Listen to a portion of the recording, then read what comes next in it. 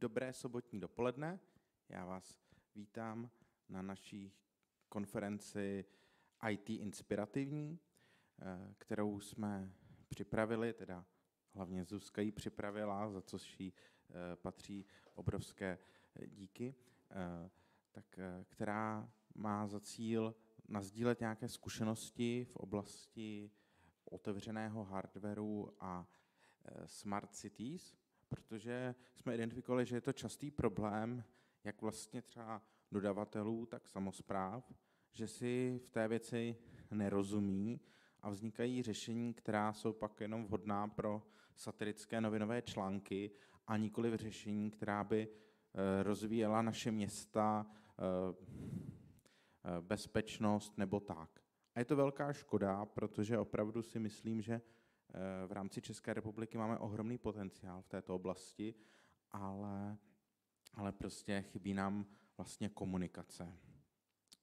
Já, tady teď bude blok přednášek o Smart Cities, odpoledne to bude víc o hardwareu a já na konci tohoto bloku budu mluvit i o veřejných zakázkách, což je taková brána k té komunikaci Eh, pokud chcete splnit formální náležitosti, takže tam si o tom budeme i povídat. A teď už teda předám, eh, eh, předám mikrofon Zuzce Drázdové, která uvede první blok. Tak, děkuji za úvod a rovnou se půjdeme pustit do toho Smart City. V životě asi většiny z nás se ty technologie stávají víc a víc všudy přítomné, dominantní. Kdy kdo má chytrý dům, chytré hodinky, chytrý telefon, chytré všechno. A spolu s tím se začaly rozvíjet i koncepty pro chytrá města. No a co se budeme povídat, s těmi koncepty se v posledních pár letech uh, tak jako protrhl pytel. Tady je jenom malá část uh, existujících konceptů, které jsem dohledala. Chytrý žďár, živé Milevsko, tábor chytré město stváří a tak dále a tak dále. Město, které dneska není chytré, jako by nebylo.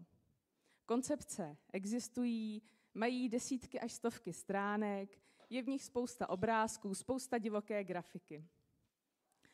Já jsem tady tak pro ukázku vybrala dva slajdy z koncepce Smart Prague, což byl dokument, který byl schválen eh, Radou hlavního města Prahy v roce 2017. A je to koncepce, podle které by Praha měla postupovat do roku 2030.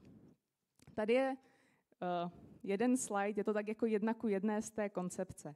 Jak vidíte, je tam strašně moc informací, různé divoké diagramy a kdo se v tom má vyznat a co to vlastně má znamenat.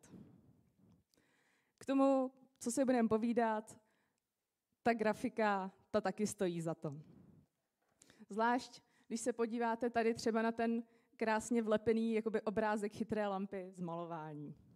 No a když se tak člověk probírá těmi koncepcemi, tak si říká, jako to je fakt strašný. Jak tohle pak bude v reálu fungovat?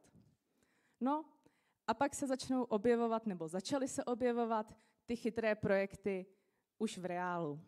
Tady je příklad chytrých laviček z Prahy. Ty nejprve vzbuzovaly spíš otázky, jestli to k něčemu je, nebo spíš ne. Pak se ukázalo, že je tam dost problémů s údržbou. Objevily se další a další skandální mediální titulky, až to přišlo do té fáze, že se Praha takzvaných chytrých laviček začala zbavovat. No, a to je takový pesimistický úvod k tomu, jak uh, vypadají koncepce, jak vypadají, nebo snad už jen vypadaly chytré projekty. A já doufám, že přednášející v dnešním ranním bloku uh, vám představí nějaké užitečnější, lépe fungující projekty, a podělí se s vámi o jejich zkušenosti, o, ty, o ta různá úskalí z vývoje a tak. Takže v první, první přednáška uh, bude o chytrém veřejném osvětlení, pak budou následovat další programy jsou tady pro všechny, jsou tam na prvním stolku, pokud nemáte, tak se vemte. A uh, já už pozvu první přednášející. Kdybyste měli nějaká, nějaké dotazy, tak se nebojte ozývat. Nejsme tady, uh, já chci říct jako ve škole, no tak jsme tady trochu jako ve škole, ale jsme tady ve škole, kde, se, uh, kde jsou studenti uh, pobízeni k tomu, aby se ptali. Takže nebojte se ptát, nebojte se diskutovat. Od toho tady jsme. Jsme tady od toho, aby jsme si vyměňovali zkušenosti, aby jsme si podělili i o ty špatné praxe, i o ty dobré praxe a aby to bylo pokud možno co nejvíce inspirativní. Tak, děkuji a pozvu první přednášející. Tak, dobrý den. Doufám, že mě dobře slyšíte. Eh, já se jmenuji Jan Horák a eh, zkusím navázat tady na eh, předcházející přednášku nebo předcházející úvod a začátek mé přednášky bude taky trošku negativní, ale zkusím pak přinést nějaký pozitivní příklady z praxe a doufám, že vás to bude nějakým způsobem zajímat a že třeba se mě i na něco zeptáte nebo že se mnou budete třeba nesouhlasit. Tak, eh, my jsme firma Satha a eh, jsme výrobci vlastně veškerého hardwareu i softwaru, který je potřeba pro osvětlování ulic. To znamená, vyrábíme jak třeba LED čipy vyrábíme tyhle ty svítidla, já ho trošku na chviličku otočím, pak ho se otočím zpátky, aby vás neoslňovalo. Opravdu celý to svítidlo, takhle jak ho vidíte, tak ho vyrábíme tady v České republice. Opravdu jezdíme si do, do, do hutí pro trubky hliníkový, ty potom řežeme na laseru, svařujeme, pískujeme, uh, nedovážíme nic z Číny a ne, nerebrandujeme to. Uh, vyvíjíme si i vlastní eh, čipy s mikropočítačema a vyvinuli jsme třeba, to je tamhle vpravo, vyvinuli jsme novou plynovou lampu pro Prahu, včetně hořáků, včetně vlastně bezpečnostního ventilu, včetně vzdáleného připojení přes eh, systém LoRaWAN, kterýmu se ještě budu potom dál věnovat. Momentálně čekáme trošku na pražskou plynárenskou, než se to tam uklidní, aby mohly začít ty lampy nasazovat.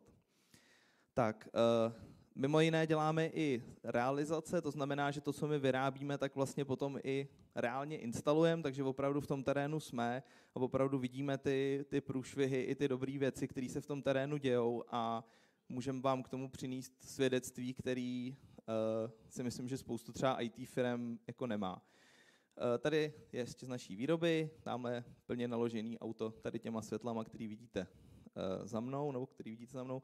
Tady eh, je ještě ukázka toho, co taky řešíme, protože my často řešíme i územní rozhodnutí a vlastně řešíme i tu byrokratickou stránku věci, aby vůbec to osvětlení se dalo postavit, což není úplně samozřejmost, protože to, že máte nějaký technický řešení v Čechách, ještě neznamená, že s ním jako prorazíte na trhu. A tady jsem si dovolil takový vtipný to je eh, taky chytrý řešení, to kolega vlastně štukuje zeď, zatímco my máme prezentaci projektu, takže šetříme čas. Tak, uh, já jsem zvolil dva příklady, které asi jste všichni slyšeli nebo nějakým způsobem zaznamenali a které se týkají veřejného osvětlení. První věc je, že všichni říkají, že se budou nabíjet elektromobily ze svítidel nebo z lamp veřejného osvětlení, dokonce tady dole, že je to nejchytřejší věc. Uh, budu se k tomu potom věnovat, jak to vlastně dopadlo, nebo jak to vlastně vypadá v reálu. Další věc, která je taková jako super smart a vlastně lidi to zbožňují a strašně rádi se o tom baví a vlastně strašně rádi dělají photoshopované obrázky, eh, že vlastně se zbavíme drátů a že budeme všechny lampy napájet ze soláru, případně, že budeme používat větrné generátory eh, jakýhokoliv typu, aby jsme vlastně mohli svítit jakoby ekologicky, šetrně a uh, aby jsme nějakým způsobem se zbavili toho starého dědictví posílat elektřinu po drátech. Tak, eh, tady ještě si všimněte, tohle je přímo ze stránek Ministerstva pro místní rozvoj, je to poměrně důležitý pro další eh, část přednášky. Tak, takhle to potom vypadá, když se to skonstruuje. Už to zdaleka není tak minimalistický řešení, zdaleka to není tak elegantní řešení a má to spoustu problémů. Uh, problém je, že když bychom vzali 10% jižního města a darovali bychom mu, nebo bychom mu zadotovali, nebo by si lidi koupili 8 tisíc elektromobilů, tak jenom tady tahle část města by měla spotřebu 1% eh, nějakého průměrného atomového reaktoru v Temelínu nebo v Dukován. a měla by stejnou spotřebu jako všechna svítidla v Praze. Mimo jiné bychom museli do té infrastruktury, kterou dneska se tvrdí, že by se mohla použít pro nabíjení těch elektromobilů, bychom museli natahat jenom na to jižní město 25 samostatných přívodních kabelů, 3x240 mm čtverečních, což je asi 200 tun na kilometr, jenom ten kabel. A jenom cena tady toho jednoho kilometru by, stála, by byla 75 milionů krát 25. A to je, prosím, 1% všech vozidel celé Prahy. Jo, se tady bavíme. Takže eh, to, to jsou věci, kterým jsem chtěl začít a kterým jsem chtěl jenom demonstrovat, že to úplně eh, nevypadá, že by to bylo chytré řešení. Tak, potom uh, to, co jste viděli na tom pravém, pravé části slajdu, to chytré osvětlení vlastně ostrovní, tak my jsme vzali plošinu a vyjeli jsme si k tomu veřejnému osvětlení a podívali jsme se, jak to vlastně je chytrý a jak dlouho to vydrží. A je to nějaká garážová úprava, která vznikla z nějakých maďarských svítidel a vlastně vydrželo to tam rok a museli to jakoby celý od, odstranit. Tady jsou nějaké hezké titulky k tomu. Rusický světelný zázrak narazil na normy.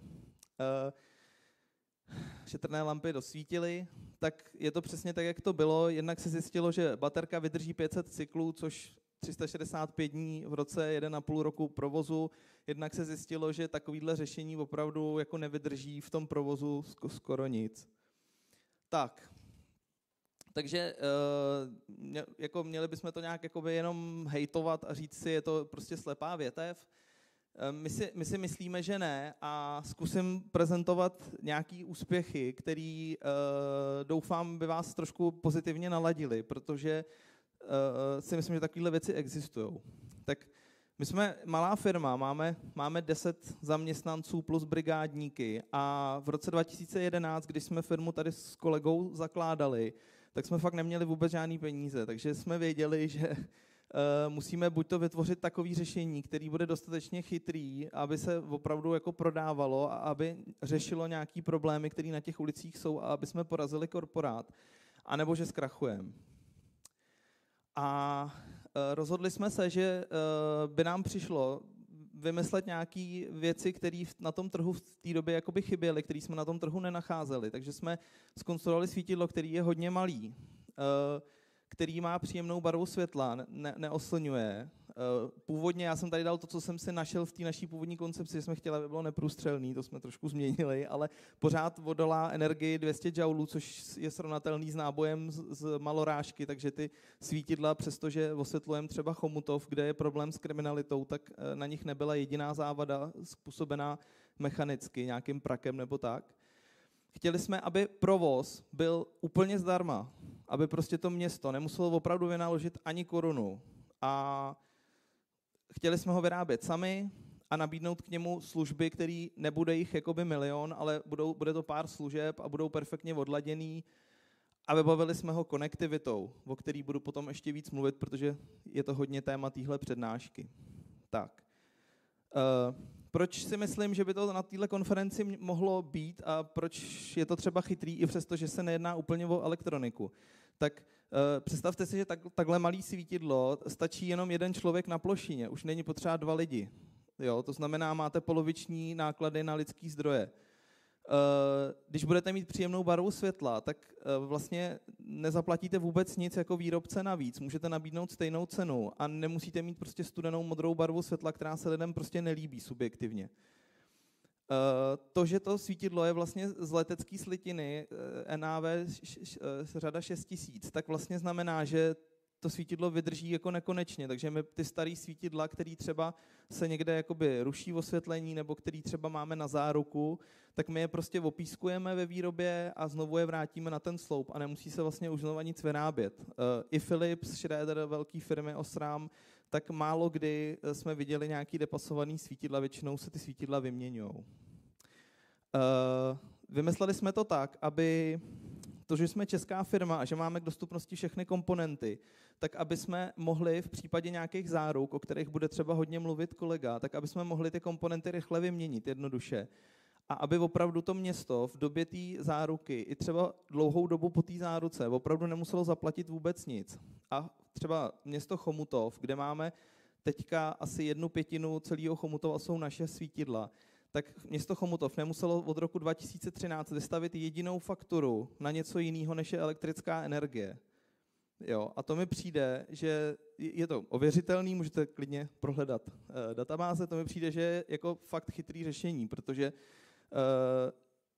žádný svítidla jakoby nejsou jakoby bezúdržbový a nám, mně přijde, že nám se to docela povedlo, byť ne úplně přímou cestou. Tak, uh, automatizovaná výroba v České republice je, je vždycky šetrnější než automatizovaná výroba v Číně. Už jenom kvůli dopravě, ale i kvůli jakoby nakládání s vodou, eh, kvůli eh, prostě milionu věcí. To nemusím vůbec rozvádět, tady asi všichni, všichni víte, eh, o co jde.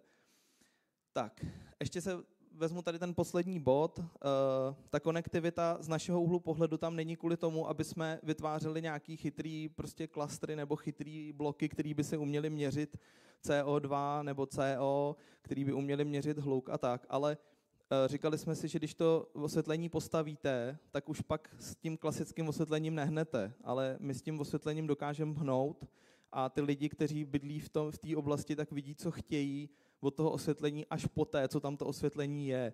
To znamená, eh, pokud ten komfort toho bydlení je špatný, nastaví se to až po té instalaci. Eh, možnosti toho nastavení jsou rozsáhlý od těch elektronických až po nějaký analogový. Tak. Eh, takhle vlastně potom vypadá ten koncept té lampy, včetně toho stožáru, je úplně minimalistický, nějak neruší téměř žádný okolí. Eh, to světlo je poměrně složitý, přestože se to nezdá, tak na tom světle eh, chci tady jako říct jednu věc. Často se nám v těch chytrých řešeních objevuje hardware, který je spotřební. A ten hardware, který je spotřební, typicky Wi-Fi routery, se strčí někam na stožár a říká se, ano, vydrží to, je to v krabičce, ale ono to nevydrží, protože uh, třeba ty světla jsou, jsou namáhaný mechanickými kmitama, UV zářením a jenom pro zajímavost, to světlo vám musí vydržet mnohem díl, než vydrží třeba osobní automobil v provozu, protože když si přepočítáte, že to světlo svítí 12 hodin 20 let, tak ty komponenty uh, jsou vystavený výrazně většímu namáhání, než když máte auto, který najde 200 000 km a najde to průměrnou rychlostí 70 uh, km hodně, tak si můžete přepočítat, že ta doba je zhruba uh, desetinová až dvacetinová. Jo, takže uh, jsou tam třeba jenom jeden příklad za všechny, je tam třeba předlakový vyrovnávací ventil s polopropustnou membránou, která způsobuje, že se tam jakoby ne, nekumuluje vlhkost a naopak, který to svítidlo ventiluje. Jo, to je jenom tak pro zajímavost. Uh, říkám to tady opravdu jenom ve vztahu k tomu, že uh, Wi-Fi router zastrčený do krabičky na stožár nevydrží, prostě jako není to řešení, který je chytrý, protože nevydrží. Tak, eh, tady v té přední části, to, co tady svítí, tak když se podíváte, tak to je vlastně tenhle ten jakoby mikropočítač, mikrokontrolér, tady to jsou ty ledky, které tady vidíte vepředu. Eh, je to systém založený na LoRaWAN, který je protokol eh, bezdrátové komunikace známý už z 80. let, už s ním vlastně přišla Motorola původně, jmenoval se LP1, nebo dneška se jmenuje LP1. Je to vlastně open source řešení, který eh, umožňuje používat všechno možné na jednom jakoby, systému komunikace a ten náš systém vlastně je na tom založený, takže jenom rychle pro zajímavost je tady nějaký vysílač, je tady malý mikroprocesor, který ten vysílač nějakým způsobem řídí a v rozvaděči toho veřejného osvětlení, který vlastně je umístěný vždycky na třeba prosto světel, je gateway, Eh, která musí být jako jediná napojená na internet a to jsou vlastně jediný provozní náklady, které jsou s tímhle systémem spojený, že musíte platit operátorovi 49 korun za datovou simku a jinak veškerý radiový provoz a veškerý provoz tohoto systému je zadarmo. Tak. Eh, tady jsem se snažil jako co nejpřehledněji říct jenom to, že eh, vlastně nesmí být levný používat ty eh, komponenty a tu výrobu, ale může být levný ten návrh, že třeba využití té lory a využití toho mikroprocesoru, tak ten mikroprocesor stojí dolar dneska a nemusíte tam mít jakoby nadspaný nic složitějšího, nic většího. Kolega ještě se o tom asi zmíní. A jenom takový jednoduchý příklad. Když, když něco vyrobíte v České republice za 2000 korun v oblasti veřejného osvětlení a prodáte to se 100% ziskem za 4000, tak navýšíte cenu té realizace o 10%, protože průměrná jako jeden úsek veřejného osvětlení v České republice stojí od 45 do 60 do 70 tisíc. Takže 10% eh, je opravdu velmi malá částka a 10% se dá obhájit, i když to nebude fungovat. Prostě když uděláte pilotní projekt a ten pilotní projekt se vám nepodaří eh, dostat do provozu, tak těch 10% je obhajitelný. Eh, to, že se v Praze třeba udělali lampy za 300 tisíc kus a byla to jenom lampa, tak je to, já nevím kolik, osmkrát větší cena, tak to už je opravdu hodně těžko obhajitelný potom. Těch 110% lze vysoutěžit i bez toho, aniž by muselo být cinknutý výběrový řízení, aniž by muselo být napsaný na konkrétní řešení. Je to prostě standardní tržní řešení, který lze s ním konkurovat dokonce i hloupému osvětlení. A navíc 100% zisku pro toho dodavatele eh, dokáže uhradit ty dětské nemoci, protože ty dětské nemoci tam jsou. A já dám třeba příklad. Eh, my jsme osvětlovali vlastně pod Krušnohorský zoopark, což je největší zoo v České republice. A tam je prostě klec s opicema a ta klec s opicema má přesně rozměry, které nám blokují signál toho bezdrátového zařízení. Takže se potom musí eh, na ty světla udělat nějaký posilovací člen a na to přesně slouží to, aby ten zisk tam byl, aby ten dodavatel to byl schopný zvládnout. No a pak dvě základní pravidla těch našich třeba chytrých řešení, že když to nebude fungovat, ta elektronika, tak to světlo musí dál svítit a když ta elektronika schoří, tak nesmí schořet nic jiného, aby nedošlo k, vlastně k zničení té služby veřejnosti a ta služba veřejnosti primárně je to, aby to svítilo. Tak, když tady ještě zbyde potom čas, ukážeme vám to přímo naživo. Eh, tohle se nachází teda tady na špičce toho svítidla. Eh, ve stožáru se potom nachází nějaká další funkcionalita, o té nevím, jestli, stihnu si, jestli o ní něco stihnu říct. A vlastně všechno ovládání těch svítidel probíhá přes prohlížeč a běží to, možná kolega ještě o tom něco řekne, běží to normálně způsobem, že se dá to ovládat přes mobilní telefon, dá se to ovládat přes počítač a není k tomu potřeba žádný adicionální software. A důležitý je, že ta komunikace třeba mezi těma svítidlama probíhá v předem definovaných paketech, takže eh, pokud se to město třeba rozhodne, že chce úplně tu technologii změnit, tak prostě jednoduše si od nás vezme jenom informace o tom, jak ty pakety mají vypadat a nasadí si tam jakoby jinou komunikační technologii a posílá jenom jinou zprávu. Tak vypadá to vlastně takhle, je to z Google mapy jako podklad a k tomu jsou rozkliknutelné svítidla, které se nějakým způsobem potom dají nastavit, dá se na nich třeba měřit teplota nebo zjišťovat informace o tom, na jaký, na jaký příkon uh, ty svítidla uh, běží. Tak a to je uh, část elektronická, ale já, já jsem ještě mluvil tam o tom, že jsme k tomu přidružili nějaké služby, nějaké další doplňky.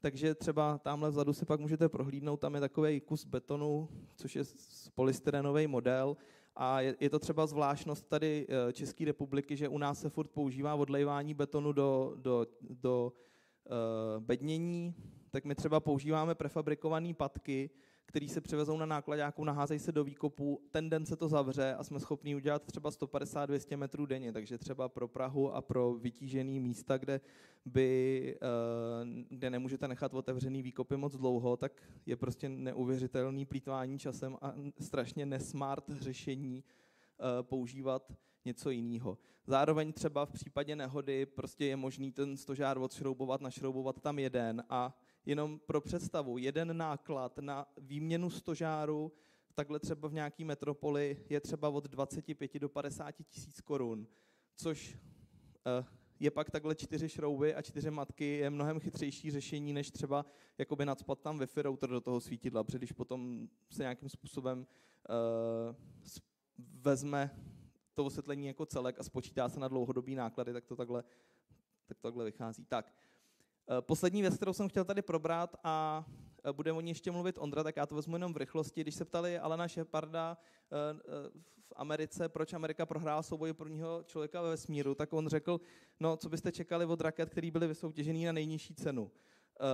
V tehdejší době to byl byla pravda, protože ta raketa, která byla za nejnižší cenu, opravdu nedokázala jakoby poskytnout ten, ten výkon a já musím říct, že se to jakoby furt opakuje a pro nás, třeba jako pro malou firmu, je to, je to obrovský, jakoby obrovská pomoc, protože i my, kdybychom měli celý to technické řešení, tak bychom nedokázali ho prosadit, kdyby jsme jako nedokázali prolomit tu zábranu těch výběrových řízení.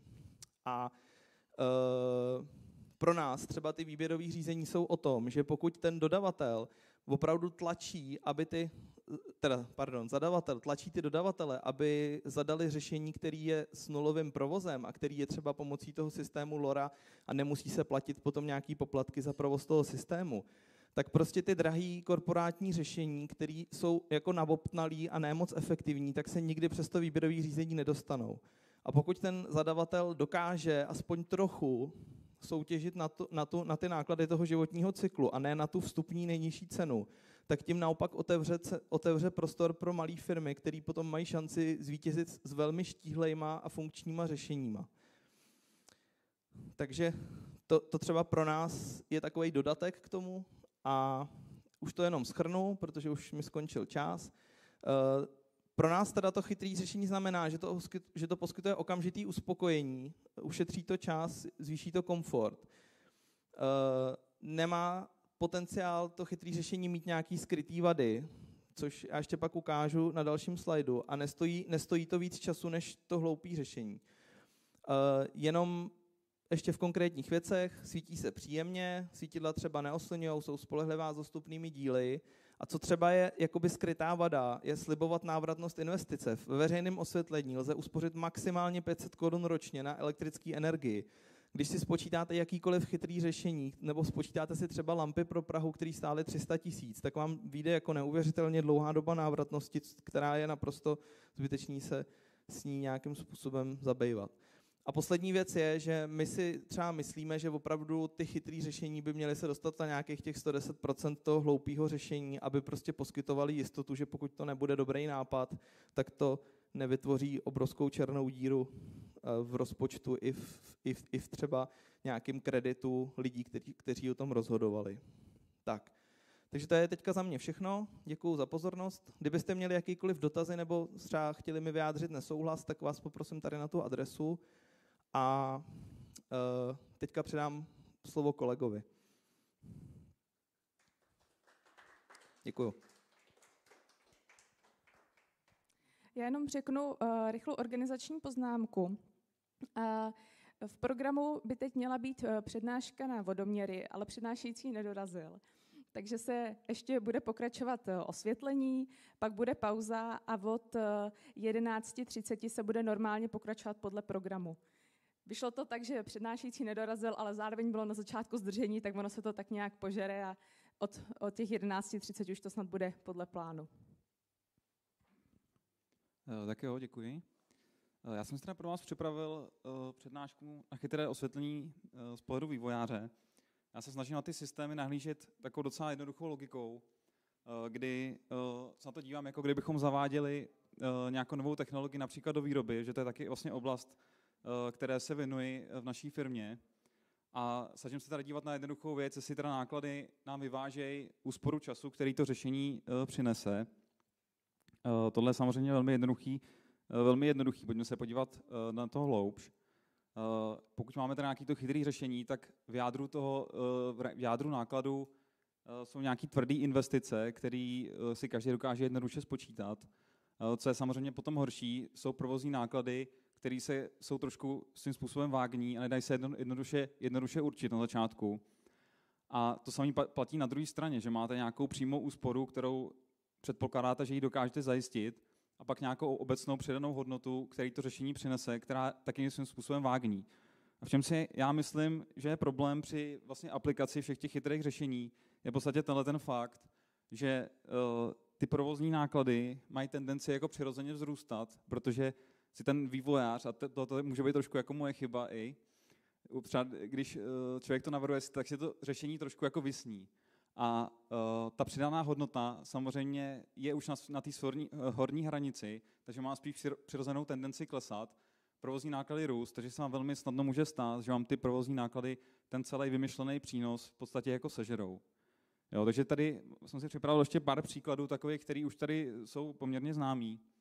Když vezmeme tu chytrou lavičku, nevnímám tam nějakou úsporu času oproti klasické lavičce, přidaná hodnota je v podstatě, možná nějaká tam je, v podstatě tím, že to je esteticky vábnější, ale je to vykoupený poměrně velkýma nákladama, který to nemůžou nikdy ospravedlnit. Jo, z pohledu toho vývoje by mnohem jednodušší řešení samozřejmě bylo použít něco, co nemá žádný provozní náklady, respektive je to třeba nerezová lavička, která, kterou se nemusíte o ní starat a uh, někomu to v tom procesu uspoří čas. Tak to je uh, jakoby jedna, jedna strana té mince, to jsou ty jednoduché řešení. Uh, pokud se podíváme na ty komplexnější chytré řešení, tak tady vnímám třeba toto SOS tlačítko pro seniory jako velký, uh, velký, velký, velký komplikovaný řešení. Tady máte jako obrovskou přidanou hodnotu. Já tady mluvím i z vlastní zkušenosti, protože se nám podařilo vlastně tohleto uh, pro moji babičku sehnat a fungovalo to opravdu spolehlivě, bylo to perfektní, uspořilo nám to spoustu času a spoustu stresu. A je to ale samozřejmě taky vykupený jako obrovskýma pořizovacíma nákladama a provozníma. Ty náklady provozní samozřejmě takhle vysoký musí být, protože musíte zajistit enormní spolehlivost toho systému. Není, za, za žádnou cenu se vám nesmí stát, eh, že ten systém selže, že kdyby ten člověk spolehal na to, že mu přijede pomoc a nepřijede a on pak umře, tak je to ta nejhorší reklama, jako kterou můžete v životě mít. Jo, takže na to je potřeba dávat pozor. Tím se chci jako dostat do, do, do toho, o čem chci vlastně mluvit. A to je něco, co jsem jako nazval, to není jako oficiální termín, ale nazval jsem to uh, spolehlivostní past. A to je v podstatě jako paradox toho vývoje, kdy čím máte větší komplexitu toho systému, tím vám roste, uh, tím vám roste pravděpodobnost, že ten systém selže. A současně, pokud potřebujete, aby ten systém byl enormně spolehlivý, tak musíte vynaložit obrovský provozní náklady pro to, aby, aby ten systém jste udržovali uh, v provozu. A uh, samozřejmě, pokud chcete, aby ten systém byl spolehlivější, tak jediná možnost to je přidat robustnost, přidat komplexitu. A když přidáte komplexitu, tak vám zase zroste ta pravděpodobnost, že část toho systému selže. Takže se dostáváte do takového určitého cyklu vývojového, kdy uh, na konci máte obrovské náklady a ta spolehlivost vám vlastně jako vzroste jenom trošičku. Eh, tady jsem ještě naznačil jenom krátký diagram, si uvědomit, že pokud řadíme jednotlivý systémy za sebe, spolehlivostní 99%, tak nám ta celková spolehlivost klesá a uh, ta komplexita nám vlastně kazí, kazí to řešení. Jo, tím se vlastně dostáváme k nějakému, jestli se s tím dá něco dělat, nějak se na to jako připravit během už třeba na začátku, na začátku když se to, eh, ten systém staví nebo když se zavádí.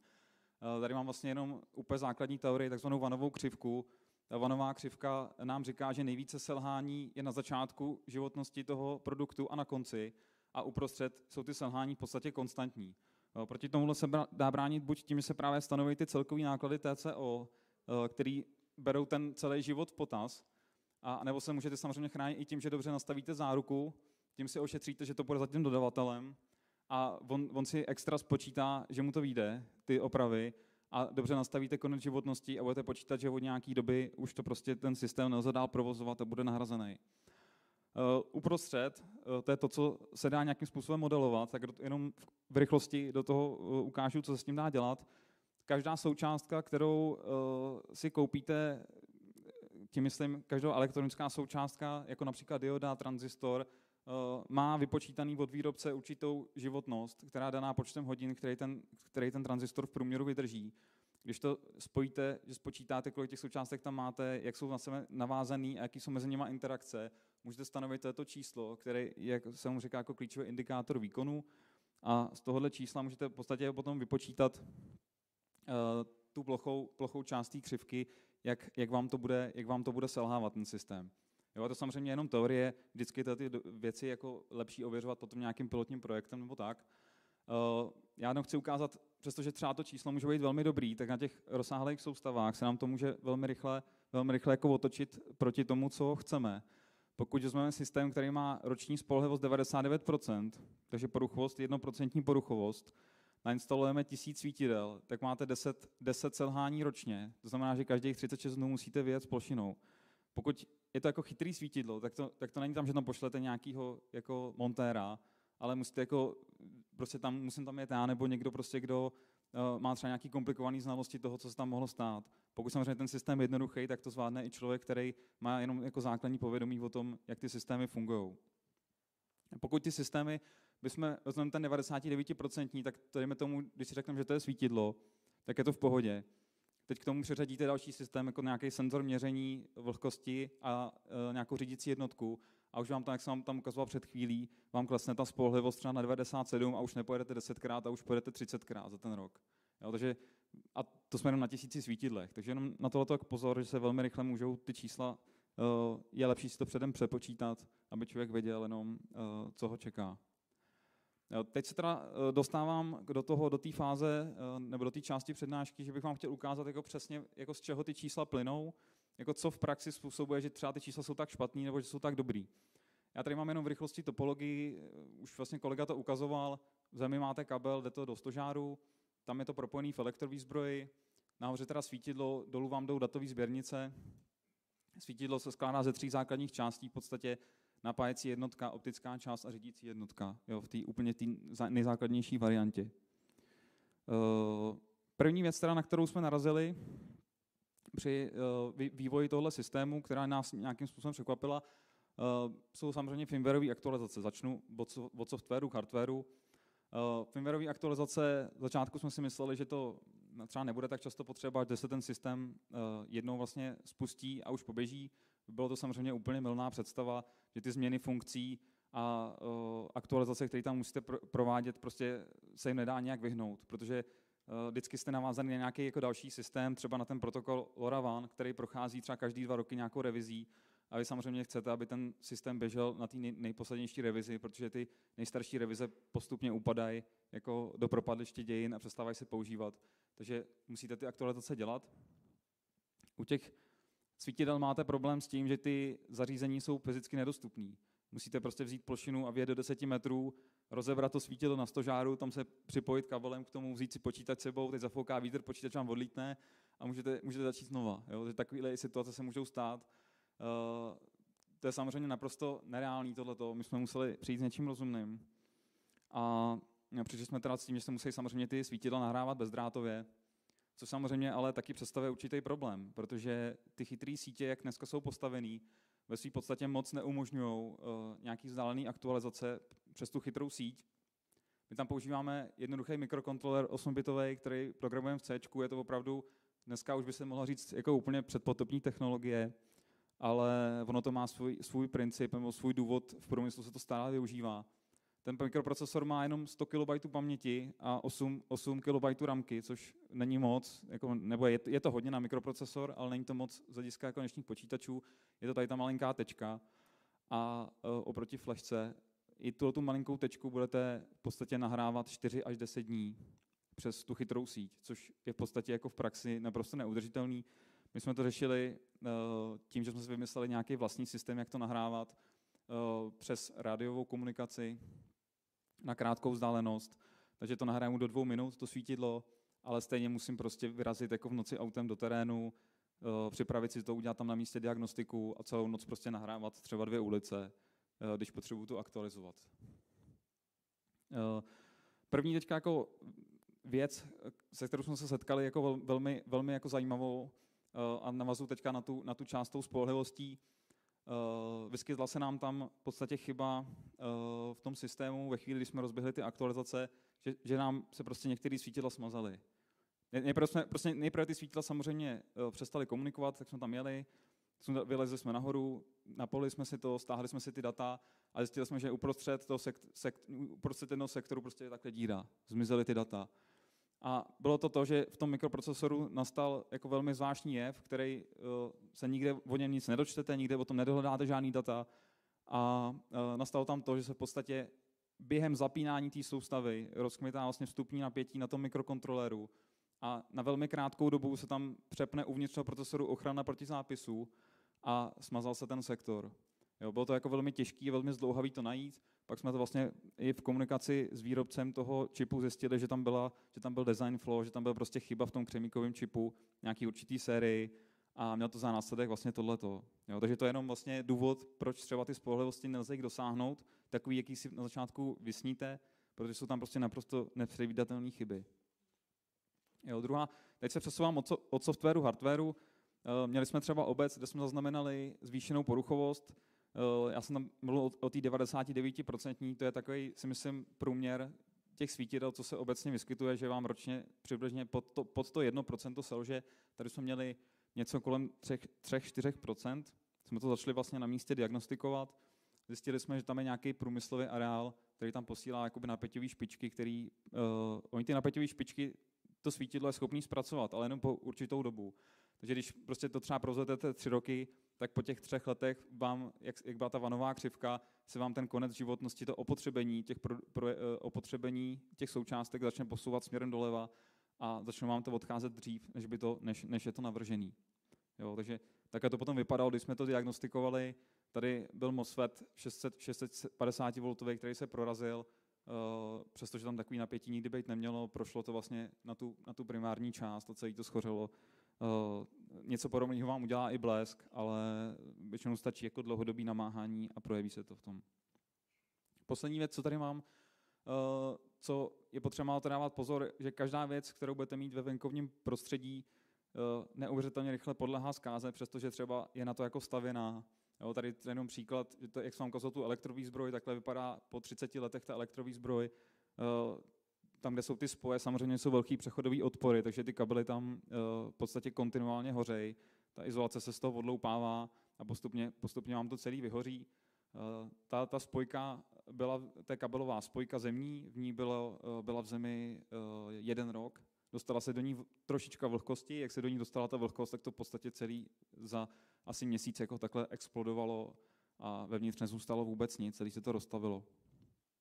Tady zajímavá ještě věc, to jsou všechno naše fotky z terénu, zajímavá věc, třeba kabel eh, vrchního vedení, který se bleskem prostě propek kompletně do sebe, eh, taky dlouho se to hledalo, museli jsme vlastně celý den procházet metr po metru toho kabelu.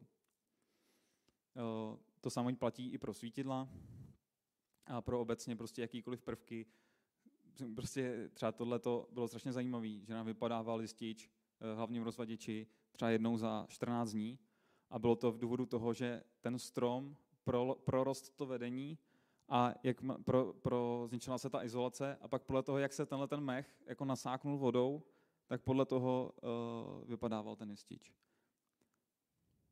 Tak já jenom uh, rychlej závěr. Uh, pro jakýkoliv, pro jakýkoliv vývoj, pro jakýkoliv chytrý řešení platí tato v podstatě rovnováha, ale ještě jsem to rozšířil vlastně o tyhle ty dvě věci. Čím to řešení je v své podstatě jednodušší, tím má vlastně přirozenou tendenci jako se naklánět na tuhle tu stranu vzhledem k těm úsporám a k tomu, k té přidané hodnotě a ty komplexnější řešení přirozeně se stáčejí směrem k nákladům. To prostě vychází z té teorie spolehlivosti, ale samozřejmě to takhle jako nelze jednoduše říct, prostě některé řešení musí být komplikovaný, jako třeba to tlačítko pro ty seniory, tam, tam to nelze nějak obejít. A jediné řešení prostě na tohle to je si to včas propočítat, dokud, dokud, prostě, dokud se, o tom, uh, se do toho nenasypaly ty peníze a ideálně ještě mít nějakého jako velmi chytrého člověka, který vám bude ty překážky, který to komplikované řešení bude klást, odstraňovat. Tak jo, děkuji za pozornost.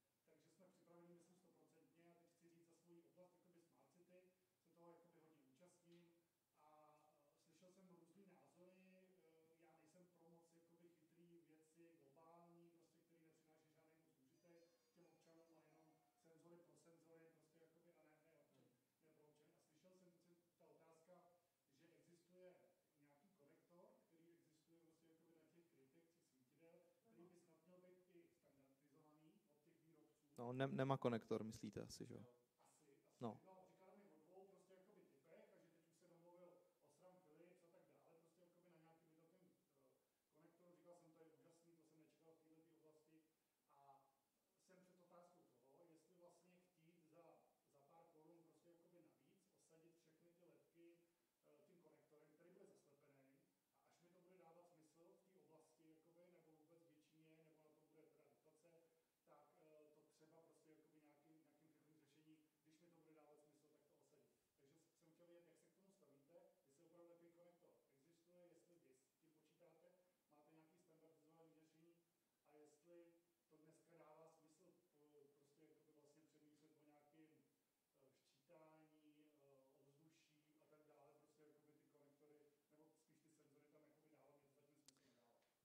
Jo, nám to smysl taky nedává, byť když bychom to provozovali, tak by nám to přineslo hodně peněz jako firmě, takže eh, je to trošku takový ambivalentní. Ale Nema konektor určitě existuje, používat se dá, zkušenosti s ním jsou, myslím si, že to není špatný řešení, ale uh, určitě bych si dal hodně pozor na ty samotné systémy ovládání, obzvlášť u toho třeba Philipsu nebo Osramu nebo tak, protože Eh, je hodně důležitý, aby tam byla opravdu synergie mezi tím městem a tou firmou, aby nedošlo k tomu vendor lockinu, protože uh, některé ty firmy mají strategii nepouštět prostě eh, do toho města vůbec nikoho jiného už potom, což samozřejmě je z jejich hlediska velmi fajn, že jo, protože prostě musíte potom kupovat jenom jednu značku svítidel.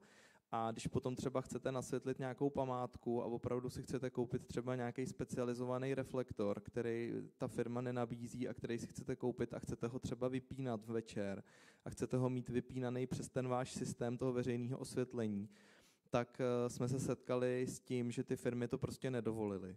Jo, to znamená, že uh, si myslím, že je určitě velmi důležitý, aby prostě ve všech smlouvách o dílo, ve všech dokumentacích, ve všech právních věcech, které se okolo toho budou vytvářet, byla zakomponovaná podmínka, za jakých podmínek spolupracovat s jinýma výrobcema, za jakých podmínek spolupracovat třeba i s jinýma dodavatelema těch eh, senzorů, protože eh, my třeba máme možnost připojit na ty naše svítidla vodečty vody jako vodoměry a to třeba je hodně často jako velmi dobrý. Je to mnohem lepší, než měřit někde hladinu CO2, protože na to si můžete koupit meteorologickou stanici, nemusíte to spát do svítidel ale pokud chcete třeba odečítat vodoměry v celé obci nebo v celém městě, tak to veřejné osvětlení je všude. Takže tam prostě nemusí potom někdo obcházet s, tou, s tím dálkovým vodečtem, ale může e, použít třeba k tomu tu soustavu. Jo, takže za mě určitě jako standardizace super, Nema konektor taky funkční, my ho nepoužíváme, protože prostě konektor je to, co říkal kolega, je to další věc navíc, která je trochu exponovaná v tom prostředí a e, vyžaduje údržbu a prostě už, už vyžaduje nějakou jakoby kvalifikovanou údržbu. Jo? My se snažíme vlastně to svítidlo mít udělaný tak, aby tam ty konektory nebyly. Ale to je náš úplně subjektivní soukromý názor, který vyplývá jako z našich zákazníků, z naší praxe, ale uh, nemyslím si o Nema konektoru jako nic špatného, jo, takže tolik za mě. A já ještě Jenom, když bude mít někdo dotaz, tak se přihlaste a já vám dám mikrofon, protože ono to jinak není slyšet na tom streamu a záznamu. Ještě teda jako doplním, já samozřejmě jakoby, uh, tvrdě jdu po tom, aby ty podmínky, pokud dostaneme 10 milionů, tak vlastně jakoby v té zadávačce a vůbec byli eh, silně obecný a jenom prostě jakoby to, co vlastně jakoby chceme, to znamená rád bych, abyste tam, abyste měli možnost se přihlásit taky, aby jsme nebyli prostě jakoby vendor lock prostě jakoby na nějaký velký firmy, líbí se mi vaše technologie.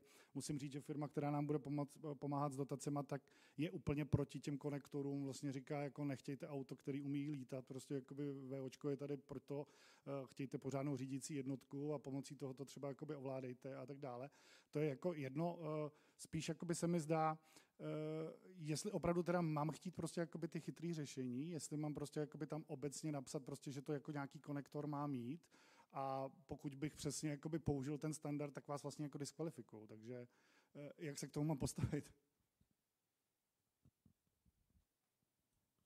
Já si myslím, že byste nás nediskvalifikoval, protože myslím si, že když je někdo opravdu výrobce třeba, tak jako nemá problém prostě tam ten NEMA konektor doplnit.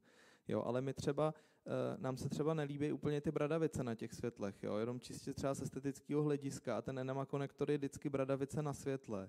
Jo, proto my máme prostě jakoby více účelovou krytku vepředu v tom svítidle, která jednak svítí, jednak tam vyřezáváme loga města, takže vlastně to město má svítidlo, který je neukradnutelný a zároveň je trošku jako esteticky eh, spojený s tím městem a zároveň je v něm umístěný ten vysílač a je prostě ten vysílač vevnitř je automobilový konektor, není tam ten NEMA konektor a když to odklopíte, tak, tak to vyměníte stejně tak, jak byste vyměňoval tu bradavici na, na té na, na, to, na špičce toho svítidla, ale Myslím si, že eh, ten NEMA konektor je natolik jako standardizovaný, že vlastně ten výrobce opravdu má možnost si to svoje svítidlo tím NEMA konektorem vybavit. Jo, protože uvnitř v těch svítidlech běží protokol, který mu se říká DALI a který uh, používají všichni, používáme ho my a používáme ho proto, že prostě nechcem uh, se nechat jako diskvalifikovat z těch výběrek. No. Já ještě dám slovo kolegovi. Já bych ještě jenom velmi krátce na to, uh, já bych se to taky nebal, toho nemá konektoru, jako technicky máme s tím zkušenosti, ten standard je jako kvalitní, je to jako dobrá volba a můžete to úplně bez problém do toho dát. Uh, my v podstatě, jak se tam, jestli jste tam viděl tu jednotku v té kryce, tak velikostně odpovídá tomu NEMA konektoru, takže do něj jde úplně v pohodě za, za to. A jak, jak říkal kolega, my jsme to tam nedáváme z toho estetického důvodu, že ten konektor jako není vůbec hezký vizuálně, takže je to jenom čistě estetika, ale kdybyste tady tohoto v podstatě vyndal, tak to tam můžete udělat na tu redukci a dát to tam. Takže pro nás tohle to není problém. A druhá věc, je, když to tam vlastně do toho dáte, je to jenom příprava ten konektor, takže to poběží bez toho, když se pak ta jednotka do toho přidá, je, funguje to přes tu dalinu, jak říkal kolega, přes standardizovaný protokol, stejně jako to naše. A tam vlastně bych se ani nebál, tam to smart si myslím bude především hlavně stmívání, taky jako u nás, takže to je po, po, v podstatě jednoučelová technologie. Co se týče senzoriky, tak uh, tam se do toho NEMA konektoru moc těch senzorů zatím ještě moc dát nedá. Jo. Jakože jsou to jenom obyčejné věci. Jenom na co bych si dal pozor osobně já, že některý výrobci doporučují to, že dává se tam potom třeba senzor, eh, že každý světlo se rozsvící zvlášť a eh, senzor průchodu obyvatel a takovéhle blbosti, tak to jenom nedoporučuji za sebe, ale co se týče klasické řídící jednotky na stmívání, tak s tím si myslím, že, že se nemusíte toho vůbec bát a je, že to je opravdu si myslím, že chyt, chytrý řešení.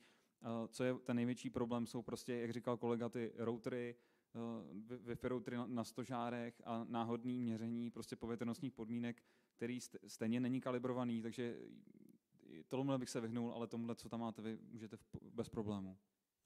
Ještě úplně jenom krátkou poznámku určitě doporučím, když budete dělat výkaz výměr k tomu efektu, k té dotaci, tak do toho výkazu výměr si dejte úplně všechno. Dejte si tam, že bude ten dodavatel provozovat server, že vám ten server musí předat, že s váma musí strávit jakoby 10 hodin měsíčně na jakoby zaučování zaměstnanců, že vám musí jako zvedat telefony. Prostě jako výkaz výměr v dnešní době už nemusí být jakoby jenom 10 kubíků betonu, ale můžete opravdu to tam nasypat a on se pak nemůže vymlouvat prostě. On pak nemůže říkat, no my jsme tady měli pána, který mu bylo 60 let, teď je hodně nemocný, tak už vám jako nezavolá a prostě standardní výmluvy, který vás potom budou strašně štvát a který jako způsobí kvůli jako drobnostem nefunkčnost toho systému. Takže tohle bych jako velmi doporučoval a opravdu to naprat do toho výkazu výměr a i do té smlouvy o dílo, na tvrdo. Prostě nebát se toho.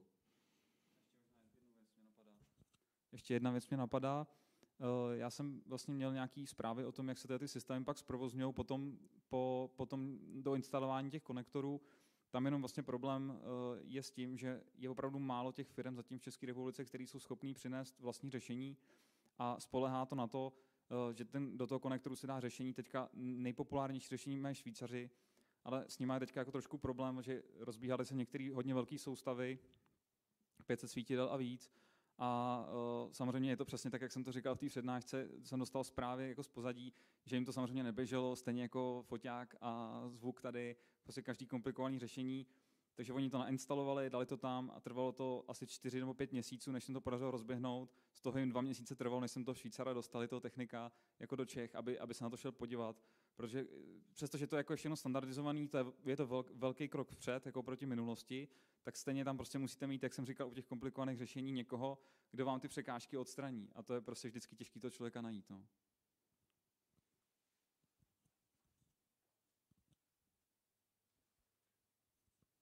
Dobrý den, já moc děkuji oběma pánům za super zajímavou přednášku. Jaromír Bránek, já jsem přímo za Prahu.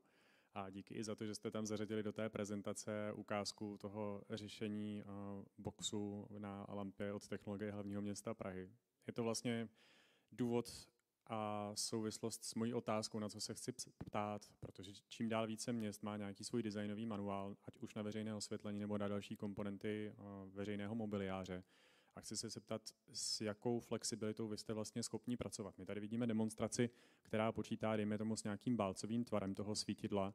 A, tak se chci zeptat, jestli třeba pro vás je tohleto komplikovaná věc, kdybyste zkoušeli hledat nějaké jiné řešení a jestli jste schopni vyvíjet ty věci i na zakázku, tak abyste se právě vešli do městského manuálu. Jeden z dalších důvodů, proč to vlastně zmiňuji, je, že v rámci předběžných tržních konzultací s potenciálními dodavateli řešení právě pro kombinované lampy pro veřejné dobíjení elektromobilů se setkáváme i s tím, že nám ti výrobci chtějí jakoby vnutit už předem vytvořená řešení, která ale samozřejmě pracují s nějakými vstupními parametry, ať už jsou to rozvodné skříně někde na kraji jedné ulice, ve chvíli, kdy vy vlastně nemůžete v historickém jádru města dělat rozsáhlé výkopy a musíte mít veškerou tu technologii nad zemí, pokud nechcete, aby vám, vás to stálo několik dalších milionů na každý blok navíc. Děkuji. Jo, tak děkuji za dotaz. Eh, první, otáz, první otázku rychle odpovíme. Tady to vlevo, to nevidíte tady, jestli jste si všimli. To je designový kryt, který je vytvořený z jedné čtvrtiny loga města Chomutová a na ty svítidla se nasazuje. Protože eh, když budete mít v každé ulici jiný svítidlo, v každém městě jiný svítidlo, eh, tak ten dodavatel to nezvládne. Takže my děláme to, že máme nějaký jádro toho svítidla a obklopujeme ho potom nějakýma eloxovanýma hliníkovými tvarama, který si ty jednotlivý zájemci vlastně nějakým způsobem oni řeknou, s tím, že děláme třeba to logo eh, toho města jakoby v té přední části toho svítidla, který v noci svítí, takže to třeba taky trošku esteticky změní. Ale obecně my zatím nemáme typ svítidla třeba historického.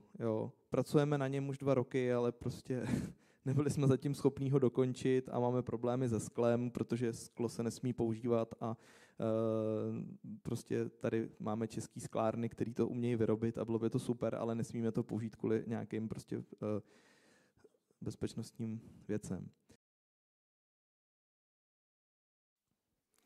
Takže dobrý den, já vás vítám zase po přestávce.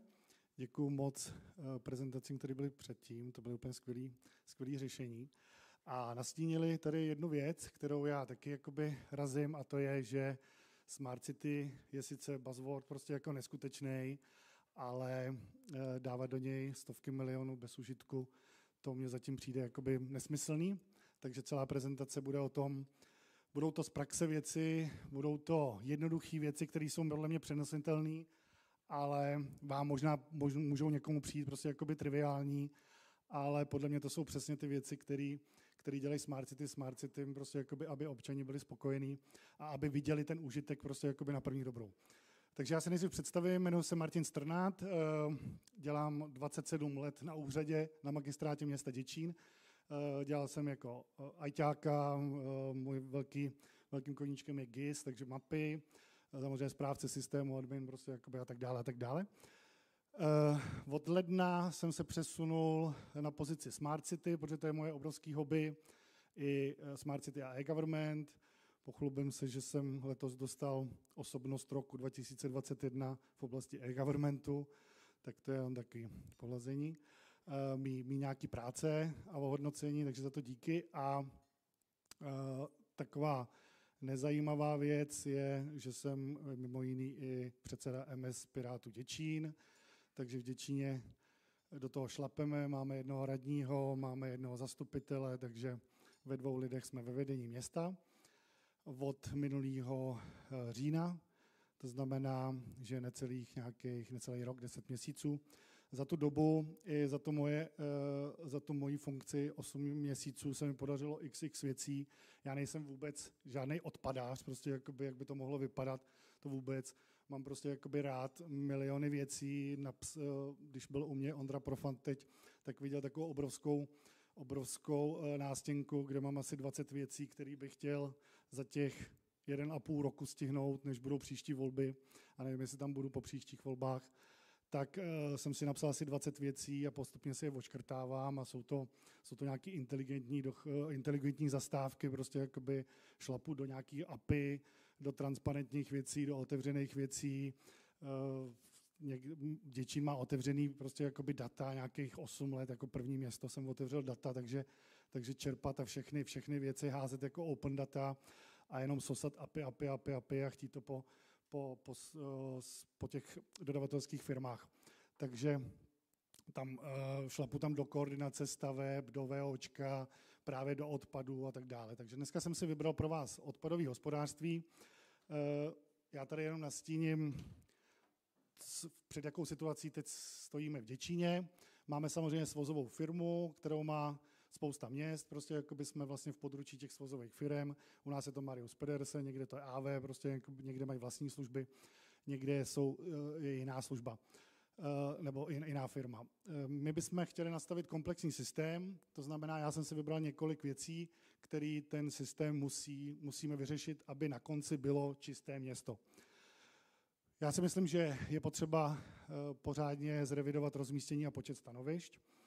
Eh, třídění do odpadu, eh, nějak eh, motivovat lidi, aby třídili odpad a na základě toho prostě jakoby pak zpracovávat ten odpad.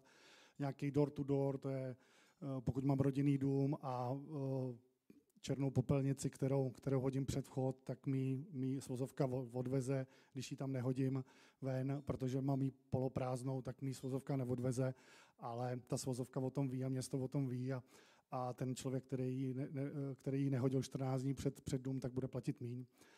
Takže to je nějaké motivační řešení.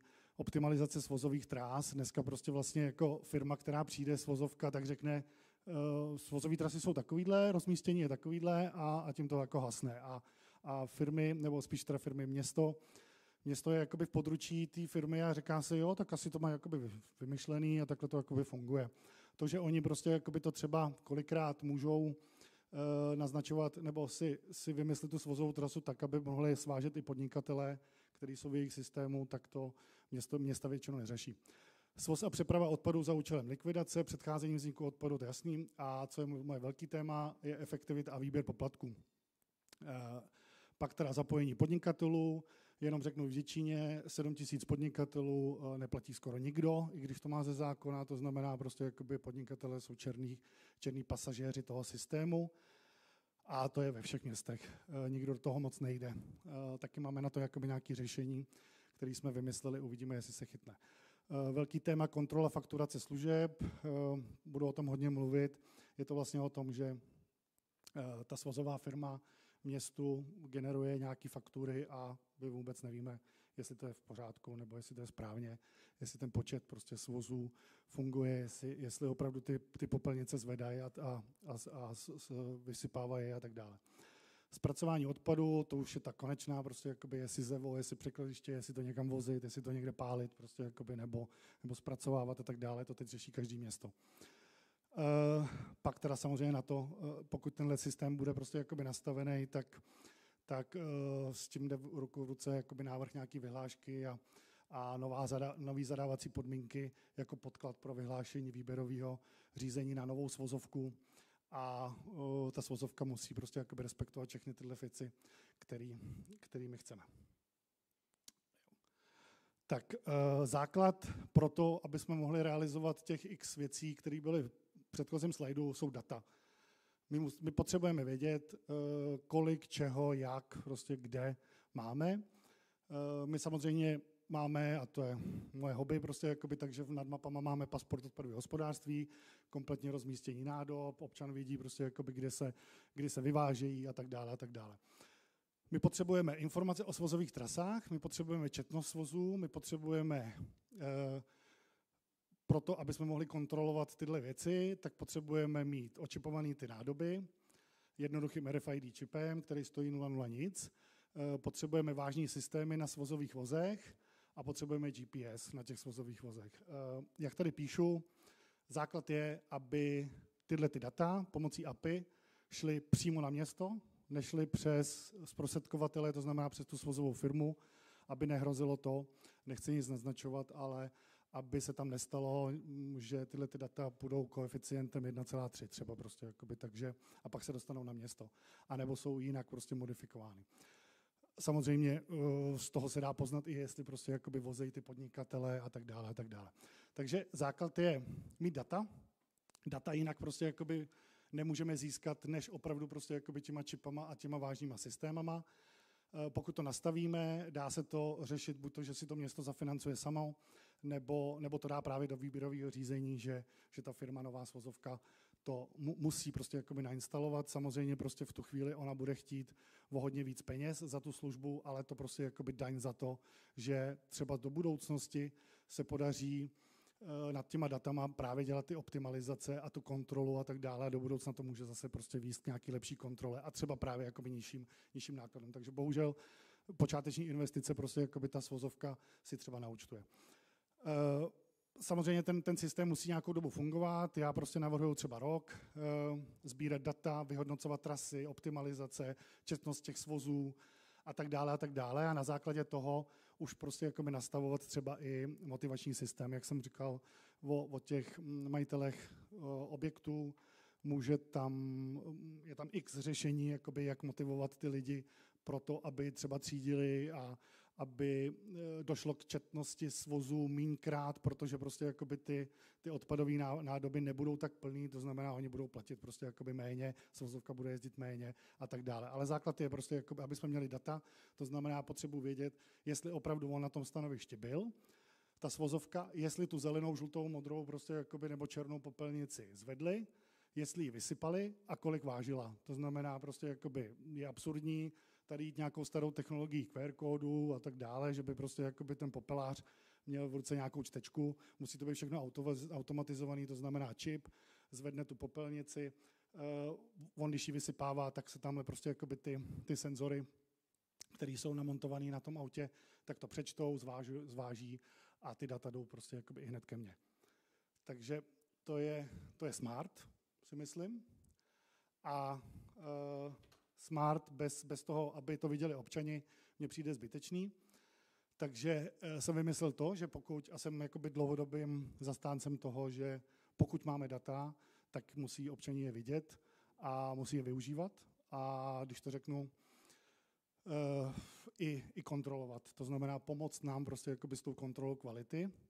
A nabízí se úplně jednoduché řešení. Pokud máme API a máme data, tak nad mým pasportem nebo nad naším pasportem může být vidět datum a čas, kdy, kdy ta popelnice, ten, ten tříděný odpad byl prostě jakoby svezen, odvezen. Uh, nevím, jestli se setkáváte prostě se situací toho, že, že ty popelnice jsou přeplněné třeba na plast a člověk má pocit prostě, jakoby, že ta svozovka to prostě jako mi neodvezla.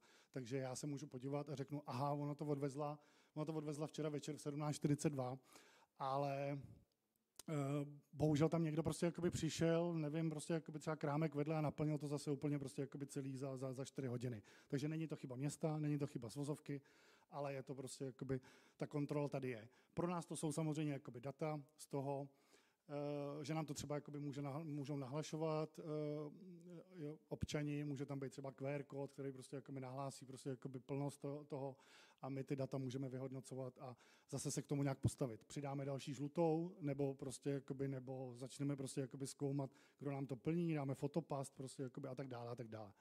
Uh, možností je jakoby spousta, základ je prostě jakoby, aby ty data byly vidět. Eh, pak eh, jsou jako různé dotace a, a stojí to velmi málo. Jsou, eh, my máme asi 30 podzemních nádob, je to teď dneska populární, dělá to každý město v různých oblastech města, prostě v centru a tak dále. A nám se stává, že bohužel můj předchůdce a vůbec vedení podle mě vybralo nevhodný podzemní nádoby. Máme je prostě nainstalovaný a jsou tam, jsou tam úzký hrdla. Já když jsem jezdil po světě, hodně ve Skandinávii a tak dále, tak jsem viděl prostě, že mají méně vzhledný prostě jakoby ty nádoby, ale mají obrovský prostě jako hrdla. To znamená, že ten občan nemá problém prostě jakoby tam strčit cokoliv. U nás se stává to, že, že se ta podzemní nádoba hm, vysype a za jeden den vypadá jako, že je obrovsky plná, protože se prostě jakoby válí hrozný bordel okolo. Nějaký kartony a tak dále. A samozřejmě můžeme vychovávat občany, že prostě jakoby ten karton tam nepatří, že prostě by měli 200 metrů dál prostě jakoby a hodit to do toho modrého velkého. Ale spíše prostě si myslím, že najít řešení. To, že se prostě jakoby, eh, koupí třeba jakoby nový podzemní kontejner, to není tak jednoduchý, takže aspoň prostě jakoby mě dává smysl toho, že tam dám přes Loru nebo přes jinýho, nebo přes Vodafone, jejich IoT, prostě jakoby síť, tam dám mm, od nějakého dodavatele senzor naplnění a přenáší mi to data a zobrazuje mi to zase prostě jako nad mým pasportem. To znamená, jsem asi velmi naivní, ale doufám, že to bude fungovat, že v té ulici, pokud ten občan uvidí, že prostě jakoby ta nádoba je obrovsky plná a, a zacpaná, tak má pocit prostě, jakoby, že je opravdu jako plná a zase si stěžuje na město a, a na technický, ale já mu ukážu, že ta modrý, to modrý a ta žlutá prostě jakoby jenom ze 68% a z 24%, že je plná a že to je opravdu bordel prostě jakoby vedle a to hrdlo je zacpaný. Takže eh, buď to město technický, nebo občan veme prostě jakoby tu tyč, prostě jakoby, a je to prohrábne prostě jakoby a prošťouchne a jedeme dál. Další věc je, že technicky tam nemusí jet, prostě jakoby to vlastně vysypat a zbytečně to nadzvedávat a zjistit, že, že tam je jenom 24%, že tam je opravdu jenom na dně. Takže i takováhle jakoby věc, která stojí prostě jakoby 0,00 nic měsíčně v těch 30 kontejnerech, může jakoby pomoct zase jakoby k nějakým, k nějaký osvětě a k nějakým informacím, které občani mají, ale i pro nás. Pak samozřejmě, pokud mám výborný pasport, tak se nabízí Teď jsem v lednu prostě vlastně komunikoval uh, s pánem, který má na starosti kam s ním, který udělali nějaký projekt, který je zdarma, z mého hlediska prostě jakoby proč ne, uh, proč bych to měl mít jenom v mojím pasportu, aby se občani dívali do mého pasportu a zjistili, kde se vysypává, vysypává kontejner a kdy, když to můžu mít na veřejně, veřejné službě, která je velmi populární a to je kam s ním, takže jsem se dohodnul, vyexportoval jsem data, hodil jsem je jako open data, Eh, trošku je modifikoval a zveřejnil znova na Open Datech a domluvil jsem se, že eh, z toho serveru, z CKNu prostě jakoby Open Data si je bude pán brát nebo jako služba, služba která, která to poskytuje a máme na kam s ním, máme vše, veškerý, veškerý kontejnery i prostě vlastně jakoby třeba malý koše na exkrementy a tak dále, tak dále. Takže, takže to je další věc. E, pak tady jenom taková drobnostka. Eh, reuse systém pro občany. Eh, může se zdát, že dneska, dneska eh, odpad, který lidi vyhazují, starý nábytek, který vyhazují do sběrného dvora, je v pořádku, prostě jakoby není to jakoby problém, ale já jsem si říkal, že by bylo fajn, kdyby ty lidi si ten, tenhle, ten, tenhle ten odpad jakoby, nebo si předávali ještě mezi sebou. Takže jsem udělal jakoby zadarmo službu jednoduchou, Eh, která se jmenuje Daruj radost za odvoz. Chtěl jsem nějak jako to trošku na city hodit, aby to vypadalo jako sexy a citově. Eh, dneska samozřejmě v době, v době eh, marketplace a různých bazošů a tak dále se to může zdát prostě jakoby úplně absolutně zbytečný. Přesto jsem to jakoby zkusil. Udělal jsem to hlavně bez registrace, prostě jakoby, aby do minuty z mobilu prostě vyfotili věc a zadali prostě jakoby, že že tady si člověk může vyzvednout, nebo na telefonu se domluvíme a funguje to úplně skvěle. Prostě, jakoby, že za, za nějakých šest měsíců služby se tam protočilo hrozně, hrozně jakoby věcí od, od sedaček nábytku, prostě jakoby elektroniky a tak dále. Takže to, co by skončilo v popelnici, tak možná skončí teda v popelnici taky, třeba za rok, prostě jakoby, ale, ale aspoň se to lidi předávají a, a jsou z toho nadšený. Uh, já jsem to ještě, říkal jsem si, že Sice tam jsou věci zadarmo a jsou za odvoz, ale my na magistrátě máme i spousta věcí, několik garáží věcí, které lidi zapomenou, nebo jsou to ztráty, nálezy a tak dále, který se musí prodat po třech rokách, nemůžou se dávat zdarma, bohužel kvůli zákonu, takže jsem ještě tam udělal záložku, magistrát nabízí a tam jsou věci, které máme v garáži, které se ztráty a nálezy, taky se prostě prodali všechno, nějaký kola a tak dále za, za 150 korun, za 200. Takže tenhle, tenhle portál je prostě jsem udělal za týden open source, prostě jakoby jednoduchý, prostě jako inzertní server, který je vlastně jakoby inzertní server za nula korun, prostě jakoby darují věc. Takže to je vlastně do toho systému, systému odpadu taková drobnost. A teď se dostanu k, k něčemu, na co jsem lehce pišný, a to jsou, eh, to jsou ty poplatky. Eh, když tady je taková nějaká tabulka schrnutí toho, jak to u nás funguje, my jsme platili 500 korun, teď máme paušál 750 korun za rok. 2019 se, se je příjem 23 milionů 500, 2020 prostě jakoby, protože přiš, došlo k tomu zvýšení 750 korun na občana, tak je to 33 milionů. Neplatičů z toho je vidět ročně 2 miliony, v roce 2020 a 2021 bude okolo 3 milionů neplatičů, což je ohromná částka, která se nedostane do rozpočtu a my vlastně ty svozovce musíme platit za ně. A pak je tady ještě zajímavá další řádek, zajímavý náklady na výběr poplatku. To je, máme tam několik úřednic, máme tam tisk a distribuci složenek, posíláme složenky na to, aby, se, aby lidi nám zaplatili poplatek za odpad. Máme tam náklady teda jakoby na ty úředníky a tak dále, máme tam vymáhání, máme tam exekuce a tak dále. A ročně to je 4,5 milionu. To znamená, ročně se mi do rozpočtu vlastně jako nedostane jenom díky tomuhle jakoby poplatku za odpad 7 milionů 300 korun, 300 tisíc. Což je obrovská částka a je tam obrovský jakoby možnost prostě jakoby o tom přemýšlet, co s tím, jestli zrušit, o, zrušit prostě ten poplatek, protože je absolutně neefektivní, nebo ho hodit, byly takové myšlenky naše pirátské, uh, udělat to v rámci daně z nemovitosti, prostě, kterou se dá zvýšit ten koeficient a dostal by se, nevybíral by to město, vybral by to finančák prostě jakoby a tak dále a tak dále, ale bohužel to naráží na nový zákon, kde musí být motivační systém a ten vlastně jakoby by tam nebyl možný. Takže to je jenom pro, uh, pro úvod toho, jak ten poplatek dneska funguje. A já jsem si vymyslel řešení, než prostě jakoby najdeme nějaký globální řešení, tak jsem říkal, pokud chci peníze od občana, tak mu musím dát možnost, aby ten poplatek zaplatil co nejjednodušeji. Ta složenka, kterou mu pošlu, i teda jsem tam prosadil před x lety QR platbu, jako první, první město prostě v, eh, v České republice, tak stejně ta složenka může skončit prostě jako na lednici, nezaplatí se.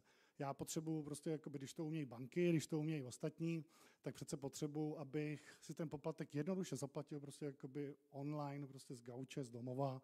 A možná, když prostě jakoby se zamyslím nad tou přístupností toho zaplacení toho poplatku, tak jsem tak naivní, že buď to zůstanu na té částce 7 milionů 300, prostě nebo 254, a nebude se mi zvyšovat rok od roku, jak je vidět, že se zvyšuje, a nebo se mi dokonce sníží, prostě jakoby, takže pojďme se zamyslet prostě nad nějakým jako chytrým řešení, úplně jako jednoduchým, který by mě možná přivedlo, že ty lidi eh, mi zaplatí a dostanou se mi do, do rozpočtu a do pokladny více peněz.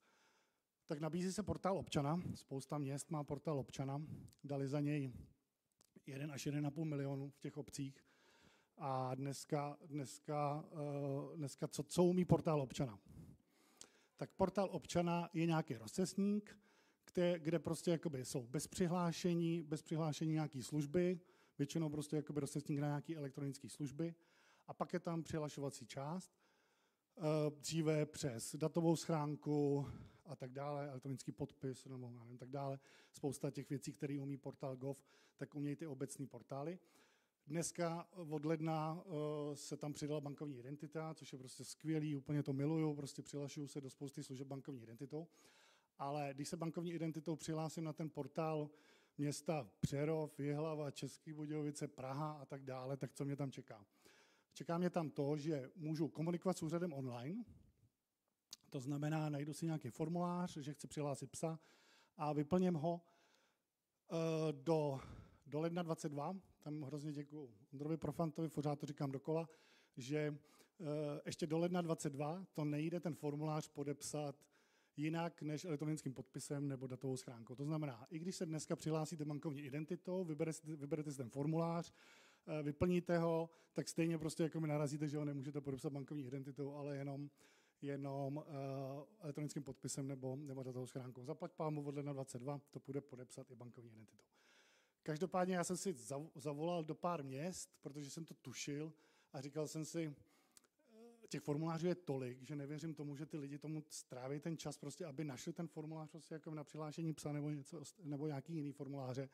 A chtěl jsem vědět, kolik měsíčně mají uh, těch kvalifikovaných podání jakoby online. A oni mi řekli, že prakticky nula. Prostě, jakoby. Že to dneska vlastně není jako služba, kterou by lidi chtěli a využívali takže jsem si říkal, tak to je jako slušný. Pak jsem se podíval na nějakou statistiku návštěvnosti. Vím, že s tím bojuje i teď Praha. hodně moc a je to všude propíraný, že prostě za 10 milionů nebo kolik do toho dali, tak ta návštěvnost je, já nevím, 100 lidí nebo 200 lidí denně. U těch obcí to je ještě jakoby katastrofičnější, že, že tam je to třeba 5 nebo 10 lidí denně. Jakoby, jo. A, a to jdou ještě do té nepřihlášené části, ještě do té přihlášené, to bude prostě jakoby jeden člověk podle mě denně.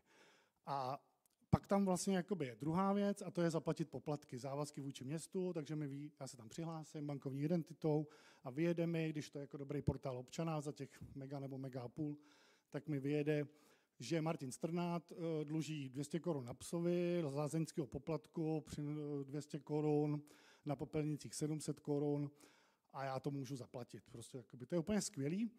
Ale říkal jsem si, za tohle 1,5 milionu prostě, jakoby, a nešlo by to zase bez přihlášení, já miluju ty věci bez přihlášení.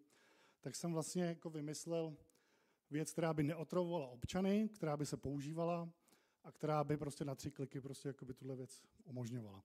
Takže jsem odložil portál občana za 1,5 milionu a řekl jsem, až to někdy bude prostě jakoby mít smysl, tak, tak ho třeba se s tím zase budu, budu zabývat. A udělal jsem jednoduchou platební bránu, která je bez přihlášení. Eh, dneska kvůli GDPR nemůže být ta platební brána tak, že prostě přijdu na ní bez přihlášení, zadám rodný číslo, což by se nabízelo, a dám zobrazit poplatky a ono mi vyjede uh, rodný číslo a ten člověk, který je tím autentizovaný, tak by mě vyšlo poplatky. Bohužel kvůli GDPR tam být nemůže, ale může tam být číslo občanského průkazu. Takže jsem to udělal na číslo občanského průkazu po XX prostě měsících nějakých debat a s dodavatelem ekonomického systému, který bych nikomu nedoporučoval, je to vendor lock úplně šílený u nás, ale zaplať pámbu eh, se mi podařilo, a teď asi za 14 dní to budu spouštět, takováhle eh, lehká brána, kde prostě zadám číslo občanského průkazu, zadám e-mail, aby mě přišlo, když tak na ten e-mail shrnutí těch poplatků, dám zobrazit údaje pro platbu a výjdou mi ty čtyři poplatky, já si zaškrtnu, jaký chci, nebo zaplatím všechny a zaplatím kartou, QR platbou nebo bitcoinem nebo čímkoliv. Takže eh, od toho si hodně, hodně slibuju. Už jenom to, že jak tam bylo vidět, tak třeba za složenky my ročně dáváme 400 tisíc. To znamená, složenky by se měly posílat teď 1. listopadu. Já doufám, že celý říjen budeme promovat, promovat, promovat a, a zaplatíme, doufám, třeba 50% lidí online. To znamená, že už jenom 50% lidem pošlu teď v listopadu složenky. To znamená, že už, už v listopadu ušetřím 200 tisíc. Pro informaci, tahle brána stála 100. To znamená, že se vlastně dvojnásobně zaplatí už jakoby první rok. Uh, takže šel jsem cestou té jednoduchosti, doufám, že mi to přinese prostě jakoby nějaký, nějaký ovoce zpátky a bude to plnit tu kasu o nějaký peníze.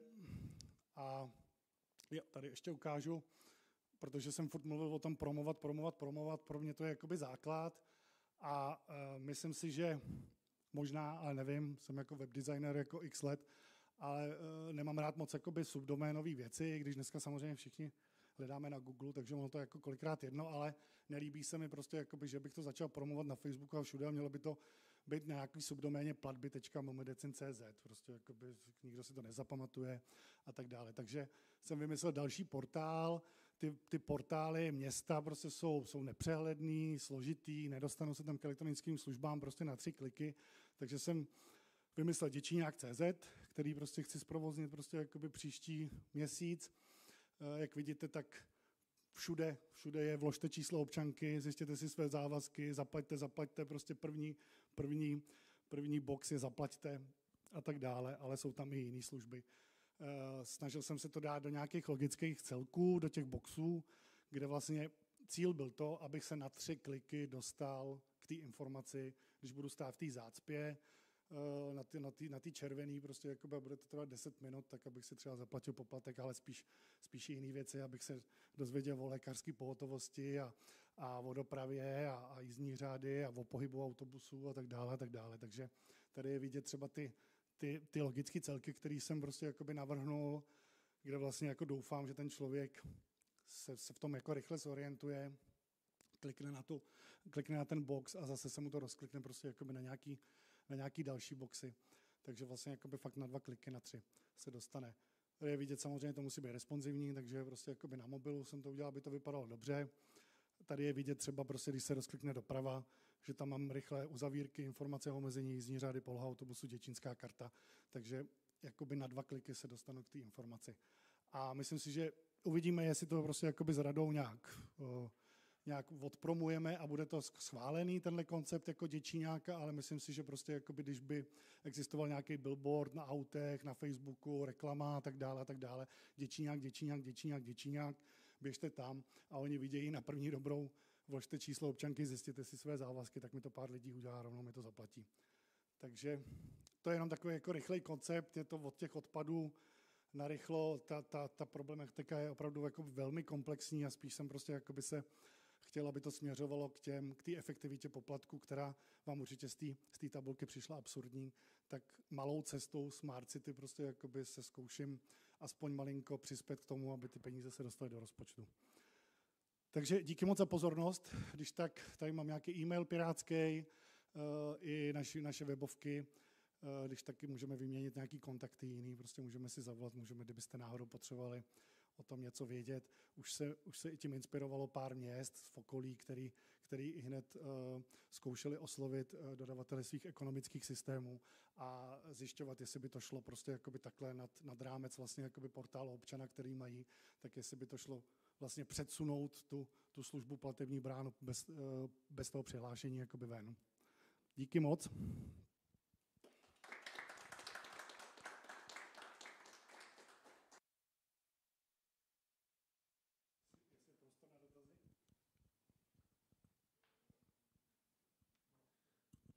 Tak ahoj, já jsem Michal Skladna.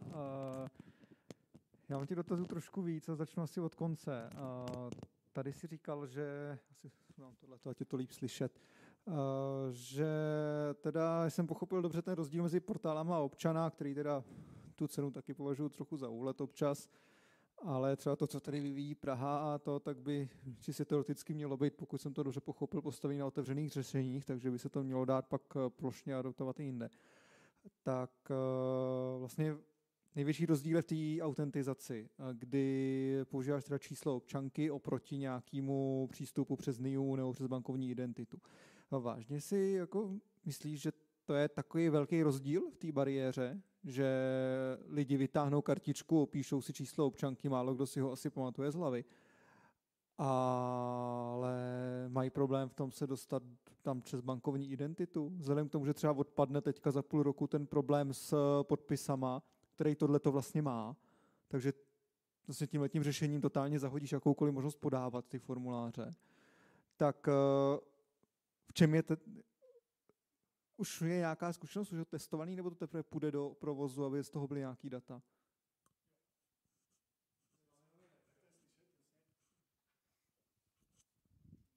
Jak jsem říkal, eh, do provozu by to mělo jít za 14 dní. Možná jsem opravdu naivní, ale eh, žiju v nějaký svý bublině, ale snažím se, snažím se vždycky nakouknout i do mimo tu svoji bublinu. A zatím mám, zatím mám zpětnou vazbu toho, že pro ně NIA je složitá. NIA je složitá bankovní identita je pro ně složitá.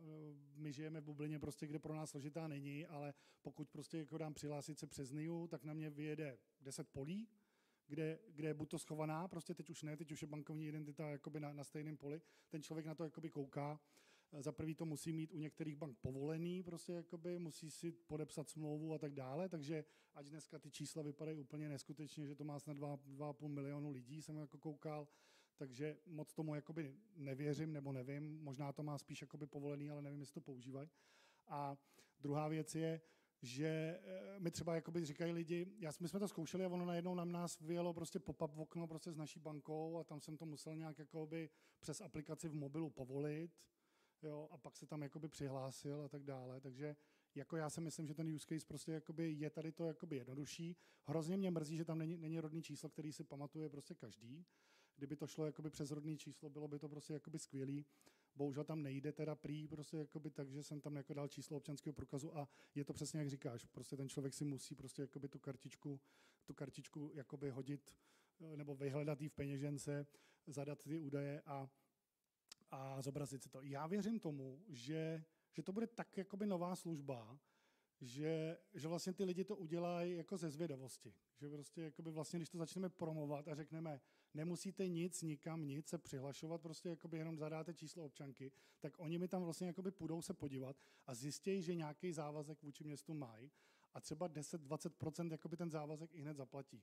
To znamená, že jenom touhletou jakoby věcí, že, že to začneme promovat, je to jednoduchý, nepotřebujete nic, prostě nepotřebujete jako NIU. Vím, že jdu proti, proti vlastně jako trendu, že bychom chtěli, aby prostě ta NIA byla používaná, ale prostě mě ten trend jako je fajn, ale já potřebuji hlavně, aby mi jako ty lidi zaplatili a, a prostě jako, aby to bylo efektivní ten výběr. Prostě jakoby je to jako smutný, ale dokud to nebude jako pořádně a nebude to ještě jednodušší, prostě jakoby, tak, tak já vymýšlím prostě jednodušší věci. No. Takže Určitě, určitě. Ono už to bude první jakoby eh, viditelný v tom, protože říkám, v listopadu máme posílat jakoby složenky, máme jich posílat za 400 tisíc, tak já jsem zvědavý, za kolik je pošleme. Já doufám, že prostě mi 50% lidí jako zaplatí. No.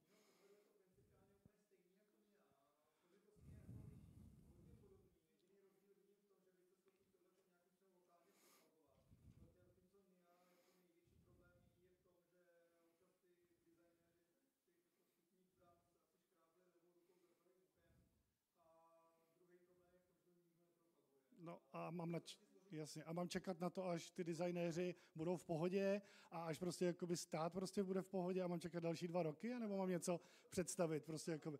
A... Jasně.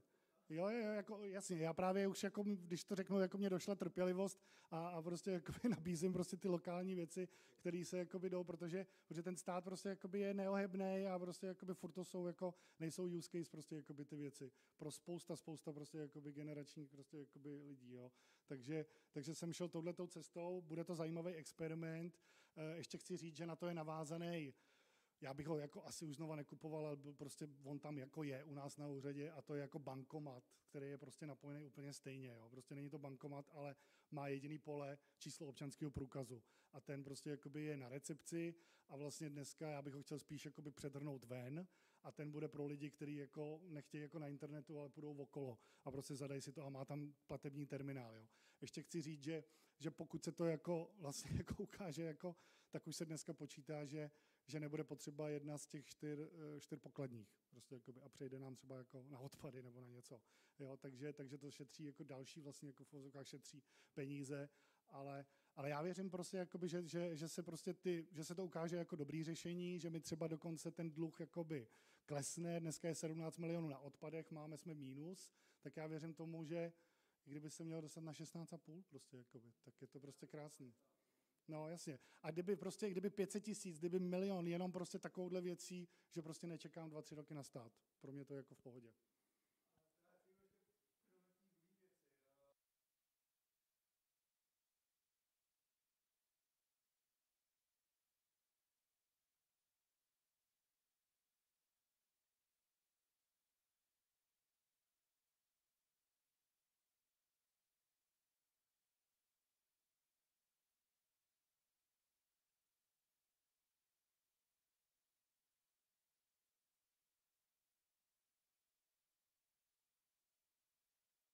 Já si, já si zatím nedokážu jako představit, že, by, že bychom vyměnili všechny, že bychom prostě udělali jakoby to opravdu logicky a selským rozumem.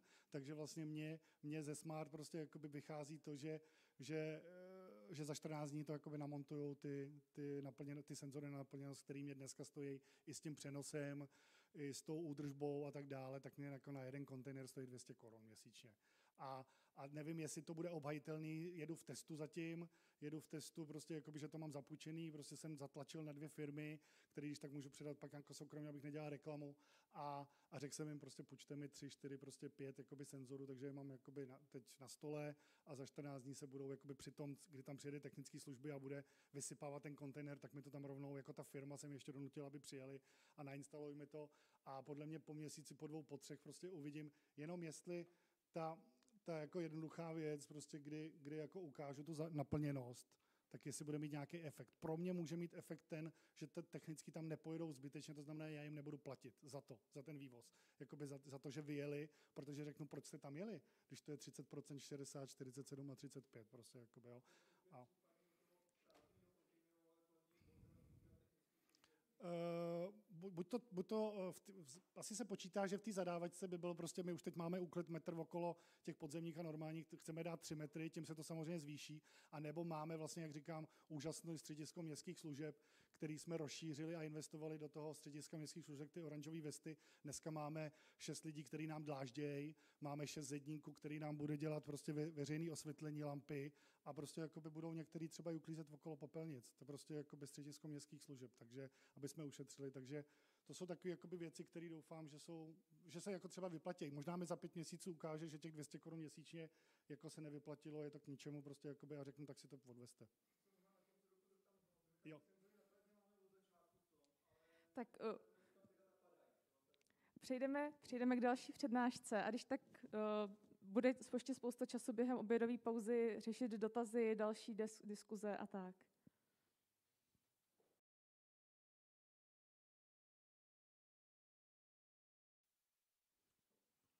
Takže dobré odpoledne, již odpoledne. Jo, abych nebyl mimo záběr.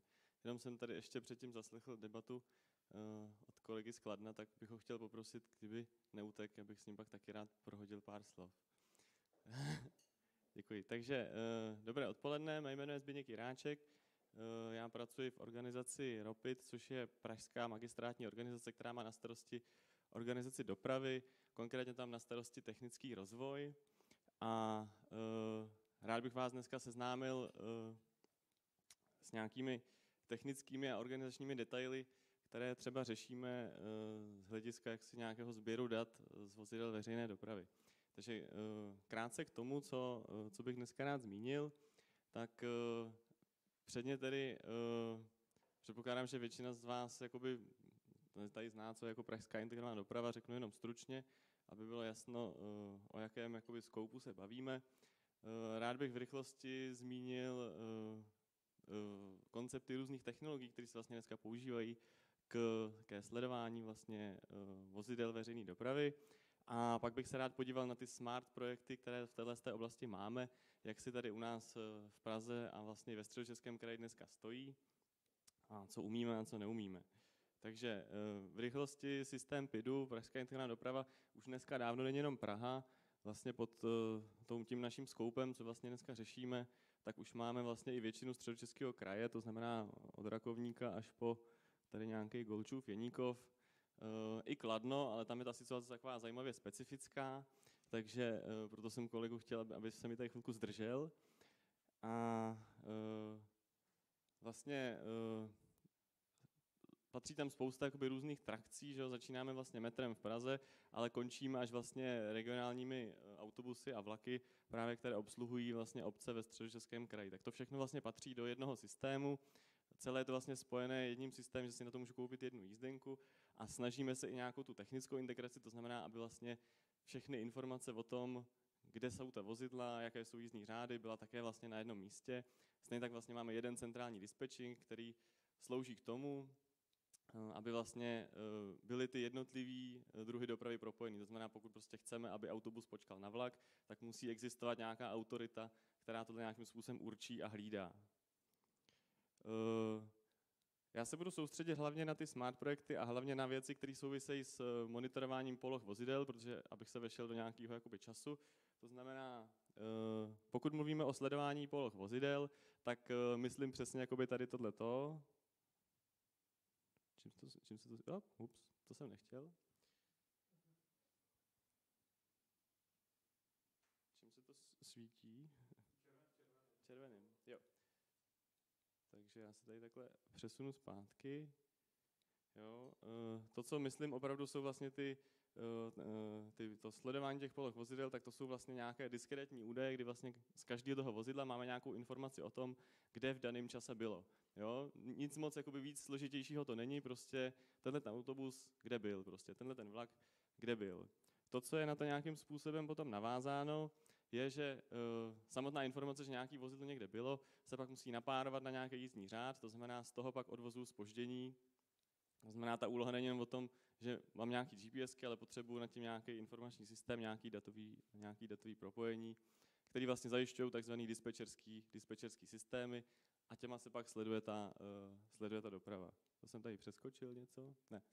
Uh, Zmíním, jak je to, jakoby, ono se to liší, vlastně ty technologie se velice liší těch dispečerských systémů ohledně jakoby, těch druhů dopravy. To znamená, velice jaksi různé způsoby sledování jsou u autobusů, tramvají, eh, vlaků a metra. Tak já tady jako v rychlosti zmíním, jak to jakoby funguje u těch jednotlivých druhů dopravy. První jsou autobusy, tam vlastně sledujeme polohu opravdu GPS, v autobusu je GPS a to, co jakoby je nějakým způsobem zajímavé, je, jak já tu informaci dopravím do nějakého toho dispečerského systému. Tomu existují zrovna u nás jakoby dva způsoby. Jeden používá dopravní podnik hlavního města Prahy a ten druhý používají všichni ostatní. Eh, dopravní podnik má tady svoji rádiovou síť, která je nějakým způsobem určená hlavně pro nějaké eh, složky typu policie a tak podobně, ale používají i jako pro kritickou infrastrukturu řízení dopravy. Eh, ta síť má jednu takovou vlastnost, že je jenom v Praze, to znamená, že cokoliv jezdí za Prahu, tak už se přesto stejně vysílat nedá. Takže uh, běžně ostatní dopravci používají si GSM, no už spíš ne, dneska už spíš 4G. Jsou to obyčejné prostě datové zprávy, které se prostě posílají. Ta zpráva obsahuje nějakou evidenci autobusu, polohu a, tak dále.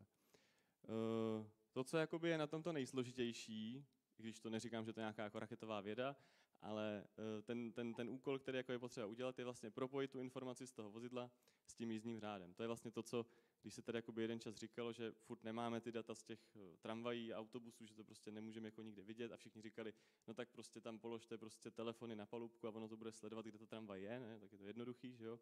Tak tam nám furt chybí potom ta informace o tom, že sice vím, kde ta tramvaj 9348 je, ale já potřebuji vědět, že 9348 dneska jezdí prostě desítku a má nějaký jízdní řád, abych to mohl podle toho, eh, podle toho propojit. Takže vlastně to, co jakoby nejdíl potom trvalo, to, co jsem musel zařídit, je to napojení vlastně na ty, na ty palubní počítače, na ty systémy, eh, aby jsme vlastně věděli tu kompletní informaci, nejenom, že máme někde vozidla, ale i jako, jaký to vozidlo třeba má jízdní řád. Uh, ohledně toho párování, jenom tady mám jako ukázku u těch autobusů takovou zajímavost.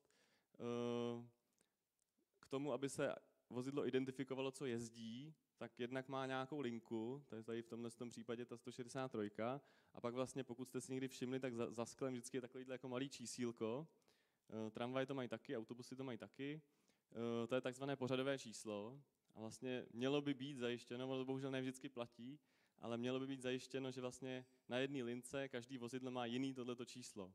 A že tohleto číslo je předem naplánovaný, že se jako ví, že 163.1 pojede prostě nějaký jízdní řád tak podle toho se pak dá určit to propojení. To, že jako v praxi pak jich tam může jako jezdit víc s tím stejným číslem, tak to jsou takové jako specifika některých dopravních podniků. Uh, ale k tomu se to třeba používá, normálně to používá i dispatching k identifikaci, když prostě se hlásí řidič, tak se hlásí tady tímhle tím pořadovým číslem, oni hnedka vědí, kde ho mají hledat. Uh, další taková samostatná kapitola jsou tramvaje, ty používají úplně jinou technologii vlastně než, než ty autobusy. Uh, tramvaje nemají GPSky, Tramvaje uh, uh, nemají žádnou jako komunikaci přes GSM síť, komunikují pouze přes tu síť rádiovou a ta má poměrně omezenou kapacitu. Takže, takže jako u tramvají máme docela málo informací o tom, jak se pohybují. A tramvaje hlásí jenom dvě věci. Když vyhlásí zastávku, a kterou, a když projedou kolem nějakého sloupku, kde je infračervený maják, který jako pozná, že to kolem toho sloupku projelo. A kterýho. Což Znamená, že ta informace, kterou máme od tramvají, vypadá asi nějak takhle, když to jako porovnám s tím, co jsem tam ukazoval u toho autobusu, který se tam hlásil asi každých pět vteřin, tak eh, vlastně od té tramvaje máme informaci tak jako z každé zastávky jednu, případně dvě zprávy. Jo. Dvě jsou v případě, že tam je ten maják v tom sloupku zastávkovým, tak máme informaci, kdy se vyhlásila zastávka a kdy to projelo kolem toho sloupku. Víc informací o pohybu tramvaje nemáme, takže specificky, když ta tramvaj se někde šprajcne, tak se musíme prostě jako počkat, až ona se někde jako objeví, protože prostě nikdo neví, jestli, jestli se jí prostě rozbil ten maják, nebo někde prostě eh, exla, nebo co se s ní vlastně jako stalo. A nicméně i u tramvají je jakoby do budoucna plánováno, že by měli, uh, že by měli být vybavený GPS, ale co jsem tak jako slyšel zprávy, tak se ten projekt trošičku zdržuje. Uh, specificky vlaky, tam jsou dvojí zdroje, jednak má systém zpráva železnic, je to, na tý, je to na systému detekce průjezdu stanicema a nějakýma bodama, což může být zase, buď je to nějaký zabezpečovací systém, který ví, že ten vlak někde projel, u starších tratí je to vyloženě o tom, že výpravčí někde zmáčkne tlačítko, že ten vlak z té stanice, uh, že ho vypravil, že, že odjel. Eh, do toho se ještě můžou promítat data z GPS od dopravců. Eh, nesmím zapomenout přívozy, to jsou integrální součástí celého systému. Přívozy jsou taky sledovaný GPS-kama, ale je tam jedna taková zvláštnost, že ta GPS není součástí té lodě, ale mají v revizorském čte, v čtečce má ten, ten převozník a ten převozník, když tu čtečku někam odveze, tak se nám pak může stát, že máme loď prostě třeba v košířích. Uh, tak, já jsem na začátku jenom v rychlosti zmínil, že existuje něco jako dispečerské systémy. Uh, to je, uh, nebo takhle, ty dispečerské systémy jsou jaksi různé, každý, každý vlastně provozovatel historicky má nějaký svůj, jo. takže my máme nějaký dispečerský systém, do kterého zapojujeme všechny dopravce soukromí vlastně v Praze a okolí a pak jsou tady nějaké historické, co měl dopravní podnik, nebo má vlastně dneska systém pro řízení tramvají Doris, systém pro řízení eh, autobusu Audis, pak mají ještě železniční dopravci mají taky svoje. Proč to říkám? Že eh, ty dispečerské systémy jsou fakt různý. Jak jsem tady zmiňoval, že prostě autobusy jsou GPS, GSM síť a tak podobně, tramvaj je prostě nějaký, nějaká informace o vyhlášení zastávky. Ono to má potom i úplně jako jiný filozofický důsledky, co já prostě o tom jako vím. Jo. Ten autobus třeba se můžu spolehnout na to, že když se mi tři minuty nenahlásí, tak já ho můžu prohlásit za nezvěstné. Jo. To u tramvaje třeba úplně není, protože ta tramvaj možná jenom čeká po bratišti prostě. A je naprosto v pořádku. Takže to zpracování dat se potom velice, velice liší podle toho, z jakého systému ta informace pochází. A vlastně jakoby datově je to taková jako zoologická, že prostě každý, každý ten systém vypadá prostě úplně jinak a musíme se k němu chovat nějakým způsobem trošičku jinak. Uh, tak a teď se konečně dostávám k tomu Smart City, kde vlastně uh, můžu se tady opřít i o to, že jsme tady zmiňovali tehdy koncepci Smart Prague, která spoustu různých chytrých projektů uh, ve veřejné dopravě zmiňovala. Dá se to rozdělit tak jako na dvě velké skupiny. Jedno jsou projekty pro eh, cestující uživatele, to znamená eh, nějaké různé chytré notifikace třeba, abych věděl, když se něco stane na trase, kterou zrovna jedu nebo kterou jezdím často. A pak jsou tady nějaké inovace pro, si za účelem řízení dopravy, to znamená něco, co pomáhá dispečerům, jo? jako v tom systému už je dneska asi něco mezi třema až čtyřma tisícema vozidel, takže jako jasný, že, že jako jenom lidsky kouká, že už to není jenom o tom, že jako lidi koukají do mapy a tam jako vidějí všechno. To znamená, je tam potřeba nějaká jakoby chytrá, uh, chytrá asistence, která, mě, která mi pomůže tomu dispečerovi detekovat nějaký nestandardní stavy, aby, aby věděl, jak se k tomu nějakým způsobem chovat. Takže to jsou taky jako dvě kategorie chytrých projektů. Spousta z nich už je tady známa dlouho ale popravdě, jak si posun v nich za ty poslední, řekněme, čtyři roky, kdy tyhle ty projekty jako vznikly, není nic moc. Uh, za mě jedním z důvodem, proč ten posun není nic moc, je ten, že se nikdo příliš jako nesoustředil na to, čím začít. A to začít tím, že vlastně pokud chci udělat nějaký chytrý projekt, který je o tom, že něco pomáhám nějakému jako člověku, dispečerovi, tak já jako ze všeho nejdřív potřebuji mít nějaký data, na základě kterých to dělám. A, a ty v tu chvíli jako Otázka, jestli jako byly nebo, uh, byly nebo nebyly. Uh, jenom když zmíním který, tak v zásadě jsou to data jízdních řádů a vlastně ty data polohový, o kterých jsem tady mluvil, ten, ten zvěřinec prostě různých eh, druhů informací z různých druhů vozidel, které jako existují. Tak tohle jsou jakoby data, které já klíčově potřebuju k tomu, abych mohl vyrobit jakýkoliv, uh, jakýkoliv Smart City projekt v, tomhle, v oblasti. Pak jsou tady ještě nějaké další věci, které tady jako píšu, protože to je takový nice to have do budoucna, který rozhodně by bylo dobrý zohlednit taky, co dneska jako hodně teďko bují automatický počítání cestujících, to je jako strašně cený údaj, hlavně pro organizátora dopravy, ale ve výsledku může být i pro cestujícího prostě, jo, jakože pokud bych si mohl na mapě zobrazit kromě spoždění i to, jak moc je to jako plný, tak mi to může nějakým způsobem ovlivnit to moje dopravní chování. Takže to je jako, jako nice to have prostě do budoucna. A uh, jaký je problém, uh, že jo, ty data, když jsem se k tomuhle tomu tématu jak si dostal před těma několika lety, tak jsme vlastně byli ve stavu, kdy vlastně veškeré tyhle ty data byly uzavřeny v těch jednotlivých uh, systémech těch dopravců, těch, co jsem tam vypisoval. Uh, z nich jako tak jako nejotevřenější byl ten MPVNet, ale ani z něj jsme tehdy neuměli ty data dostat. A kromě toho, že ty systémy byly uzavřený jako technicky, tak tam byla ještě uzávěra takzvaná jako licenční, kdy vlastně tak nějak jako každý ten dopravce si trošku jako nárokuje, že ty, že ty data o té poloze toho autobusu jsou jako jeho a rozhodně nechce, aby prostě kolovali někde po internetu, protože co když si to někdo stáhne a, a bude pak na základě toho psát třeba články o tom, že autobusy jezdí pozdě. Takže byla tam na tom práce jakoby jednak technická a jednak je tam spousta práce jako přesvědčovací o tom, že ty data chceme z těch systémů vytáhnout. No a proč je chceme vytáhnout? Protože dokud byly uzavřeny v těch jednotlivých systémech, tak vlastně cokoliv bych chtěl udělat za inovaci, tak já bych vždycky potřeboval spolupráci všech těch dodavatelů těch jednotlivých systémů, aby se mi nějakým způsobem do toho zapojili. Ale bohužel prostě dodavatelé jsou různí, někteří jsou super, ale někteří prostě třeba ne úplně všechno umí, ne, ne úplně všechno stíhají a někteří prostě, když zjistí, že mají vendor locky, no tak jsou prostě drahý. Že jo? A, a jako ukázalo se, že prostě bez toho se nikam nepohneme. A na základě toho teda vznikla, uh, vznikla nějaká ambice ty data všechny sesypat na jedno místo a pokud možno nad nimi udělat nějakou společnou interpretaci, aby se k ním jako, abych já potom jako uživatel jsem nemusel řešit, jestli prostě je to vozidlo sledovaný infračerveným portem anebo GPSkou, abych prostě měl nějaký jednotný rozhraní k celému tomu systému a nemusel jsem moc jako řešit, jestli je to vlak nebo, nebo přívoz. A tahle ta ambice vlastně Eh, původně jsme jí mysleli, že bychom jako k tomuhle tomu jako zneužili ten náš dispečerský systém, ten MPVNet, který provozujeme jako Ropit. Nakonec se ukázalo, že ten MPVNet není úplně dobrý univerzální nástroj, že už je zatížený tou jednou konkrétní filozofií a je to vlastně jako z té množiny těch zvířat, tak je to to jedno konkrétní zvíře. Není to dobrý jako agregátor nad tím. Takže uh, vlastně v nedávné době jsme jako dospěli k rozhodnutí, že tím vhodným agregátorem by mohla být datová platforma hlavního města. Eh, která mimochodem má hezký vlastnosti, že je open sourceová a poskytuje open data, takže vlastně hnedka dvě věci s tím máme jako spláchnutý rovnou. A vlastně postupně pracujeme na té integraci do té eh, do datové platformy, přičemž nejnáročnější úkol je vlastně opravdu ta integrace těch, těch různých dat, řešení různých nestandardních stavů, protože prostě v tom systému se dějou hrozně divné věci, jako že třeba ty vozidla občas jedou úplně jinam, než mají, občas se spožďují takovým způsobem, že vlastně není jasný, jestli jedou ještě tam, nebo už vlastně jedou zpátky.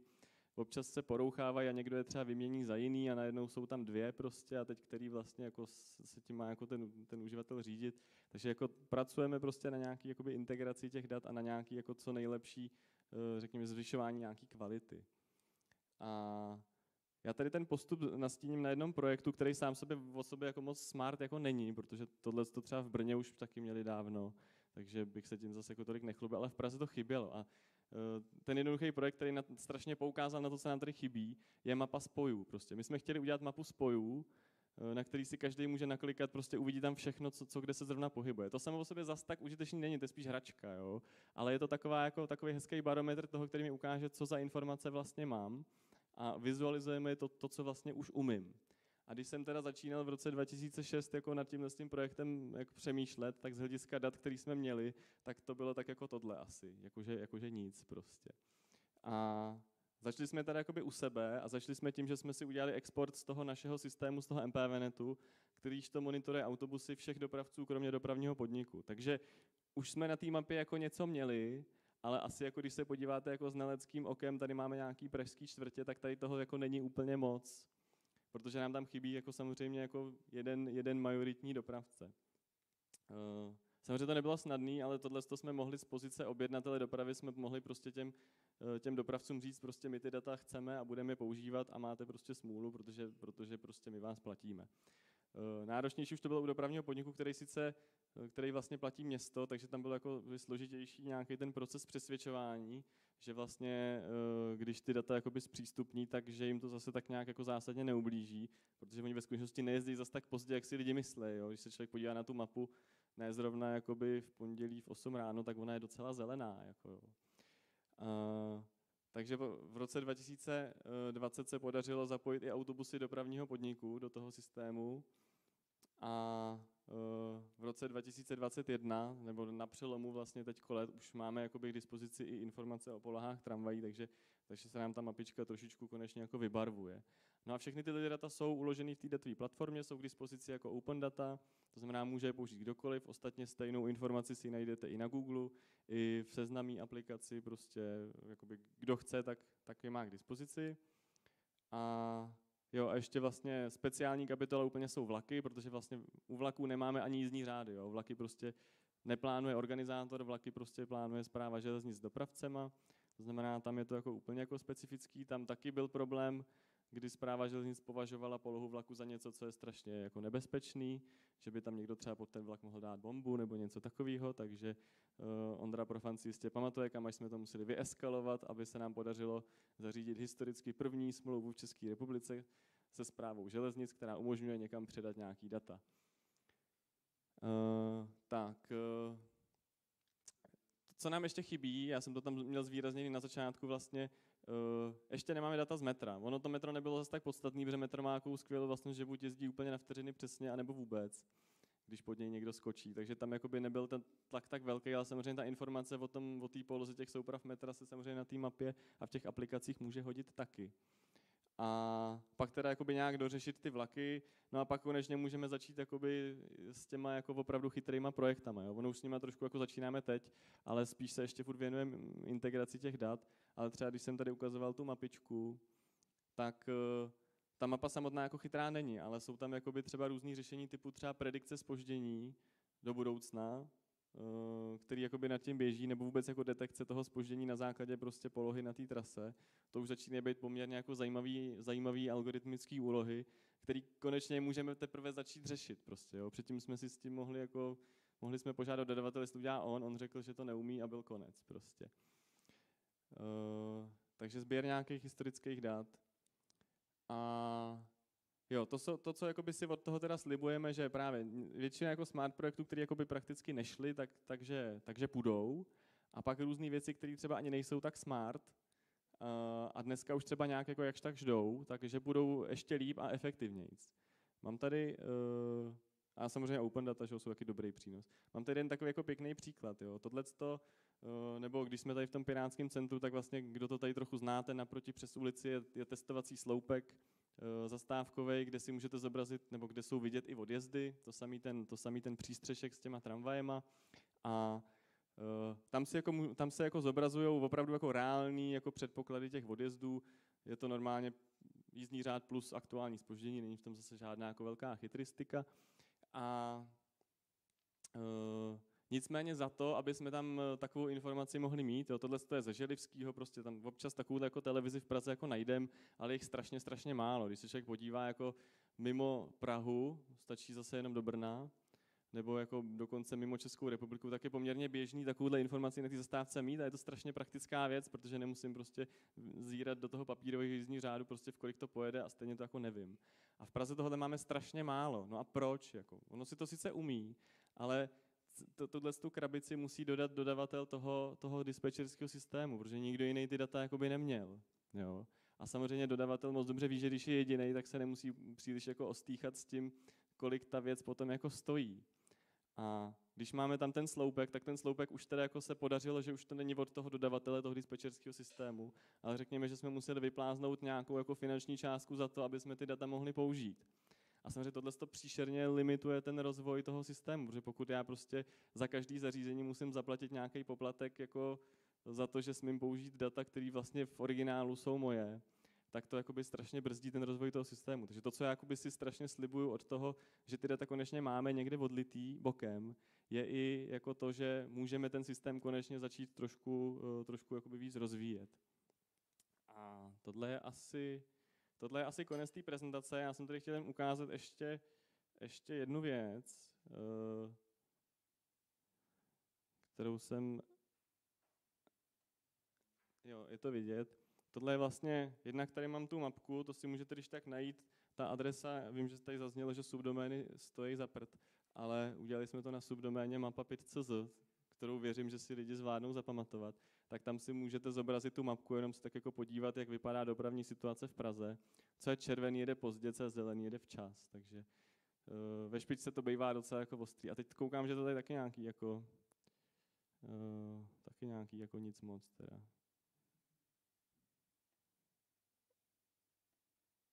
Jo, konečně se mi to obnovilo, tak už je to lepší. Tady je nějaká spožděná 22. O 16 minut. No. Uh, takže to je ten projekt, to je ten projekt té mapičky. A pak vlastně tady máme, jak jsem ukazoval tu odjezdovou tabuli předtím. Asi na chvilku vypad internet, tak to zkusíme načíst znova. Eh, to, co vlastně najdete na té tabuli nebo v tom přístřežku tady vlastně eh, naproti, za co jsme museli poměrně jako dost zaplatit, tak eh,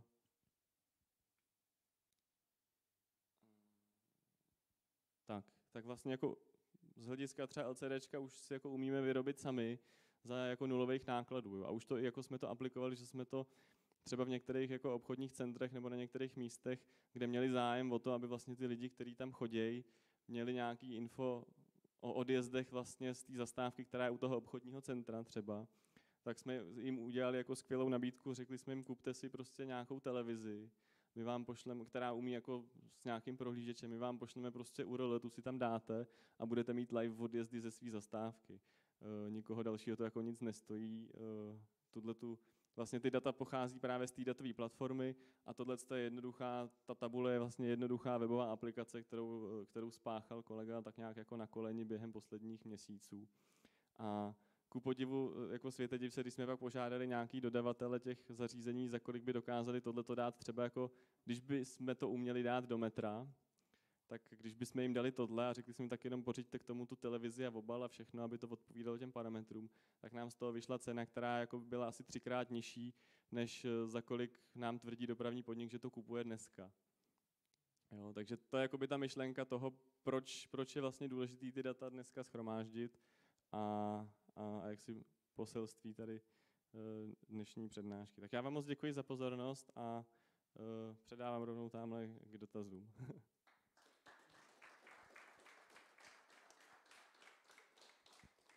Já vám hrozně děkuju, protože uh, přesně s takovýmhle vývojem jdeme my a přesně na, na stejný uh, problémy narážíme v Děčíně. Takže tam se asi čtyři roky nepodařilo od třech společností dostat data o GPS, poloze, o jízdních řádech a tak dále. Mně se to podařilo teda během půl roku a byl to neskutečný boj a neskutečný prostě jakoby ho času v to, že, že eh, v tuhle chvíli mám API, který, který združuje čtyři věci, spoždění GPS, jízdní řády a to API je veřejný. A mělo by sloužit eh, k tomu, že přesně budu mít odjezdovou, nebo už dneska mám odjezdovou tabuli s URL eh, a budu mít televize na inteligentních zastávkách, budu mít budu mít televizi za 20 tisíc Vandal řešení a nebude mě stát inteligentní zastávka 350 tisíc jako dneska od buse. Takže tohle jdu úplně stejným systémem, akorát, že prostě u nás to bude jednodušší, protože to API už mám, eh, odjezdové tabule mám, televize, prostě jakoby elektriku na, na, na zastávkách mám, projekt na inteligentní zastávky na zálivy, prostě jakoby je, je z evropských dotace a tak dále. Ale chci se zeptat na jednu věc. To API jsem samozřejmě použil ještě pro GTFS a GTFSE pro Google. Chci se zeptat, jestli máte eh, povědomí, protože to nikde nemůžu najít, jestli GTFSE real time, jestli vlastně jakoby vůbec Praha má, jakoby nad Googlem, a jestli se za to platí, protože vím, že statik GTFS se neplatí, prostě jakoby, což jsou vlastně jako jenom mají jízdní řády, ale pokud by tam chtěl člověk i to spoždění a tak dále, tak to je real time. A nevím, jestli se za to Google platí. A druhá věc je, jestli, ale to už jsem vlastně jakoby odpověděl, že, eh, že bych chtěl jakoby vytvořit inteligentní zastávky. Přesně takhle úplně jednoduše, to znamená televizi za 20 tisíc, prostě Fanty Vandal řešení s nějakým totemem a, a rozházet to po zastávkách, tak to vidím, že máte stejnou, stejnou myšlenku, prostě jako, takže skvělý. Takže spíš na to GTFS a GTFSE. Jo, tak já děkuji za dotaz, jenom uh abych to jako objasnil, GTFS je formát jízdních řádů, který dneska používá Google. Uh, tím, že to používá Google a Google je všude, tak vlastně se z toho stal tak trošku standard vlastně jako mezinárodní. A uh, ano, ty jízdní řády máme v tom GTFS, protože to je jakoby nejjednodušší, do čeho by se to dalo exportovat. Všichni to jakoby se naučili to, uh, ty data konzumovat. Co se týče toho real timeu, tak přesně k tomu používáme tu datovou platformu. Tím, že ona má ty data všechny u sebe, tak má i export v tom, v tom real-time formátu toho GTFS, což jakoby, uh, je to nějaký že jo, živý feed, prostě, který se aktualizuje každých asi 20 vteřin a, a Google to akceptuje, pokud vím, žádný poplatky s tím spojený nejsou. Google nám za to ani neplatí, ani neplatíme my jemu za to, že ty data, uh, za to, že ty data interpretuje. Nicméně u uh, tady využívání dat soukromého společnosti varuju, varuju trošku před tím, že zrovna Google se příliš jako nedělá jako servítky s tím, jak ty data použije. A evidentně tam mají implementovaný hodně jako zajímavých algoritmů, kterým asi ty data, které dostanou od nás, upravujou.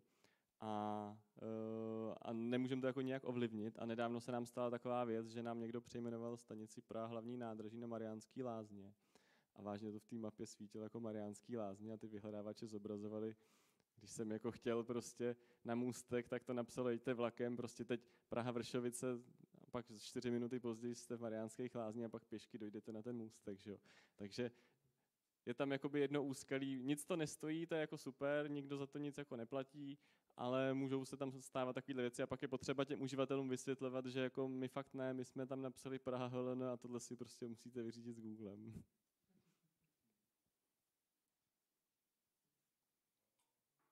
Tak jo, zeptám se, jestli ještě nějaká otázka.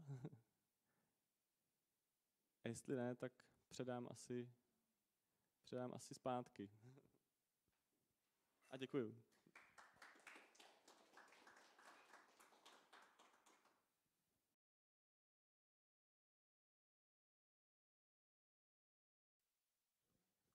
Tak, ahoj, já už jsem tu zas.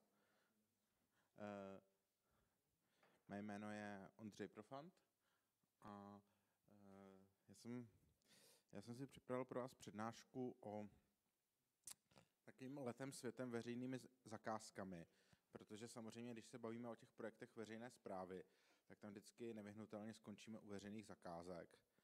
A je to velká bolest, jak ze strany těch zadavatelů, kde to teda je i často dost velká nezodpovědnost, tak vlastně ze strany zvlášť těch poctivých dodavatelů je to pak velký kámen úrazu. A proto jsem chtěl tady eh, schrnout pár spíš pojmů, říkám letem světem, které vás třeba navedou na metody, jak se někam v těchto věcech posunout, protože to je strašně důležitý, zvlášť když chcete nějaký inovativní řešení. Jinak uh, jsem teda předseda podvýboru pro e-government v poslanecké sněmovně a ještě, mám se za překlepy, nejsem právník, ale veřejnýma zakázkama se zabývám. Protože to je asi opravdu velmi jednoduché. Eh, máme dvě možnosti. Buď to máme vlastní zdroje, o tom tady mluvil Martin, eh, a další, že si prostě něco udělali sami, což je samozřejmě ideální, protože to přímo zadáme, přímo řídíme, stane se to i hned. Eh, po případě zdroje, který na to máme alokovaný, můžeme realokovat na jiný projekt. Administrativně nám to nepřidělává žádnou práci. Takže to je samozřejmě jednoduchý, ale když jste pak uh, uh, instituce typu, omlouvám se, instituce typu magistrát hlavního města Prahy nebo tak, tak to nemusí být tak jednoduché vzhledem k velikosti a uh, ke kompetencím. A pak nám nastávají teda ty veřejné zakázky, které prostě jsou objektivně administrativně náročné, jak pro zadavatele, tak i pro dodavatele, zdlouhavé a tohle všechno vede k eh, předimenzování. Protože když už si s tím děláme tolik práce, tak tam chceme mít všechno. Když někde chceme mít všechno, tak je to samozřejmě náchylnější k posunutí termínu, k chybám, k nepochopení se, anebo k, prostě k tomu, že jsme něco špatně navrhli. Znamená, přesně mysleli jsme si, že přesně tenhle formát chceme, protože ho používá Google nebo něco, No a když jsme to všechno implementovali, tak jsme zjistili, že je to třeba v něčem nevhodný. Akorát prostě to zjistíme až jako v pozdější fázi. E, nemusí to tak být vždycky. Například eh, podle mě výborný příklad je Rakousko, kde veřejné zakázky, ač jsou podle stejné evropské směrnice, jsou relativně jednoduché díky jejich eh, jakoby, úřadu pro zadávání veřejných zakázek, který plní silnou metodickou konzultační úlohu a dokonce eh, plní jako úlohu jakéhosi e-shopu. On třeba běžné věci typu kancelářské židle, běžné softwary a tak dále vysoutěží ve velkým, ale třeba i několik druhů, jo, prostě levnější kancelářská židle, lepší kancelářská židle a tak dále. A pak vlastně už s tím má jenom e-shop pro ty obce, pro ty samozprávy nebo pro ty úřady a ty opravdu pak už jenom vezmou tu vysoutěženou cenu a zaplatí to za to. Úplně stejně, jako když nakupujete v e-shopu. Což samozřejmě přesně odpadá ta administrativní náročnost, ta se odbyde jednou. A dokonce se jim třeba daří, výrazně navýšili procento místních dodavatelů. Protože ty zakázky prostě dělají dobře. Ty zakázky dělají tak, jak chtějí a není to o tom, že člověk, který nikdy nic obdobného nedělal, tak najednou na něj spadla zakázka, které on vůbec nerozumí jo, což je velká, velký kámen úrazu samozřejmě té veřejné správě. A zvlášť pak v případě třeba těch smart cities. My máme nějaký odbor informatiky, který je zvyklý na svý agendový systémy. A místo toho, aby, aby řešil agendové systémy, tak řeší, tak řeší, tak řeší prostě uh, něco, co vůbec není schopný integrovat. Pak to velmi často dopadá takhle, já vím, že je to můj oblíbený obrázek, asi ho už někteří z vás viděli v nějaké mé prezentaci, prostě my si nakoupíme skvělou technologii a pak ji využíváme přesně tímto způsobem. Bohužel, bohužel je to absolutně přesné a čím větší úřad, tím je to častější. Jo, když si někdo kupuje databázový systém eh, se specializovaným hardwarem na provoz jednoduchého webísku o třech stránkách, tak prostě to není hospodárné. Eh, tady mám nejčastější ty chyby z té praxe za mě. Rozhodně ty nejčastější chyby, jakoby věc. Já o tom chci mluvit věcně, nikoliv legislativně, takže uh, vám nebudu říkat práv, právnický jako uh, uh, věci, ale velký problém jsou nejasná či neúplná zadání. Sice máme 200 stránkový zadání, ale ve skutečnosti každý, kdo si ho přečte, ho vnímá úplně jinak. Prostě proto, že tam není společné očekávání že vlastně postupujeme ze spoda, máme to hrozně podrobně, ale vlastně nikdo neví, co popisujeme jako ten celek. Je tam prostě popisujete dílčí okno, ale ten čtenář neví, jestli chcete postavit dům nebo školu, nebo co chcete postavit. Zato tam máte parametry eh, jednotlivých oken a, eh, a podobně. Jo, což souvisí i s tím, že třeba neumíme, neznáme trh, neumíme definovat, co chceme. Prostě spousta pojmů má samozřejmě, je, eh, samozřejmě spousta věcí je, prostě má jasné pojmosloví a když ho použijeme, tak je to srozumitelné. Eh, nepočítáme s dalšími požadavky. To je zase typický. Když, to chci, když, to budu, když mám speciální požadavky na virtualizaci, databáze, já teď mluvím primárně o těch IT zakázkách, ono samozřejmě platí pro jakýkoliv zakázky, výkonnostní požadavky, jo, tak už jsem taky zažil, že si někdo koupil software, skvěle ho vysoutěžil a pak si kvůli tomu kupoval prostě nový servery, protože prostě to bylo napsané ve, star, ve Javě a jak si ten výkon tomu odpovídal. To asi ani nemusím komentovat. Uh, uh, moje oblíbená věc je slučování veřejných zakázek. Jo? Myslíme si, že nám někdo dodá řešení pro nás. Jo? Ale do jisté míry my jako zadavatel ten svět dodavatelů úplně nezajímáme. Oni mají nějaké řešení, které dodávají. A je nezajímá, že, že my jsme si něco spackali, mám to úplně divně udělaný a jako nechtějí se tím zabývat. To je vlastně náš problém, že nemáme ty apíčka, že mm, to neumíme řídit a tak dále.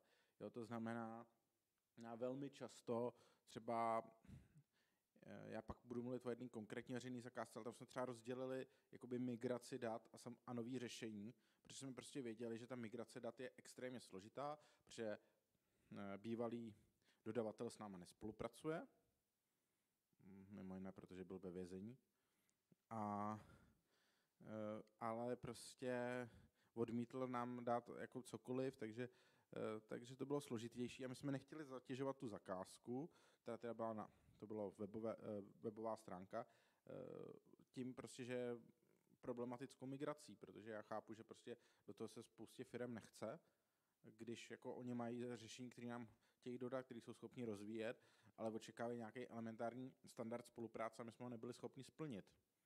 Eh, mimochodem, tu, tu migraci jsme v reálu nakonec řešili vlastními, vlastními dobrovolnickými zdroji. Ukázalo se to jako nejjednodušší řešení. A další notorický problém, který samozřejmě není vidět, je nedostatečné řízení těch veřejných zakázek. Jo? Vypíšem to, ideálně jsme si pořídili partnera, který to za nás napsal, my vůbec vlastně už nevíme, co v tom je, protože to má těch 300 stránek, je tam popsaný eh, každý detail, každý blbosti, jenom ne to, co v reálu chceme a proč to chceme, což je že jo, to proč většinou i určuje, jak to chceme. Ale my se bojíme prostě do toho vstoupit a třeba si říct, Ježíš, to směřuje úplně špatným směrem, to vůbec nechcem. Já když jsem byl zastupitelem na pražském magistrátu, tak jsem jednou šokoval své eh, kolegy z jiných stran tím, že jsem strašně podporoval jednací řízení bez uveřejnění. Proč? Protože se jednalo o stavbu, kde jsme prostě zjistili během realizace, ta stavba už probíhala pět let v té době, eh, byl to archiv města plus serverovna, eh, že, že to je prostě absolutně špatně navržený, protože je to vlastně navržený z doby před deseti lety, což zvlášť u, u toho datového centra bylo prostě úplně nesmyslný, že jo. Třeba dimenzo, dimenzování příkonu nebo chlazení vůbec neodpovídalo jako současným serverům. A přesně, jak tohle vyřešíte, když už tam máte rozestavenou budovu, máte tam dodavatele, no zrušíte to, dáte tam jednací řízení bez uveřejnění z důvodu toho, že chcete pokračovat, akorát ten projekt měníte do takové míry, že to prostě nemůžete udělat v rámci jedné zakázky. Jo. Tak. Takže, jo, nebo notoricky, Někdo mi donese špatný řešení a všichni to automaticky podepíšou. To je taky velmi oblíbená věc. Jo, prostě to je ten moment, kdy já si mám říct, tohle je špatně, to já nechci, to jsem si neobjednal, to nefunguje, nesplňuje. Opět můj oblíbený třeba v pražském magistrátu býval systém, informační systém krizového řízení. Dodávala ho stejná firma, která měla dodávat e-shop na dálniční známky a z její, eh, od které jsem prostě v životě neviděl funkční projekt. A ten projekt měl sice zase neuvěřitelný množství funkcionalit, až na to, že nešel použít ke krizovému řízení. To, takže to jsou takové jako nejčastější chyby. A já se teď pokusím říct takových pár návrhů a odkazů, jak se jim vyvarovat. Uh, úplně všeobecně, uh, když byste to třeba hledali, tak uh, best value procurement, prostě, že jo, nechcete tu price, nechcete tu cenu, chcete tu hodnotu, value. Takže to je samozřejmě takový obecný princip, jak to najdete, když to hledáte v angličtině. Další takový systém, který se používá hlavně ve stavebnictví, je design and build. A prostě vždycky je důležitý, že si umíte určit ty důležité kritéria. Že si prostě řeknete, že jo, pokud chcete opravdu exaktní číselná kritéria, což je, je jako jediný pozitivum té ceny téměř, tak samozřejmě chcete total cost of ownership, celkově náklady, nikoliv cenu pořizovací něčeho, s čím budete mít spoustu další práce. Jo, stejně tak ve stavebnictví, ano, vy můžete pořídit pořídit tu stavbu za 20 nebo 30 milionů, ale když jedna má trojnásobnou životnost, tak uh, ta value je jinde, než to, jestli jste ušetřili těch 10 milionů. Pokud teda nestavíte jednorázovou stavbu. tak, mm, já tady to asi nebudu víc rozebírat, já jsem právě chtěl jenom, aby ty pojmy tady byly uvedeny, abyste se to třeba mohli dohledat a inspirovat se tím, že byste to potřebovali. já pak budu mluvit konkrétně věci, které jsou dost často z toho vytažené. A ještě jedna rada obecná. Nebojte se inspirovat v zahraničí. Všechny evropské státy jedou podle stejné evropské směrnice. To znamená, že velmi pravděpodobně eh, vy máte právo de facto dělat to samé. Samozřejmě jako nějaké nuance v tom zák- těch zákonech jednotlivých jsou, ale je velmi pravděpodobný, že pokud by tam bylo nějaké extrémní omezení, tak dokonce možná uh, bude v rozporu směrnicí a třeba bude protiprávní. Samozřejmě to je jako otázka nějaké, nějaké pak jako širší právní bitvy, ale prostě je velmi nepravděpodobné, že třeba když něco najdete ve dvou, třech jiných zemích v Evropě, že se nějak děje, tak eh, že by to nešlo u nás. Je to spíš, že se všichni bojí to udělat. Tak. Tak, uh, jo. Tady mám takový jednoduchý checklist před vůbec tím vypsáním. co si myslím, že byste měli umět, vědět, mít. Stručný popis toho, co chcete. Já vím, že to vypadá jednoduše, ale to je přesně ono. Když chcete rodinný dům, tak řekněte, že chcete přibližně rodinný dům a neříkejte stavbu obdélníkového tvaru uh, s tím a tím, protože to je to, jak se to většinou píše. A že ten čtenář, ten potenciální dodavatel si pod tím nic nepředstaví. Takže řekněte si, co chcete a dost často i zjistíte, že třeba nepotřebujete tu veřejnou zakázku. Protože přesně zjistíte, chci, chci jednu webovku, kde zobrazím data, který mám v tomhle apíčku. No tak to asi nepotřebujete dodavatele a vypisat veřejnou zakázku. To, pokud to neumíte, tak byste se měli zamyslet nad strukturou uh, vašich zaměstnaneckých pozic spíš, pokud jste úřad. jo, takže tohle je strašně důležitý, ale třeba v zahraničí, když se to zavádělo, jo, někde se to zavádělo jako plošně, stručný popis a opravdu se třeba i začalo hlídat, aby bylo opravdu srozumitelný a stručný. Jo, prostě stručně to popište a když tak tam uveďte, že některé věci jsou složitější a popisujete jinde. Ale důležitý je prostě ta srozumitelnost. Tak to se zjistilo, že to už šetří prostě jenom tohle samo o sobě ohromné peníze. Protože prostě říct si to, co chci, říct si to úplně naplacat to, je strašně důležitý. Další. Schéma vztahů. Jo, když, když mám ten IT projekt, že jo, tak to bude pracovat s nějakou databází, po případě databázemi, bude se to nějak zálohovat, bude se to nějak integrovat, bude to mít nějaký deployment a všechny tyhle věci. A to je dobrý si vyjasnit. Jo, chci to potom dodavateli? No většinou nechci, že jo? většinou třeba chci mít centrální systém zálohování a nechci ten systém zálohovat zvlášť a podobně. Takže jo, stejně tak jako v ideálním případě chci mít eh, od každé databáze jeden typ a ne mít nasazený ke každému projektu zvláštní databázi, kterou pak neaktualizuju, neřeším a podobně. Takže to jsou prostě, a opět, jednoduchý schéma, nakreslit si na tabuli, nic složitýho. Prostě pokud tyhle věci nevím, tak to nemám vypisovat. Eh, a jakoby asi ta nejdůležitější věc je ten životní cyklus. Samozřejmě ten končí tou exit strategií, kde je třeba potřeba migrace dat. Tam je, tam vám třeba, když jste úřad, velmi pomáhá zákon 365 o informačních systémech veřejné zprávy, který vlastně eh, zadává povinnost dodavateli v součinnosti s migrací pokud se jedná o informační systém veřejné zprávy. Takže, ale to neznamená, že si to nemůžete ošetřit a že to nemůžete mít připravený. Protože samozřejmě to je mnohem lepší. Jo? Prostě setkal jsem se s věcma třeba, já jsem řešil v Praze Open Car, kde nám vysvětlovali, že, eh, že to, eh, že schéma jejich databáze, jejich duševní vlastnictví a my ho nesmíme vědět a podobně. Jo?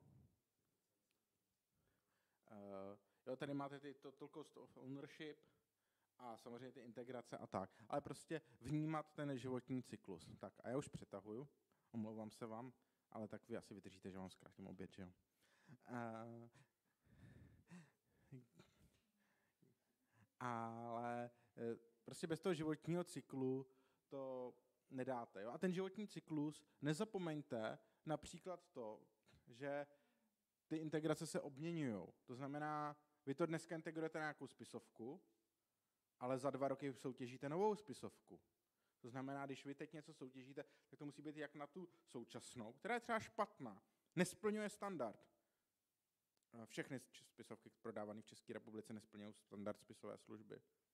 To je informace od ministerstva vnitra.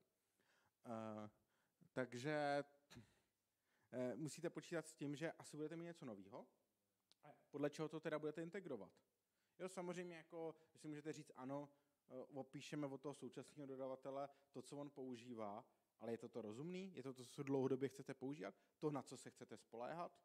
Jo, typicky nějaký e, datový exporty přes CSVčka nebo prostě podobné věci, které v reálu dlouhodobě nechcete, protože to prostě bude dlouhodobě nespolehlivý. A vy za dva roky byste chtěli mít třeba celý ten ekosystém funkční, robustní, kde se ty data předávají nějak inteligentně. No, takže si pojďme říct, co s tím. Eh, velmi důležitý nástroj, který se z nějakého nepochopitelného důvodu všichni bojí, jsou eh, předběžné tržní konzultace. Já tady mám eh, z metodiky ministerstva nějaký letáčky, kdo byste chtěl. Prostě úplně jednoduchý. Oznámíte, že máte záměr na tu zakázku, že budete budovat informační systém, který já nevím, co udělá, něco bude dělat a přizvete ty, přizvete ty dodavatele, aby to s váma konzultovali. Důležité je, že samozřejmě přizvete transparentně veřejně a že celou tu konzultaci, ten princip je, děláte transparentně, ideálně se záznamem audiovizuálním, děláte z toho zápisy, případě si posíláte dopisy, ale důležité je, že vám samozřejmě ty dodavatelé řeknou třeba přesně ty věci, co tu padaly o té elektromobilitě třeba. To je typický. Jo, prostě tohle nebude fungovat, protože tady nemáte dostatečný příkon, nebo protože vám to něco dlouhodobě spálí, nebo z jiných důvodů. Nebo, surprise, surprise, když dáte USB do veřejného prostoru, za chvíli v něm máte žvíkačku. Koho by to napadlo? Tak, takže eh, předběžný tržní konzultace. Jsou váš kamarád, tady máte metodiku, eh, je tam pak prezentace odkázaná, prezentace samozřejmě bude online, takže eh, nebojte se toho a nebojte se o tom i, i diskutovat, diskutovat, jo, prostě opravdu tam dospějete k tomu, že vám to pomůže, jo, protože všichni, všichni jakoby, že jo, všechno říkají průzkum trhu, Zašel jsem si na golf s nějakým dodavatelem, ten mi řekl, že, že sice tohle, tohle to nemá, ale že mi dodá úplně něco jiného, co nepotřebuju, tak jsem to koupil. A překvapivě tato metoda nevede k dobrým výsledkům. Jo? Takže vlastně pokud budete jednat transparentně, tak se předběžných tržních konzultací nemusíte bát. V tom nové, té poslední novele zákona o veři, velké novele, od té doby byly ještě nějaké, uh, čtyři, od, tak v té, v té velké novele, já jsem je, já jsem je všechny řešil, takže uh, v té velké novele jsou, v té velké novele jsou předběžné tržní konzultace zakotveny, takže jsou přímo v zákoně. Není to fakt nic složitýho. Pokud by vám třeba právníci říkali něco jiného, tak se s nima nebavte. Jo. Tohle, tohle je dobrý způsob, jak jakoby udělat něco, dostat tu zakázku do nějakého použitelného stavu. Pak je otázka, jak ji vyhodnotit, že jo? Mně se třeba osvědčilo u blbýho webu vícekolové e, řízení. My jsme v prvním kole měli relativně subjektivní kritéria typu technologie použitý, který jsme měli nějaký předběžnou metodiku, už, už jak jsme vypsali tu zakázku, jak jsme měli nějakou metodiku, jak to chceme. Právě třeba použijete databázi, kterou už používáme, více bodů. Používáme tyto.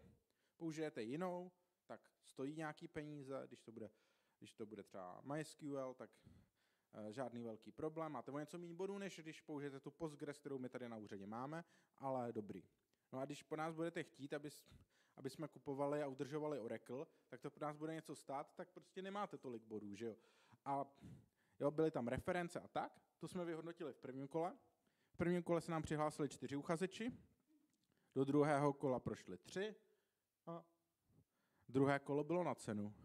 Mimochodem bylo to ještě zajímavé, že to fakt brutálně fungovalo, protože to jsme si původně neuvědomili, ale v prvním kole jsme měli v těch nabídkách i předpokládanou cenu, takže ty uchazeči, eh, myslím si, pak vzájemně nějak viděli po vyhodnocení toho prvního kola, takže pak hodně zabojovali na, na tu cenu takže jsme ji srazili hodně, hodně nízko. Ale díky tomu, že tam byli tři nezávislí uchazeči a to rozhodující kolo bylo na cenu, tak si samozřejmě nikdo nestěžuje, protože to se jako nedá moc rozporovat že jo, na cenu. Takže tady je ta jednoduchá úřednická cesta, ale tady je schovaný to, že dostanete to, co, to, co chcete.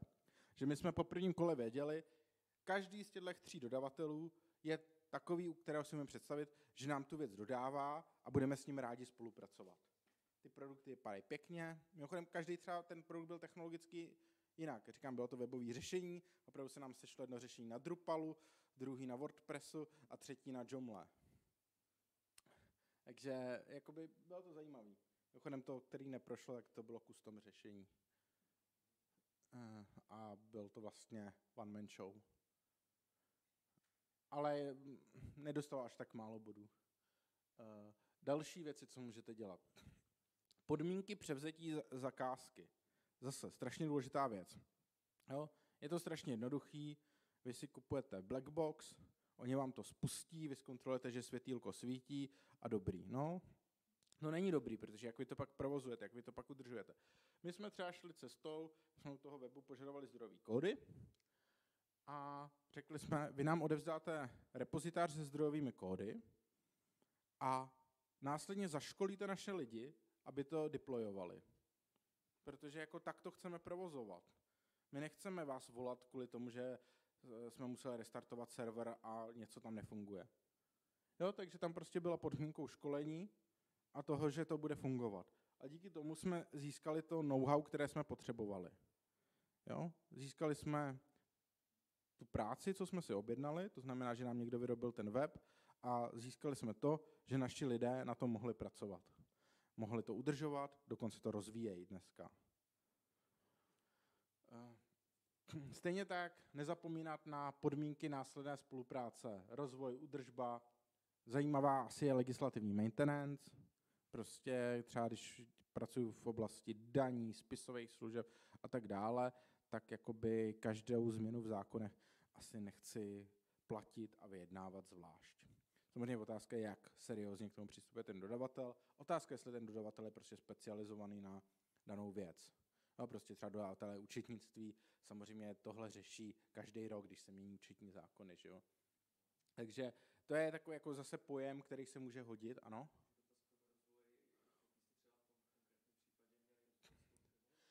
My jsme tam měli rozvoj, my jsme měli, ano, my, my jsme tam zasoutěžili i cenu rozvoje, takže my jsme od nich měli předobjednaný nějaký hodnoty s tím, že dle dohody je můžeme navýšit, ale měli jsme nějakou fixní cenu plus jako nějakou inflační doložku. Takže my jsme Sice do značné míry jsme to řešili sami, ale když jsme si neuměli poradit, tak jsme byli schopni, tak jsme už měli vysoutěženou tu firmu, která nám udělala nějaký rozvojový práce v nějakém objemu hodin, to bylo v rámci té veřejné zakázky původní a s nějakou možností prodloužení. Jo. No a to je všechno. Tady teda máte všechny ty odkazy, o kterých jsem mluvil. Jakoby, jak jsem říkal, cílem je letem světem si ukázat některé ty kámeny úrazu a říct si, že to opravdu je řešitelné. Je to řešitelné, jenom se toho velmi často bojíme. Velmi často je to o tom, že právníci hledají nejjednodušší cestu, a e, třeba my jako technici si to neumíme vydupat, aby to bylo správně. Po případě si to dupe jeden z dodavatelů, což je samozřejmě nejhorší řešení, protože za prvé teda pak je ta zakázka předem rozhodnutá, v ten moment ani moc nesoutěžíme na cenu, že jo? ale hlavně si nám zavlečeme řešení, které vlastně asi nechceme, které nám nevyhovuje, které nás činí neflexibilními a když jsme neflexibilní, tak nemůžeme nic dělat a je z nás neohrabaný moloch. Tak, já děkuju, omlouvám se za přetažení. Uh, tak, teď bude obědová pauza, uh, je tady nějaký občerstvení, tak se do toho puste a pokračovat budeme ve dvě hodiny.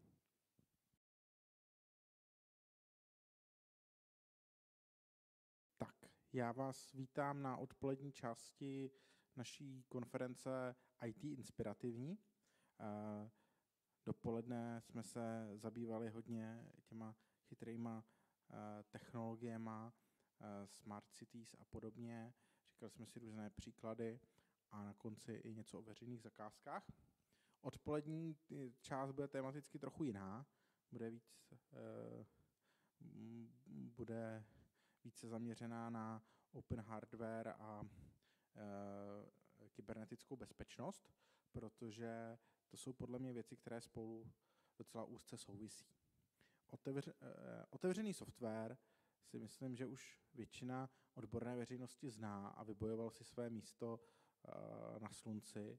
Adoptují ho největší firmy a překvapivě, nebo je tam vidět i ten cost benefit. Já se budu snažit mluvit česky. A, ale u otevřeného hardwareu se vlastně setkáváme eh, s tím samým odmítáním, co jsme se dřív setkávali u otevřeného softwaru, tedy že se toho eh, velcí zadavatelé, velké firmy bojí, protože si myslí, že všechno musí být strašně uzavřené, aby to bylo funkční. Což v praxi vede k tomu, že je to uzavřené a díky tomu je to nebezpečné. A to je právě to, co bychom tady chtěli trochu dneska naznačit. Jsou podle toho složeny i ty eh, přednášky.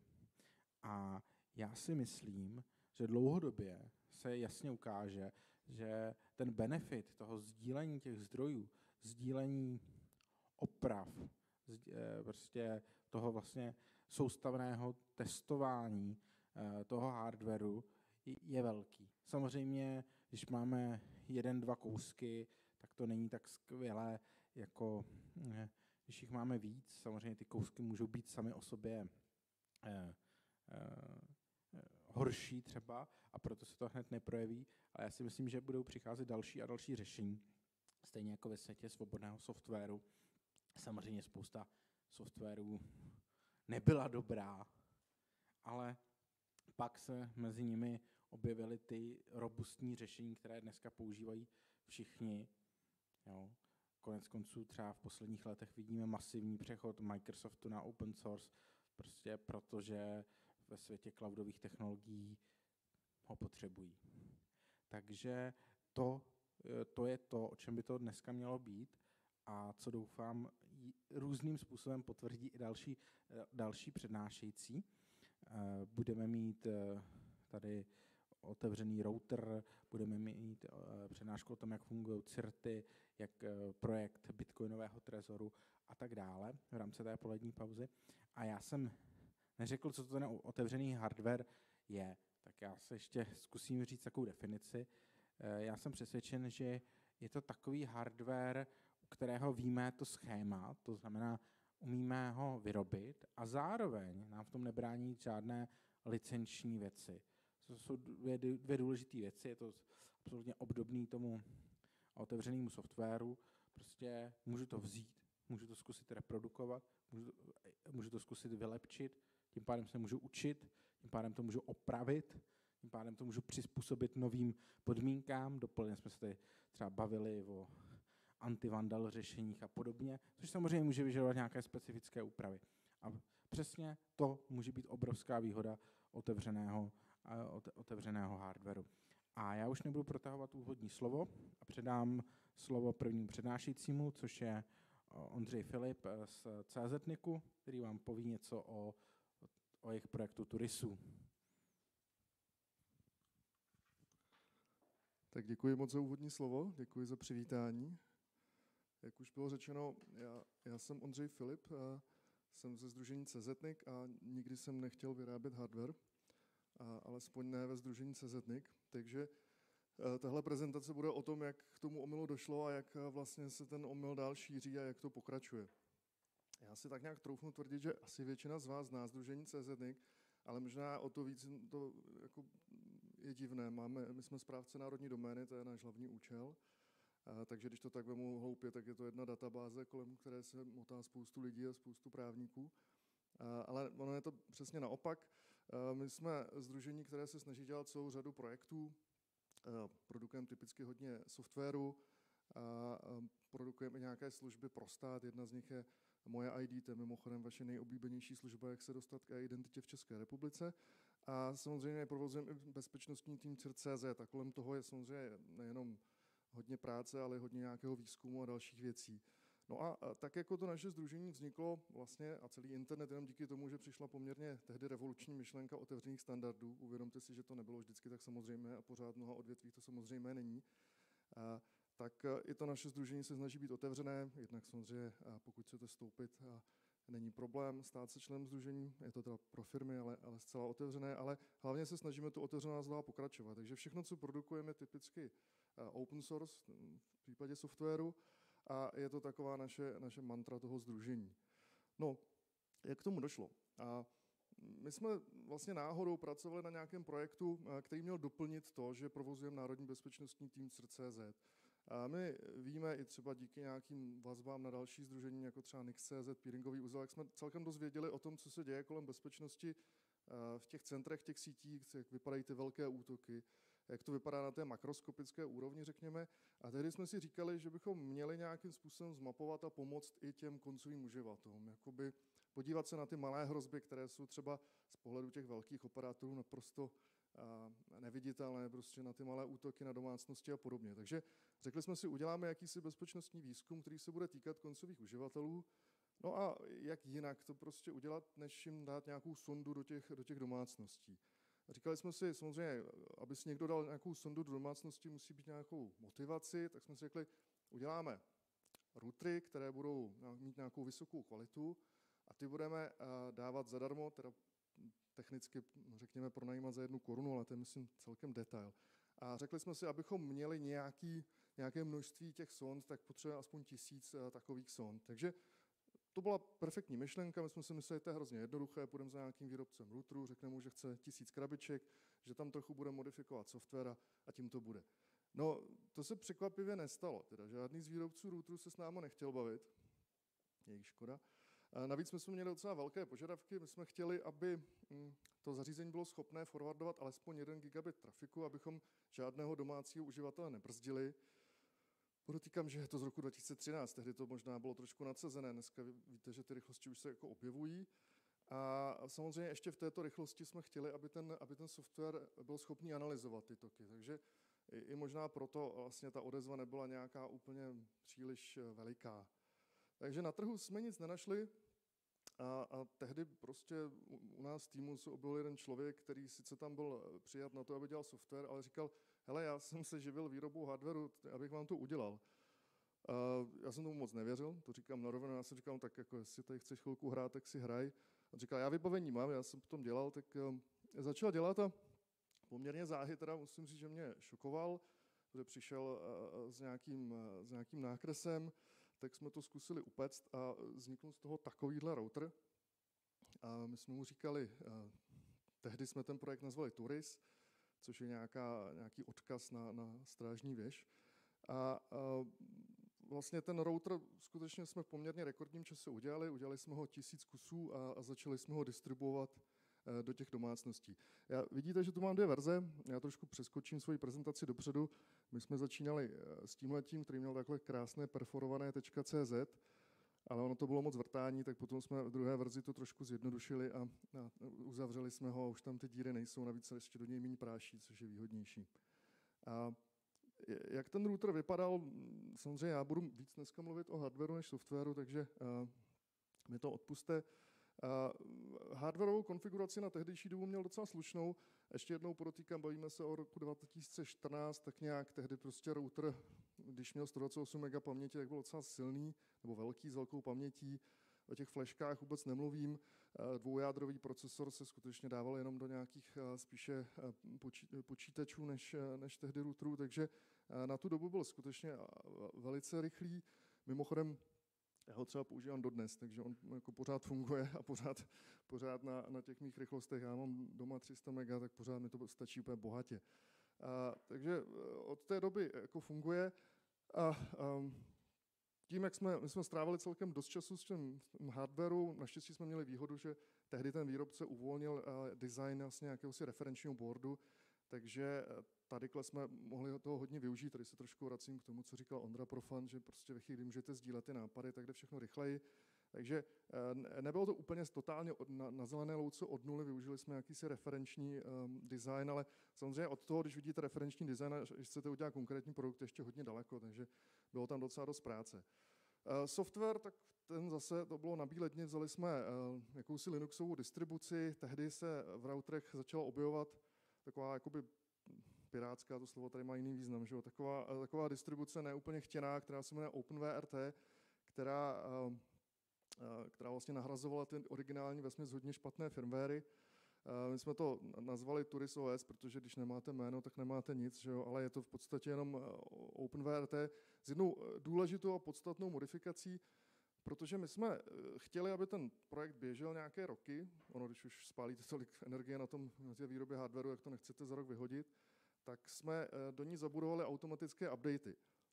Což je výhoda i nevýhoda toho celého projektu. Ona, ta distribuce, se proti tomu rozbránila, ona na to vůbec nebyla připravená, eh, takže my jsme ji docela jako znásilnili a samozřejmě ta distribuce Eh, potom, tak jak pokračovala, jak se vyvíjí, tak pro nás to byl určitý závazek neustále automaticky updateovat, ale ona je dělaná tak, že flashnete jako jakýsi image a, a když chcete update, tak za dva roky flashnete druhý. Takže eh, v tom, v tom jsou určité problémy, navíc automatické upgradey, kdo to někdy v softwaru dělal, tak mi potvrdí, je to problém, protože uživatelé jsou neuvěřitelně kreativní, to je ta taková ta eh, skupina nepříjemných kazičů projektů všech ti uživatelé, tak oni jsou kreativní, dělají tam různé konfigurace a každý upgrade samozřejmě něco rozbije, takže kolem toho jsou pak naštvaní a volají vám a tak. Takže eh, to, to, je, to je krása toho projektu a je to i určité neštěstí. Krása je to třeba pro mě v tom, že já mám někdy od roku 2013 tenhle router doma, a, nebo asi 14, abych nekecal, a on, on pořád funguje, má pořád up-to-date software se všemi bezpečnostními peči.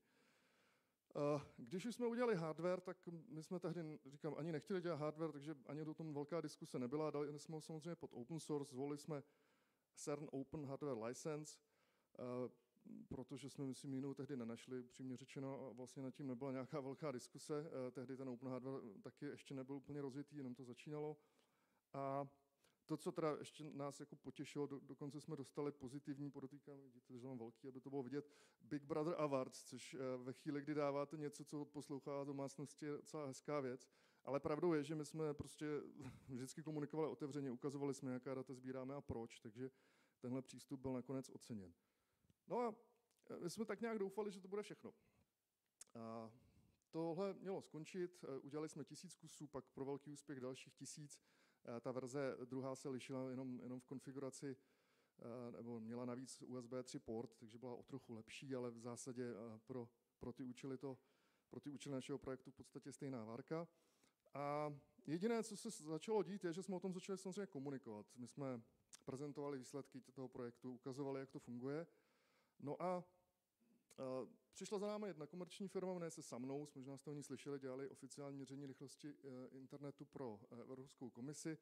A ty, protože dělali nějaký projekt, tuším někde v Ázii, kde potřebovali skutečně velké rychlosti měřit, tak řekli, my nemáme takové kvalitní zařízení, prodejte nám to. A jak jsme chodili po těch konferencích, tak a teď si nedělám legraci, za mnou přicházeli lidi jakhle v ruce kreditku a říkali, já to chci. A já jsem říkal, ne, nemám, ne, neprodávám, nemáme, my jsme všechno rozdali tady v Čechách. A a bylo to docela komické někdy, tak jsme si říkali, dobře, eh, zkusíme udělat verzi, která by třeba mohla být použitelná, která by se dala prodávat. Tady jsme ji nazvali Tourist Slide a říkali jsme si, bude to taková odlehčená verze toho, toho modráka. On ten modrák byl docela nabušený, jsme si mysleli. A tak uděláme něco levnějšího, aby to jako trh akceptoval, protože eh, je jasné, že když něco vyrábíte v Čechách, tak nemůžete cenově prorážet ty, ty azijské výrobce, takže snažili jsme se to co nejvíc očesat. Eh, samozřejmě, tak jak jsme to očesali, tak jsme vlastně něco přidali, pak jsme vlastně něco vylepšili a ve finále ten Tourist Light se spíš proměnil v Tourist Heavy, protože eh, ten router možná je ještě, ještě vlastně nabušenější než ten modrý. A eh, s tímhle tím konceptem jsme šli na, na, do crowdfundingu, protože jsme chtěli otestovat, jestli o to vůbec bude zájem. Zvolili jsme platformu Indiegogo, Musím říct, že ten výběr taky nebyl složitý. On, myslím, žádná jiná nechtěla Českou republiku akceptovat, takže jsme šli tam. A takhle exaktně jsme ji vybrali a tam jsme spustili ten projekt. To, co nás tenkrát eh, jako šokovalo, byla ta reakce. My jsme chtěli vybrat 100 000 dolarů, protože to byla taková částka, která tehdy byla běžná. Už takhle to byla jedna z větších kampaní. Obvykle se tam chodí pro 20 tisíc a takové sumy. My jsme říkali, chceme 100 tisíc. No a stalo se něco, co jsme nečekali, to nám opravdu spadla brada, za 24 hodin bylo vybráno. Bylo docela fajn. A, a, a ono to pokračovalo. A ta, ty čísla lítaly tak rychle, že jsme, se, se nám z toho zatočila hlava. Mimochodem, jestli někdy budete dělat indie, jakoukoliv crowdfundingovou kampaň, tak mám spoustu typů, jak ji nedělat. Jo? A jeden z těch typů je, že jak jste kampaň rozjede, tak vy samozřejmě chcete, ať už jde pomalu nebo rychleji, jako nějak tlačit dopředu. Takže vymýšlíte jakové ty perky, nějaké dárky, stretch goaly. Takže eh, než vymyslíte nějakou kravinu, jak si to fakt promyslete, třeba my jsme vymysleli, že kroutru si můžete zvolit barvu, že to zní hrozně jednoduše, že jo? Barva, ne? A e, samolepku, plakát, já nevím, asi tisíc kravin, teda, když to řeknu takhle, jako, ale pak jsme třeba zjistili, že, že, každý, že, že těch typů objednávek bude, může být něco přes 30 tisíc, jenom těch typů, jo? to je prostě víc, než jsme byli schopni prodat, takže jako ta logistika potom zatím poskládat všechny samolepky k těm barvám a tak, to, je, to byla fascinující, to už taky prosím nás nikdo nedělejte. No ale e, byla to, byl to super úspěch. Byla to druhá největší česká kampaň té doby, dokonce mám pocit, že pořád, jestli se nepletu, První byla, myslím, ta, ta hra, že jo, Kingdom Come, ta, ta jediná nás porazila, dodnes mě štvou, ale ta hra je pěkná. Uh, takže uh, bylo to super a kampaň, kampaň se rozjela a tak zněl, vznikl router, který se jmenuje Turisomnia. Já, mimochodem, on dneska vypadá takhle, dříve se prodával v černé barvě, ale vidíte důkaz, že existovaly v modré, kdybyste se, můžu, nechat kolo, kolovat, jo. Docela, kdyby se vrátila, bylo by to fajn, ale jako, taková plechová krabice, můžete si rozebrat, jestli někdo máte šroubovák. A zase ten hardware, já ho nebudu popisovat do detailu, protože to si můžete někde stáhnout sami, ale eh, bylo to docela eh, jako pěkně navržené zařízení, dokonce ani nemusím mluvit minulém čase, ono se pořád docela prodává. Mělo to, jak vidíte, šest portů, van, pět lanů, ještě, ještě ten van může být ve formě SFP. Ta konfigurace té sítě je taková, že vlastně můžete zvolit klidně i tři demilitarizované, eh, víc demilitarizovaných zón a podobně, takže jako konfiguračně hodně otevřené. To hlavní asi vlastně, co jsem, co jsem u toho modráka zapomněl zdůraznit, má to, má to svůj čas, RTC, má to baterku, takže to zařízení opravdu, když ho rebootnete, a pro nás to je důležité, tak pořád má aktuální čas, je schopné ověřovat certifikáty z internetu. Takové ty věci, co třeba běžné routery nemají. Ty vypnete, tak on se jako zesynchronizuje, ale ten náš router jako rovnou ví, k čemu může věřit, protože zase to zařízení se automaticky updateuje ze sítě, takže potřebujete mít nějaký pevný bod, což je typicky čas z těchto těch věcí, když ověřujete třeba certifikáty. A měl už 8 GB paměti, pardon, flashky, 2 GB paměti, nebo byly i modely s jedním, ale ty se pak v podstatě přestaly prodávat, o ty nebyl zájem. Měl, t- zatímco ten modrák měl dva uh, mini PCI expressové sloty, tak tady už jsou tři, jeden je dokonce v konfiguraci, že může být MSATA. A bylo to poměrně, jak říkám, a pořád ještě je docela dobré zařízení. My jsme typicky osazovali s dvěma, nebo ještě pořád osazujeme s dvěma Wi-Fi kartami, takže je to dvoupásmový router a mm, obvykle Eh, ten třetí slot je volný pro nějaké hraní. Stejně tak je tam SIM card, teda, což se ukázalo jako později jako docela výhoda. A takhle to vypadá.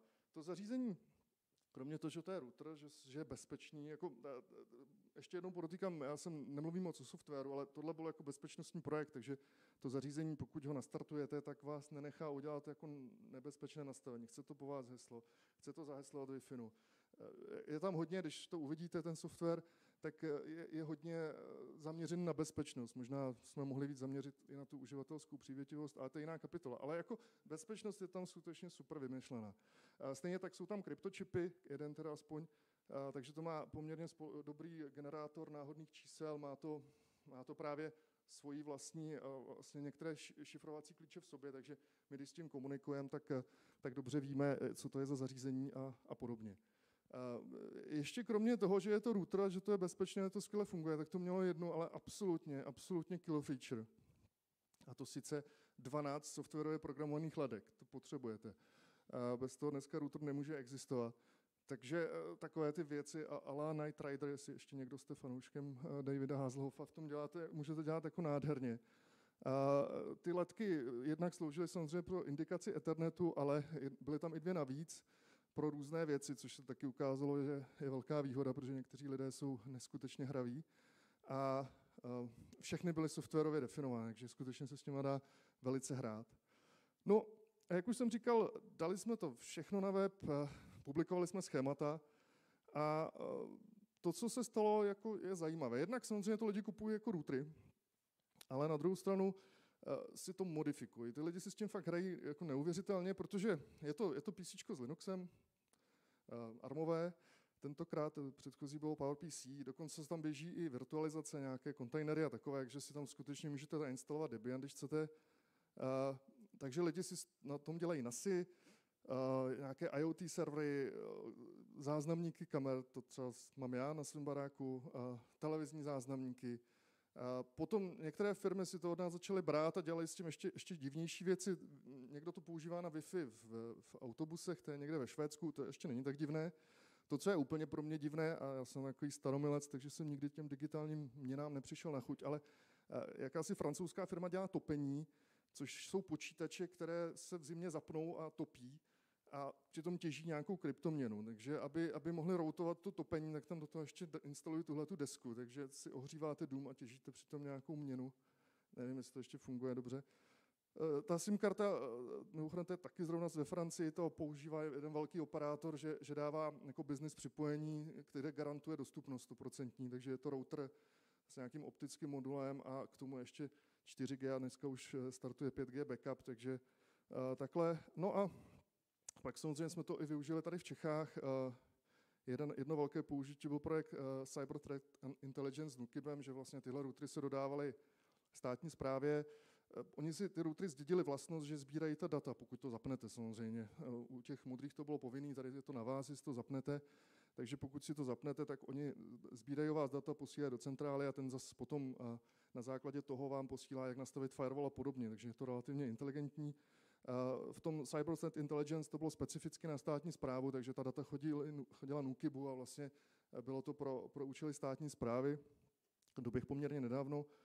Další projekt, kde, kde to bylo hodně použité v obcích, byl Wi-Fi for EU. Že jo? To byly takové ty neslavně slavné dotace na, na Wi-Fi v obcích, takže tam taky eh, používali vlastně eh, tyhle ty omnie. No, eh, ještě jsme přemýšleli, co dál. Jsme měli takové dva typy úvah. Máme Omni, je to takové univerzální, ale na druhou stranu kompaktní zařízení. Tak jsme říkali, co, co vymyslíme dál. Napadlo nás buď udělat nějakou vyšší řadu, ta myšlenka nás ještě neopustila, a naštěstí jsme se ještě k ní nedostali. A a nebo udělat něco levnějšího a variabilnějšího. Ty omny jsou dost drahé, když se podíváte dneska na Alzu, on to není levný router, jeden z nejdražších mimochodem. Tak nakonec vyhrála ta druhá větev a byl spuštěn projekt, který se tehdy jmenoval Nanus, jenom abyste viděli, jaká kódová jména my používáme. A, vymysleli jsme, že uděláme router, který bude vypadat jako stavebnice, jako, jako Lego. Jo? A, a zase jsme vymysleli, že pojeme na, na crowdfunding a zase jsme si teda vybrali Indiegogo, protože ty ostatní pořád neakceptovali české subjekty. No a dali jsme si vysoký cíl, 250 tisíc dolarů. Ono to jako, když se podíváte na ty crowdfundingy, tak to málo kdo si troufne. Jo. A cíl jsme překonali, vybrali jsme 370, ale jako cítíte tam tu pachuť. Bylo, v té době to mimochodem byl čtvrtý největší, největší kampaň v České republice, jo, ale je to asi jako když eh, naši basketbalisti skončili na mistrovství šestý, tak to byla paráda, že všichni jásali. A když naši eh, hokejisti přivezou čtvrtou bramborovou medaili, tak je to docela otrava. Že jo? Takže zhruba takhle jako, eh, mám z toho pocit každou chvíli. Jako, jo? Na jednu stranu pecka, na druhou stranu, no tak, ale jo, no. Uh, tahle kampaň byla zvláštní, že tam bylo víc firmních klientů, mimochodem, což trochu i, i jakoby naznačuje, kdo to, kdo to používá dál. Eh, vznikl teda projekt, který se jmenuje Turismox a ten, je, ten má neuvěřitelné množství desek.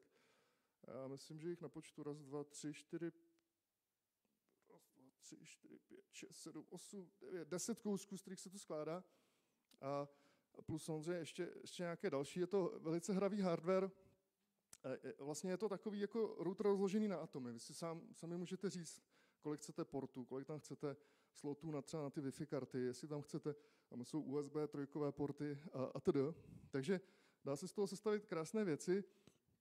A může to být i docela dlouhé. Tady, když se podíváte na to URL, tak tam si fakt můžete pohrát tam myškou ty, ty díly sestavit, vypadá to moc krásně. Já mám tady příklad jednoho takového dalšího. A tenhle se vejde do 19 palcového reku. Mimochodem ještě by to šlo o dva díly další, teda, co by ten hardware unesl, to už jsem teda nebral. Ale uh, takhle, takhle si můžete poskládat router vašich snů, zase nechám kolovat. Ten starý se mi nevrátil, tak jsem takový nervózní, ale...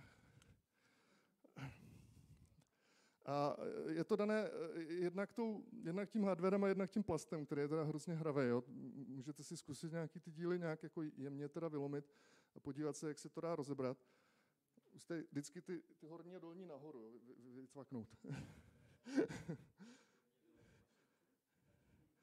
Já vám to pak ukážu. Tak přesně ten nahoru a naproti taky nahoru a pak to půjde. Tak, eh, takže, takže takhle, to, takhle se to sestavuje, vypadá to strašně hravě, je s tím spousta legrace. Uh, hardware je trošku, trošku uh, papírově slabší, na druhou stranu modernější, už je tam 64-bitový armový procesor a vlastně o tom vybavení se nemá cenu bavit, protože to můžete sestavit, jak chcete. Ještě jednou doporučuji ten, ten MOX konfigurátor. No, takže to, to jsou nějaké naše prozatímní pokusy s, s open hardwarem. Uh, já jsem tady si dal takový slide jako zamyšlení, co to vlastně znamená. Především velká výhoda je, že uh, vás jako lidi mají rádi, protože, aspoň technici, takový ti geeci vás mají rádi, protože oni víc, co o toho můžou čekat. Oni se na to podívají, oni chápou, co v tom je. Pokud jim nebráníte tam instalovat software, tak, tak to rádi dělají a, a ta, ta akceptace alespoň určitou částí trhu je suprová. Stejně tak vás mají rádi firmy, které vědí, co s tím dál, které vědí, co s tím dál, protože podívají se na to, typu ty těžaři těch kryptoměn, prostě to jsou lidi, kteří hardwareu rozumějí a jenom hledali vlastně desku, tak si ji rovnou vzali. Nevyjednávali, nemuseli vyvíjet. Lidé si s tím hrají hodně, jak říkám, někdo si s tím zabezpečuje dům, protože to prostě jde, někdo si s tím hlídá akvárko, teplotu a osvětlení. Prostě těch použití je tam neuvěřitelné množství a je to dáno otevřeností hardwareu a softwaru, pochopitelně. Takže prostě ty úpravy jsou. Často to inspirovalo další pro nějaké další projekty, takže těch hraček je hodně.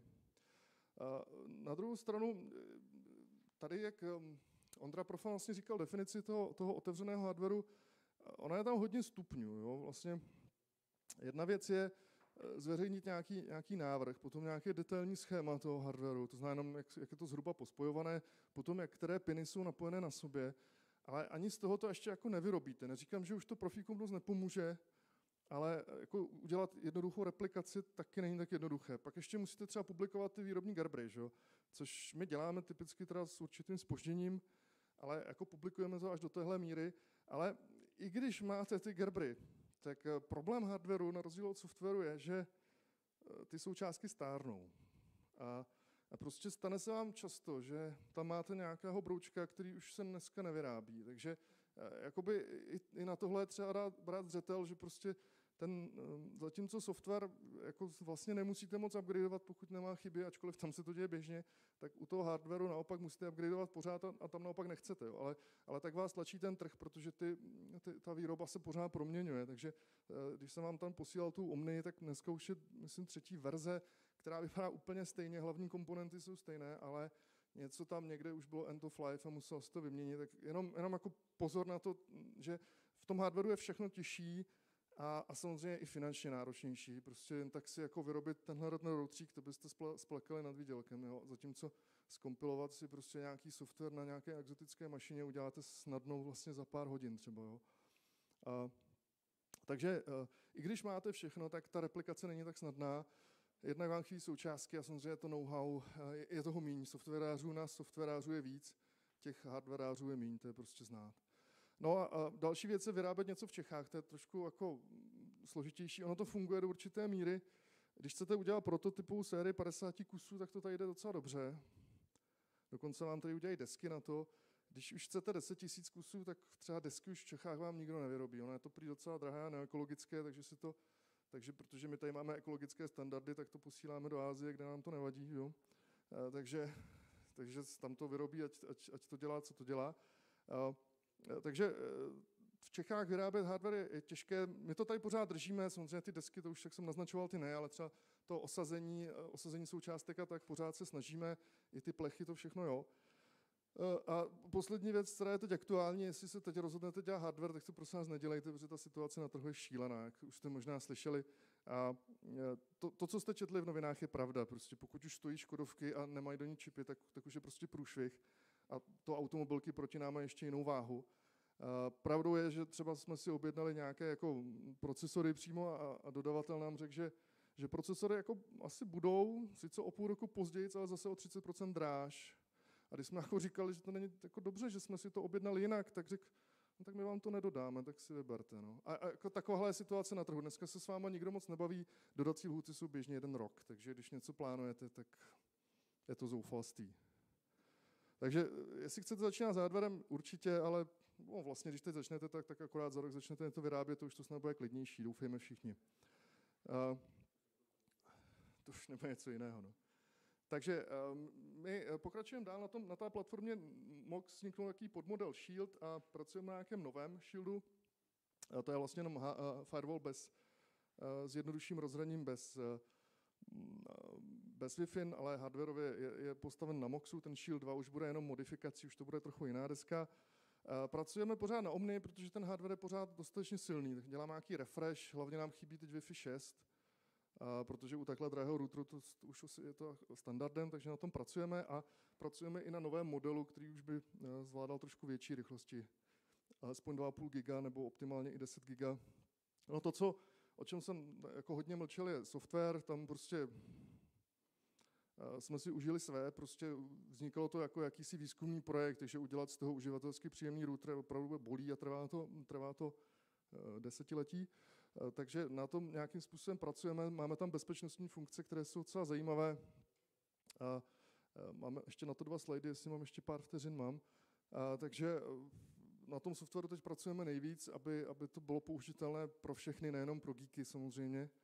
A, a poslední věc, ten projekt se natolik rozjel, že dneska už jeho eh, jako obrat a množství financí, které se v tom točí, pomalu předůstá eh, CZNIC jako takový, takže eh, bychom rádi udělali spin-off toho projektu, vlastně osamostatnili to do nějaké zvláštní firmy a, a vlastně pokračovali už jako se samostatnou společností, protože zase my se musíme koncentrovat přece na zprávu národní domény a to je naše priorita a potom ten projekt trpí. Navíc upřímně řečeno ten střed kultur, kdy eh, CZNIC, což je spíš úřad, je takový jako, jako usedlý a, a každé tvrzení se prožene pětkrát přes firmu, jestli je stoprocentně pravdivé. A kluci z si řeknou, my máme nejlepší router na světě a takhle jako eh, frikulínsky se na to dívají, tak, tak tam prostě je určitý jako určité problémy uvnitř firmy, takže to oddělení bude jenom jako dobře pro nás, pro všechny samozřejmě. Uh, No a jenom, jenom dva projekty, které ještě na tom vznikly. Jedno se jmenuje Honeypot as a Service, eh, když už eh, Ondra Profan mluvil o té kybernetické bezpečnosti. Eh, funguje na, na, na Turixech, ale můžete si je rozjet i na svých, na svých strojích. Vlastně rozběhnete si jakousi proxy, která přesměrovává některou komunikaci k nám a my potom se snažíme, aby, aby to vaše zařízení vypadalo jako napadnutelné, typicky na portu 22 na SSH útočník se tam zkusí nalogovat s nějakým oblíbeným heslem, které funguje. My se tváříme, že to vyšlo a potom si s ním povídáme a snažíme se tomu útočníkovi vytvářet dojem, že mu to vyšlo, takže potom zkoumáme, co tam downloadí za software a co se snaží vlastně, mm, jaké, jaké skripty a, a dokonce i binárky tam tom spouští, takže pak analyzujeme, jaké jsou jako novinky v tomhle světě a, a snažíme se zjišťovat, co, na jaké zranitelnosti útočí. Ale no tak, pardon.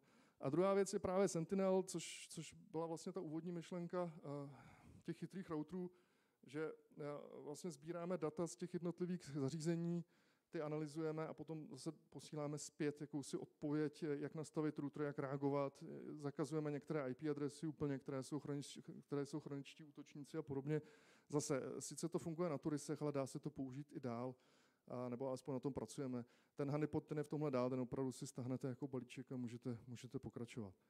Takže tohle je, tohle je příběh jednoho omylu eh, ve Združení CZNIC. Já vám moc krát děkuji za pozornost a jestli máte nějaké dotazy, tak je rád odpovím.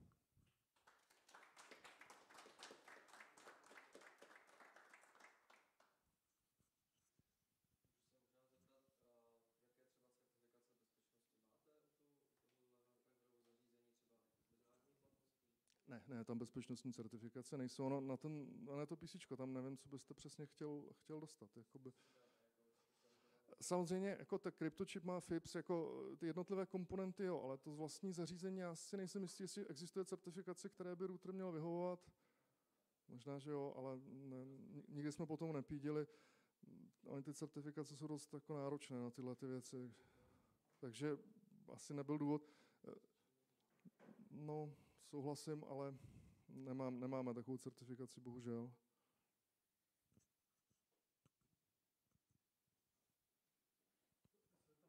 Mhm. Děkuji.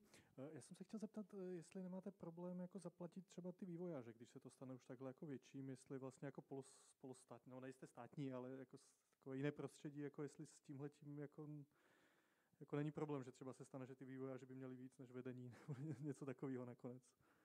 Nebo jestli vám ty lidi všichni odešli, nebo jak to vlastně řešíte. No? No, máme s tím problém, no. tak jako víte, jaká je situace na trhu, eh, takže jako určitě. No. Upřímně řečeno, to, co nám pomáhá, je právě ten open source. Jo.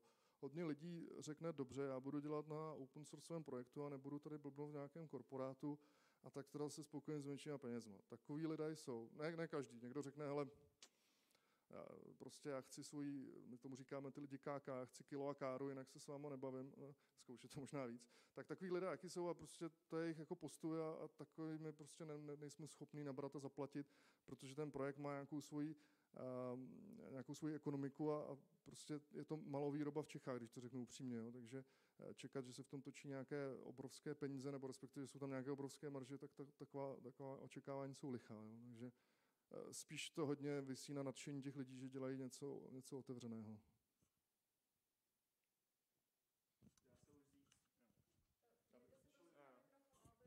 Dá se už říct, kdy bude verze z Wi-Fi 6? No, dá, ale jestli to bude pravda, to já nevím. No, já, já jako si myslím, že by to mohlo být třeba na přelomu roku, ale, ale jestli, jestli lžu, tak, eh, tak se omlouvám.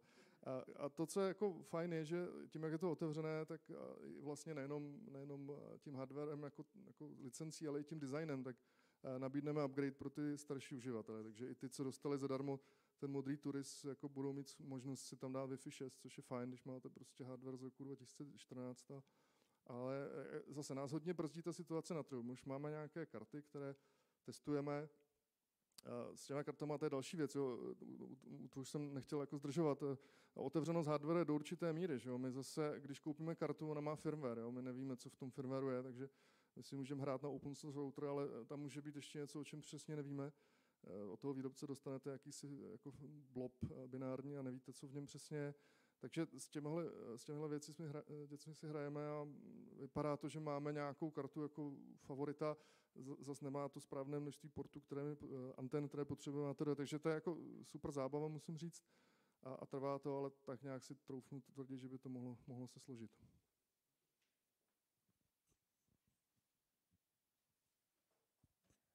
Díky, já bych se chtěl zeptat eh, na to, kolik tam toho zbylo z OpenVRT. Já jsem provozoval asi 10 let eh, OpenVRT na VRT 54G, na té úplně první revizi, takže s tím mám nějaké zkušenosti. Chci zeptat, kolik zůstalo softwaru. Hodně, hrozně moc. My, a my se pořád synchronizujeme s VRT. Eh, něco upstreamujeme, co, co, co, nám dovolí samozřejmě. Nejvíc, nejvíc se nám dovolí do kernelu, protože to jim nevadí tolik. My je trošku jako rozčulem tím nám by víc možná slušela nějaká jako RPM nebo Debianová distribuce nebo něco takového, protože my jak updatujeme, tak eh, to opravdu v tom VRT jako bolí trošku to tam implantovat, ale, ale synchronizujeme se s VRT, takže binární kompatibilita tam je stoprocentní, eh, některé skripty jsou jinak, ale, ale snažíme se hodně, hodně být kompatibilní s OpenVRT. No. A, a samozřejmě je to otevřenější. Jestli máte rád čisté OpenVRT, tak se ho tam prostě nahrajte, to je to nejmenší. Jo.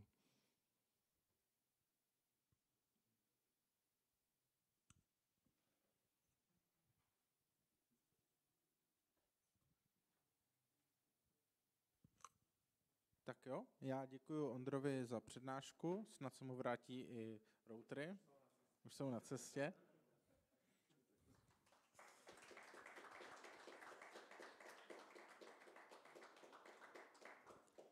A rovnou tu vítám dalšího přednášícího, který nám poví něco o vývoji uh, bit, hardwareové Bitcoin peněženky a asi ještě chvíli se budeme jenom nastavovat, takže ty máš píchnu program.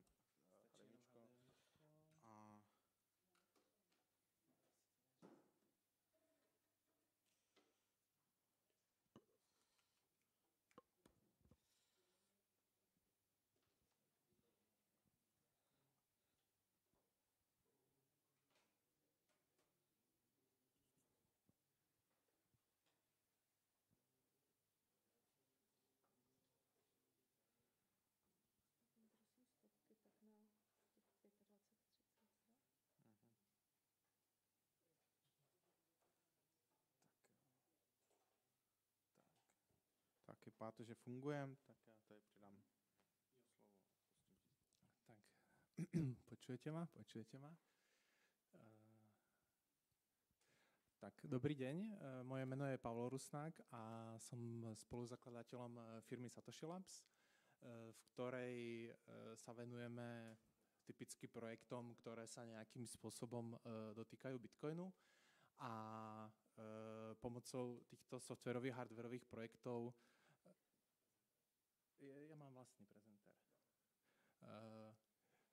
Pomocou týchto projektov, softwarových a hardwarových projektov vlastne máme za cieľ posíliť moc a nezávislosť jednotlivca. Tie naše snahy sú momentálne rozpadnuté do troch projektov. Je to Trezor, Invity a Tropic Square. A na tejto prednáške vám hlavne poviem o Trezore a o Tropic Square. Ale najprv, kým sa dostanem k Trezoru, tak si myslím, že vám potrebujem v krátkosti predstaviť Bitcoin, aby bolo jasné, prečo vlastne Trezor vznikol. Tak Bitcoin je vlastne open source platobná sieť, ktorá Eh, nad ktorou beží vlastne decentralizovaná kryptomena, ktorá sa tiež nazýva Bitcoin. A táto kryptomena je, sa vlastne eviduje do distribuovanej účtovnej knihy, kde sa zapisujú akoby append only eh, všetky transakcie, ktoré na to sieťou prebehli. A celý tento systém je vlastne založený na asymetrickej kryptografii. Trošku vám približím asymetrickú kryptografiu, aj keď možno väčšina z vás eh, sa s tým už niekedy stretla princíp asymetrické kryptografie je vlastne v tom, že existuje proces, pomocou ktorého si vieme vygenerovať súkromný alebo privátny kľúč a k nemu korešpondujúci verejný kľúč.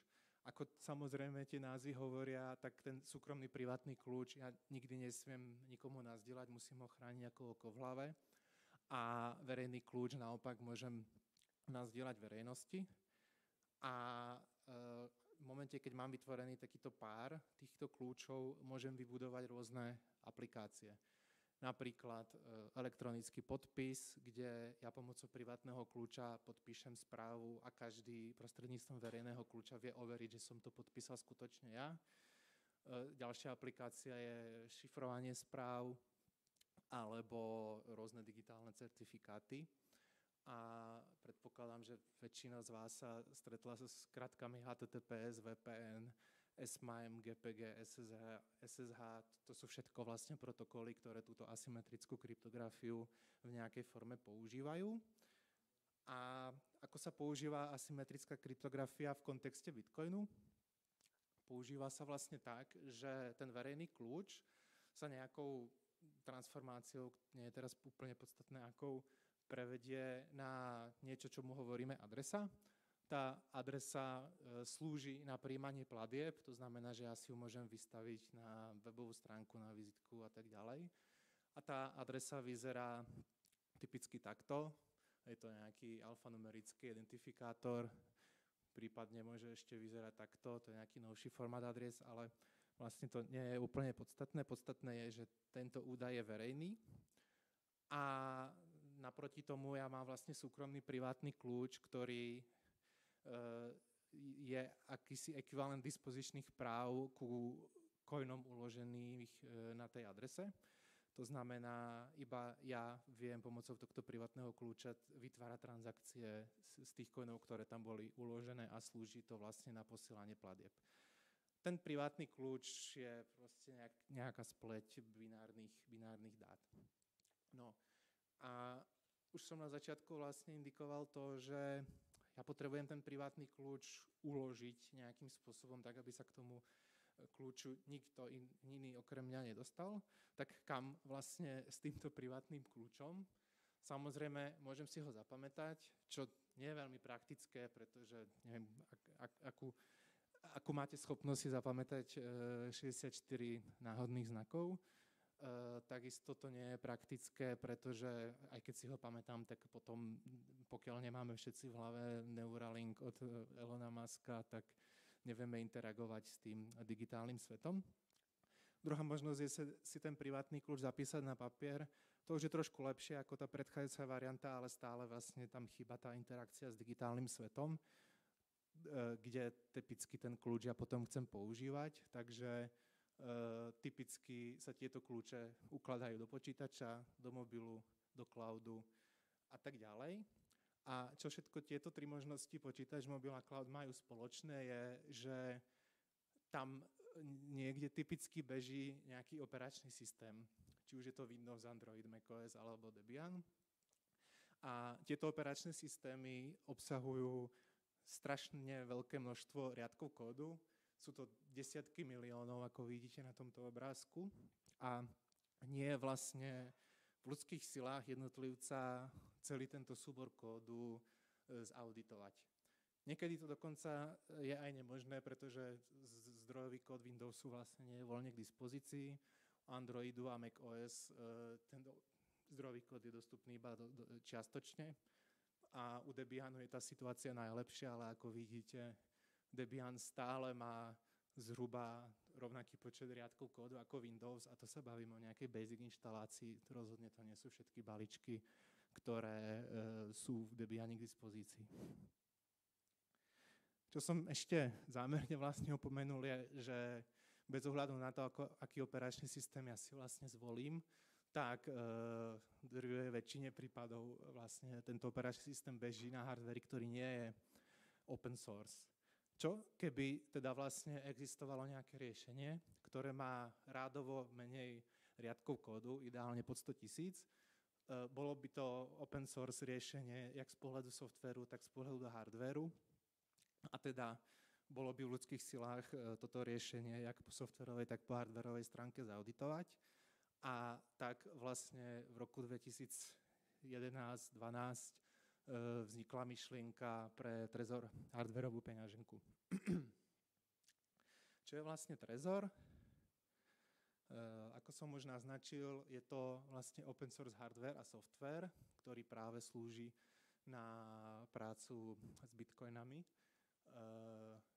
je to jednoučelové USB zariadenie,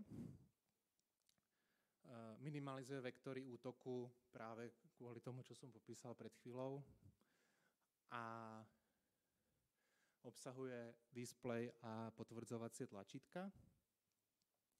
A vlastne, čo sme si až e, spätne uvedomili, je, že Trezor vlastne veľa ľuďom pomohol zhmotniť myšlienku toho virtuálneho abstraktného bitcoinu len v tým, že zrazu ten Bitcoin držia v ruke a vedia trochu lepšie, že to, to je tá vec, o ktorú sa musím starať, ktorú musím chrániť ako hlave, aby som o ten Bitcoin neprišiel.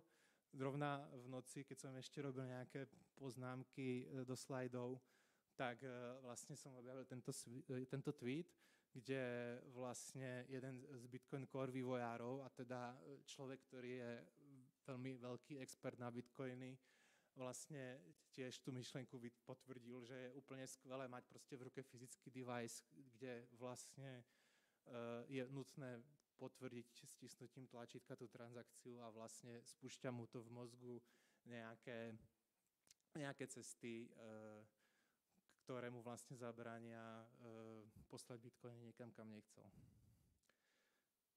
Popíšeme si nejaké základné princípy Trezoru. Eh, vlastne my nikdy nedôverujeme pripojenému počítaču práve kvôli tomu, že eh, nemusí to byť open source software alebo hardware, nie je to auditovateľný. Eh, snažíme sa fyzicky separovať dát od toho online sveta.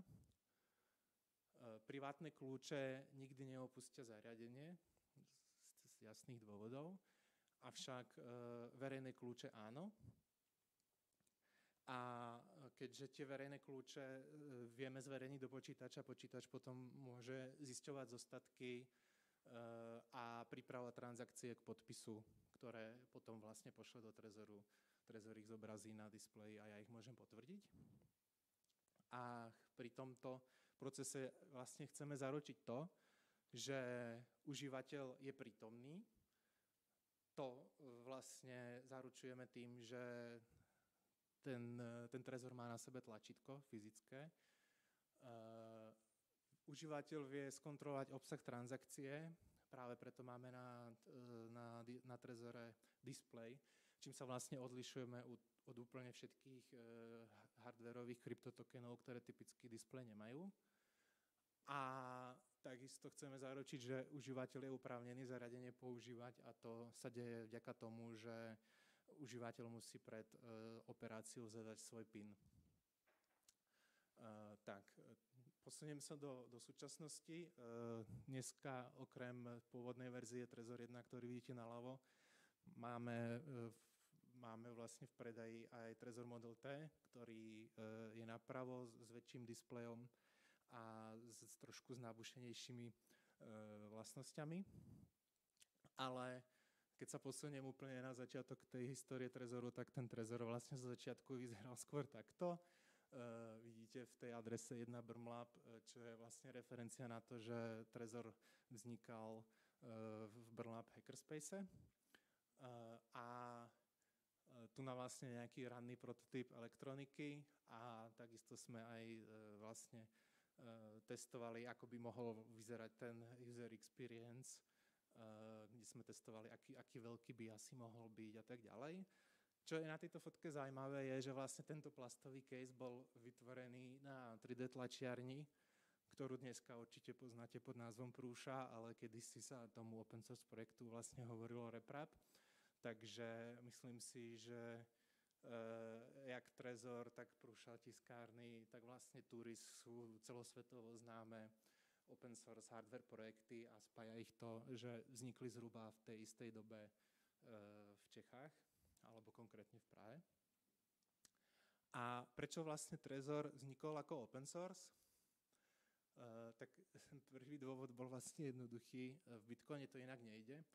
Okolo Bitcoinu sa motá strašne veľa paradnojných ľudí, ktorí sa vlastne uh, riadia heslom Don't Trust Verify a auditabilita týchto riešení je vlastne na prvom mieste. Za druhé, e, vlastne tým, že sme Trezor vydali ako open source, tak nám to poskytuje e, nejakú ochranu vo forme peer review. A je to ochrana vlastne na dvoch úrovniach. Jedna je ochrana proti chybám, tým, že vlastne existuje komunita tisíc, tisícok ľudí, ktorí vlastne sledujú každý náš krok na GitHube, sledujú každý náš, náš commit tak v prípade, že tam urobíme nejakú chybu, tak nám hneď hlásia, že takto by to teda nešlo a podarí sa nám vlastne nejaké chyby, či už logické alebo softverové, chytiť vlastne skôr, ako sa dostanú do releaseu. A takisto uh, je tam vlastne ochrana proti backdoorom, ak by prišla za mnou nejaká služba, ktorá by chcela, aby sme do Trezoru dali backdoor, Eh, ja im vlastne môžem veľmi jednoducho vysvetliť, že to nie je dobrý nápad, pretože či už na hardwareovej alebo softwarovej úrovni by to bolo vlastne na prvý pohľad zrejme, že tam proste speme niečo, čo tam úplne, úplne nepatrí. A v neposlednej rade samozrejme máme externých prispievateľov do Trezoru, ktorí vlastne používajú Trezor takými spôsobmi, ktorí, ktorí by, ktorí by Eh, ktoré nás vlastne dovtedy vôbec ani nenapadli a vďaka tomu máme v Trezore rôzne ďalšie funkcionality ako U2F, FIDO2, autentikáciu, GPG, SSH a tak ďalej. A ako príklad vám vlastne môžem ukázať uh, Trezor Model T. Naľavo je prihlasovanie do Dropboxu pomocou uh, FIDO2, kde vlastne e, na rozdiel od ostatných FIDO 2 tokenov ja vlastne vidím, že sa prihlasujem do služby Dropbox pod užívateľským e, heslom e, example. A druhá možnosť je vlastne taktiež pomocou FIDO 2 ja si viem vygenerovať SSH kľúče a opäť vlastne vidím, že generujem kľúč pre službu bežiacu na tejto a tejto doméne a tento kľúč nikdy vlastne neopustí e, toto zariadenie, takže sa dá povedať, že ten kľúč je vlastne separovaný od toho online nebezpečného prostredia. E, na čo si dať pri open source hardveri pozor, tak jedna z tých vecí sú vlastne klony. Za 10, e, už možno aj viac rokov histórie Trezoru sa postupne objavovali a zanikali rôzne klony tým, že sme vlastne jak open source hardware, tak open source software je veľmi jednoduché nás skopírovať a nemyslím si, že to je akoby inherentne špatná vec, ale je dobré mať pripravenú dobrú odpoveď alebo minimálne si nejak zracionalizovať tú odpoveď na otázku, prečo by som si mal kúpiť originál, prečo si nekúpim tento klón, ktorý je o 30 dolárov lacnejší, my našťastie máme tú výhodu, že do hardwareovej peňaženky si potom človek typicky ide uložiť svoje peniaze, takže náš argument je pomerne jednoduchý. Neblbni, ideš tam strkať 100 tisíc korún. Myslím si, že úspora 30 dolárov nie je úplne na mieste.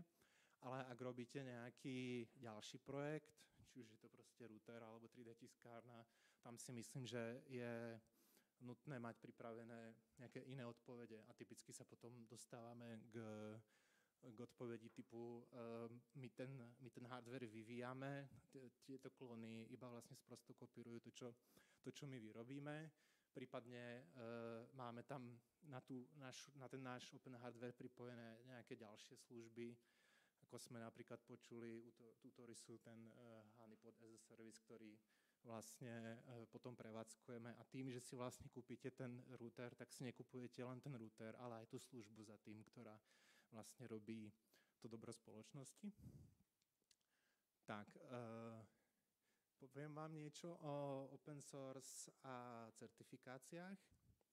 Uh, niekedy sú certifikácie vyžadované, typicky keď sa bavíte s bankou, so štátom alebo s nejakým korporátom, my, chvála Bohu, nie sme závislí ani od jednoho z toho, takže môžeme akoby e, na tie certifikácie v úvozovkách vykašľať, e, pretože sa bavíme rovno s tým koncovým zákazníkom a ten koncový zákazník typicky nie je prvá vec, e, prvá otázka je, či máte takú a takúto certifikáciu, ale keď sa bavíte s bankou, tak sa vlastne s tou bankou ani nebavíte, pokiaľ, pokiaľ tie certifikácie nemáte.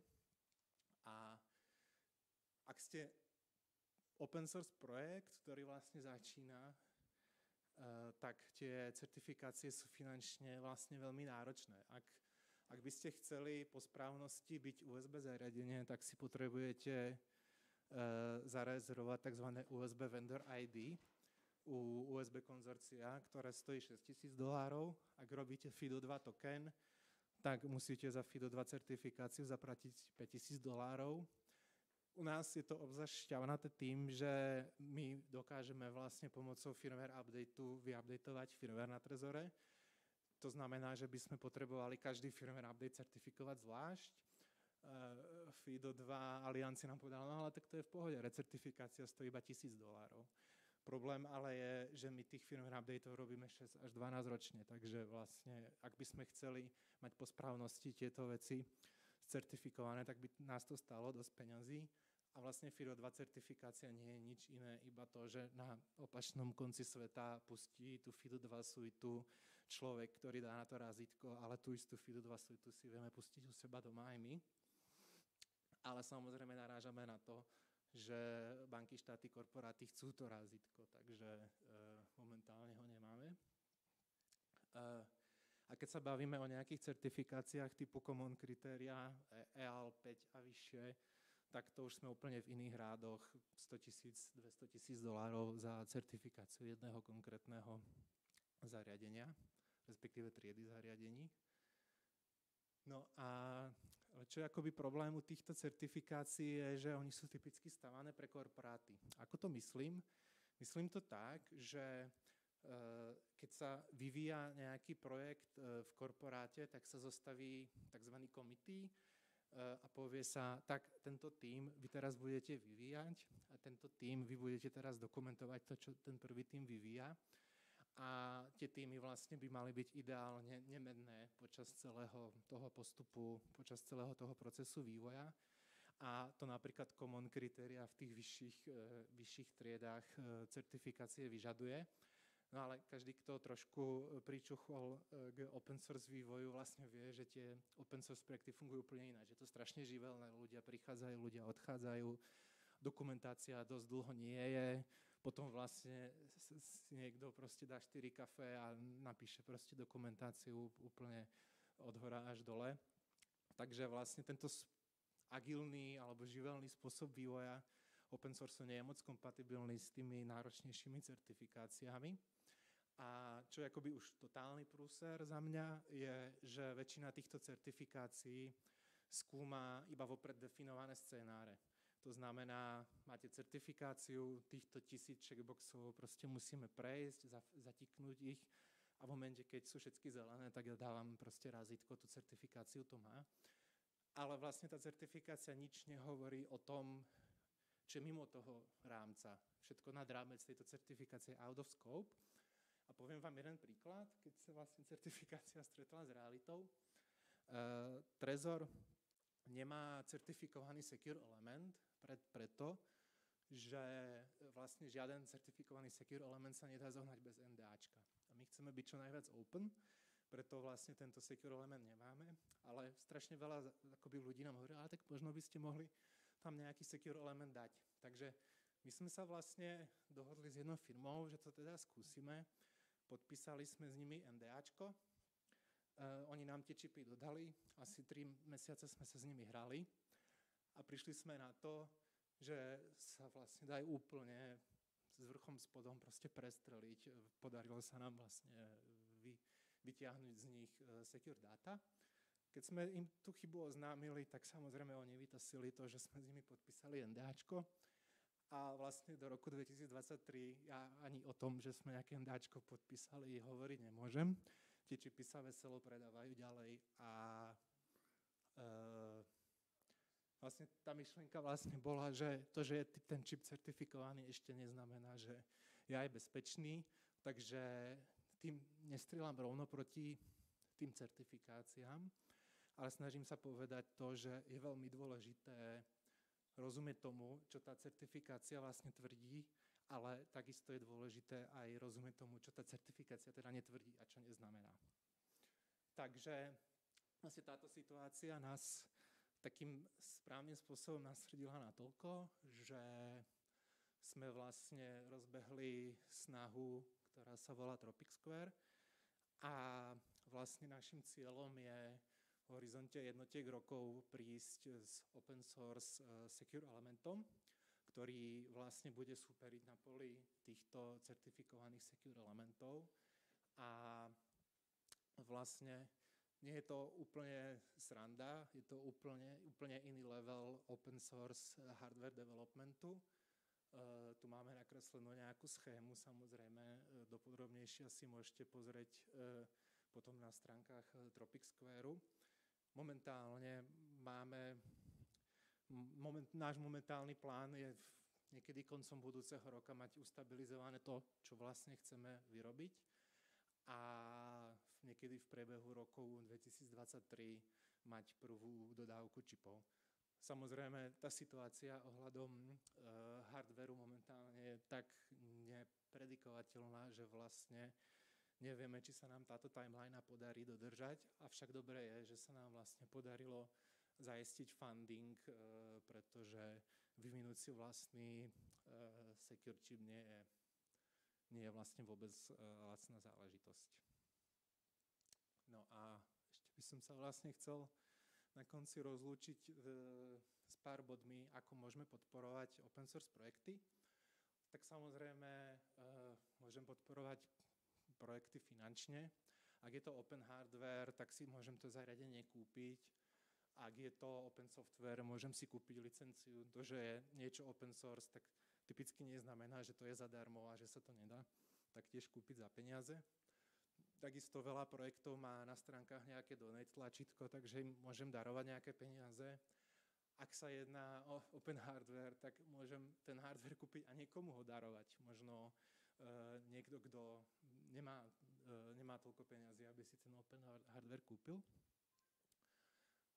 Samozrejme, keďže sa jedná open source, tak môžeme prispieť nejakou prácou, či už sa jedná o kód, alebo code reviews, to je úplne strašne super, keď e, napíšeme interne nejaký kód a teraz na GitHub sa objaví proste 20 ľudí a začnú nám proste do toho strelať, že, že to, to, toto by ste mohli spraviť lepšie a tak ďalej, to je úplne geniálne. Čo sa týka e, neprogramátorov, samozrejme, môžete skúsiť ten projekt vybuildiť a keď prídete na to, že neviete ako, tak uh, môžete prispieť uh, nejakou dokumentáciou. Typicky v open source projektoch sa stáva to, že sú tam developeri, ktorí proste pridávajú nové featurey, ale už trošku opomínajú uh, tú dokumentáciu. Takže to je taktiež veľmi vítaná pomoc. A samozrejme osveta, to je to, čo sa vlastne tu nadeje, vysvetliť výhody ľuďom, firmám, politikom a tak ďalej, prečo vlastne tento open source používať. A ono to už e, trošku padlo skôr, ale ja by som zhrnul tie body hlavne v tom, že e, tu by sa dalo polemizovať, ale dovolím si tvrdiť, že open source projekty majú vyššiu kvalitu A to už len z jednoduchého dôvodu, že keď ja viem, že ten kód pôjde vonku a bude niekde na internete, tak si tam nedovolím uh, písať nejaké uh, kraviny, pretože celý svet uvidí, že Pavel Rusnak napísal takúto blbosť. Ak je to closed source, tak sa tam proste prasí a ten kód proste vyzerá strašne špatne. Uh, samozrejme, nenastáva žiaden vendor lock-in, riešili sa tu aj v kontexte dopravného podniku rôzne vendor lockiny, proste tá firma zanikne, alebo ani nemusí zaniknúť, ale proste nám nechcú, nechcú dať ten kód. Uh, u Trezoru alebo sa to je super to, že uh, ak by sa nám podarilo skrachovať zo dňa na deň, tak to vôbec nie je problém, pretože všetky, všetky uh, zdrojáky, či už hardware alebo softwareu sú vlastne open source a ten projekt môže žiť ďalej, aj bez toho, aby za ním stála nejaká, nejaká firma. No, ďalšia vec je jasný licenčný model. E, keď viete, že je ten projekt raz pod GPL licenciou, tak nemôže niekto prísť a povedať vám, že no ale teraz musíme vám zvýšiť proste licenčný poplatok, pretože tých 50 eur za licenciu to platilo iba prvé dva roky. Takže to taktiež vidím ako vlastne... E, nemusí to byť jednoznačná úspora tých peňazí, ale aspoň viete, viete na čom ste. A v ďalšom rade je to komunitná podpora. Predsa len, ak je projekt open source, tak sa skôr nájde okolo neho proste tá fanušikovská base, ktorá je potom ochotná e, vlastne zadarmo robiť podporu a pomáhať si medzi sebou. U komerčných produktov to sa až tak často nevidí. Ale čo ako mne sa vlastne najviac na tom páči, je, že to patrí e, ten výsledok ľuďom a nie korporáciám. Takže vlastne to, čo si my s tým vlastne spravíme, tak to vlastne bude. A ak sa, e, ak sa nám vlastne to smerovanie toho projektu prestane páčiť, vždycky vlastne môžeme zobrať ten projekt, urobiť tzv. fork a nasmerovať ho nejakým, nejakým, e, nejakým iným smerom. E, dneska vlastne už spomínané OpenVRT takýmto spôsobom vlastne vzniklo, že vlastne z, toho, z tej komerčnej, z toho komerčného softvéru sa vlastne vytvorila distribúcia, ktorá sa vybrala nejakým, nejakým smerom a vybrala sa takým smerom, ako chceli ľudia, nie ako tá firma, ktorá vlastne ten zdrojový kód na začiatku vypustila. Tak, ja vám veľmi pekne ďakujem za pozornosť. To je môj e-mail, ak by ste sa chceli niečo spýtať, prípadne e, domény, na ktorých si môžete pozrieť viacero informácií o týchto projektoch a neviem, či teraz je ešte priestor na otázku. Nechám Ondreja to zmoderovať. Aha. Mhm. Tak ak máte nejakú otázku.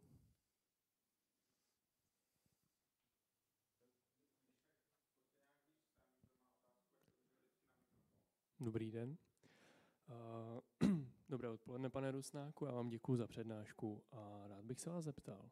Vzhledem k tomu, že dochází na bitcoinové síti, na bitcoinovém blockchain, blockchainu dál k nějakému vývoji a změnám, uh, tak vy jste tady povídal o Trezoru 1 a modelu T, s tím, že ten, ta jednička je jako starší verze. Uh, je možný, že bude mít ta, ta verze 1 už teď nebo do budoucna nějaký softwarový nebo hardwarový limitace vzhledem k uložení uh, bitcoinu na té peněžence? Děkuji. Dobrá otázka. Eh, odpoveď môže byť krátka a môže byť aj proste 7 hodinová. Výhoda Bitcoinu je tá, že vlastne ten vývoj je vlastne veľmi konzervatívny a tí eh, ľudia stojaci za Bitcoinom si vlastne uvedomujú, že každá eh, nejaká moc, moc veľká zmena by spôsobila to, že sa zmenší tá užívateľská base, takže oni typicky keď sa pridávajú nové featurey do Bitcoinu, tak sa snažia byť spätne kompatibilné a nezvyšovať nároky e, na tie zariadenia, či už sa jedná o proste tra, tra, transakčné nody alebo hardwareové nody a tak ďalej.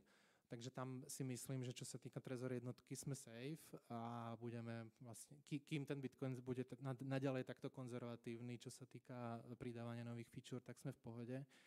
Horšie je to u nejakých ďalších kryptomien, kde vlastne ten vývoj je o dosť viacej agresívnejší, pribúdajú tam rôzne proste zero knowledge proofy, ktoré potrebujú napríklad 128 MB pamäti a tam vlastne my nie sme schopní prípade, že sa tá kryptomena rozhodne urobiť takýto spätne nekompatibilný uh, hard fork, respektíve zmenu v tej sieti, tak my nie sme schopní udržať ten, uh, to tempo, ale u, Bitcoinu ten problém je. Ano? Já bych měl takovou otázku a vlastně ona možná není úplně na vás, ona je spíš tady na Ondru Profanta, jo? protože vy jste mi krásně nahrál s tou certifikací. Uh, víte, že my provozujeme službu Moje ID, kde, máme právě v podmínkách používat FIDO2 tokeny, které jsou certifikované. Myslím, že i nevím přesně s kým, ale někdo, ně, kolegové od nás se o tom s vámi bavili a nás to enormně zajímá, protože tak jako trošku vlastenecky samozřejmě se nám hrozně líbí ten váš projekt a uh, rádi bychom ho nabízeli v té naší službě Moje ID.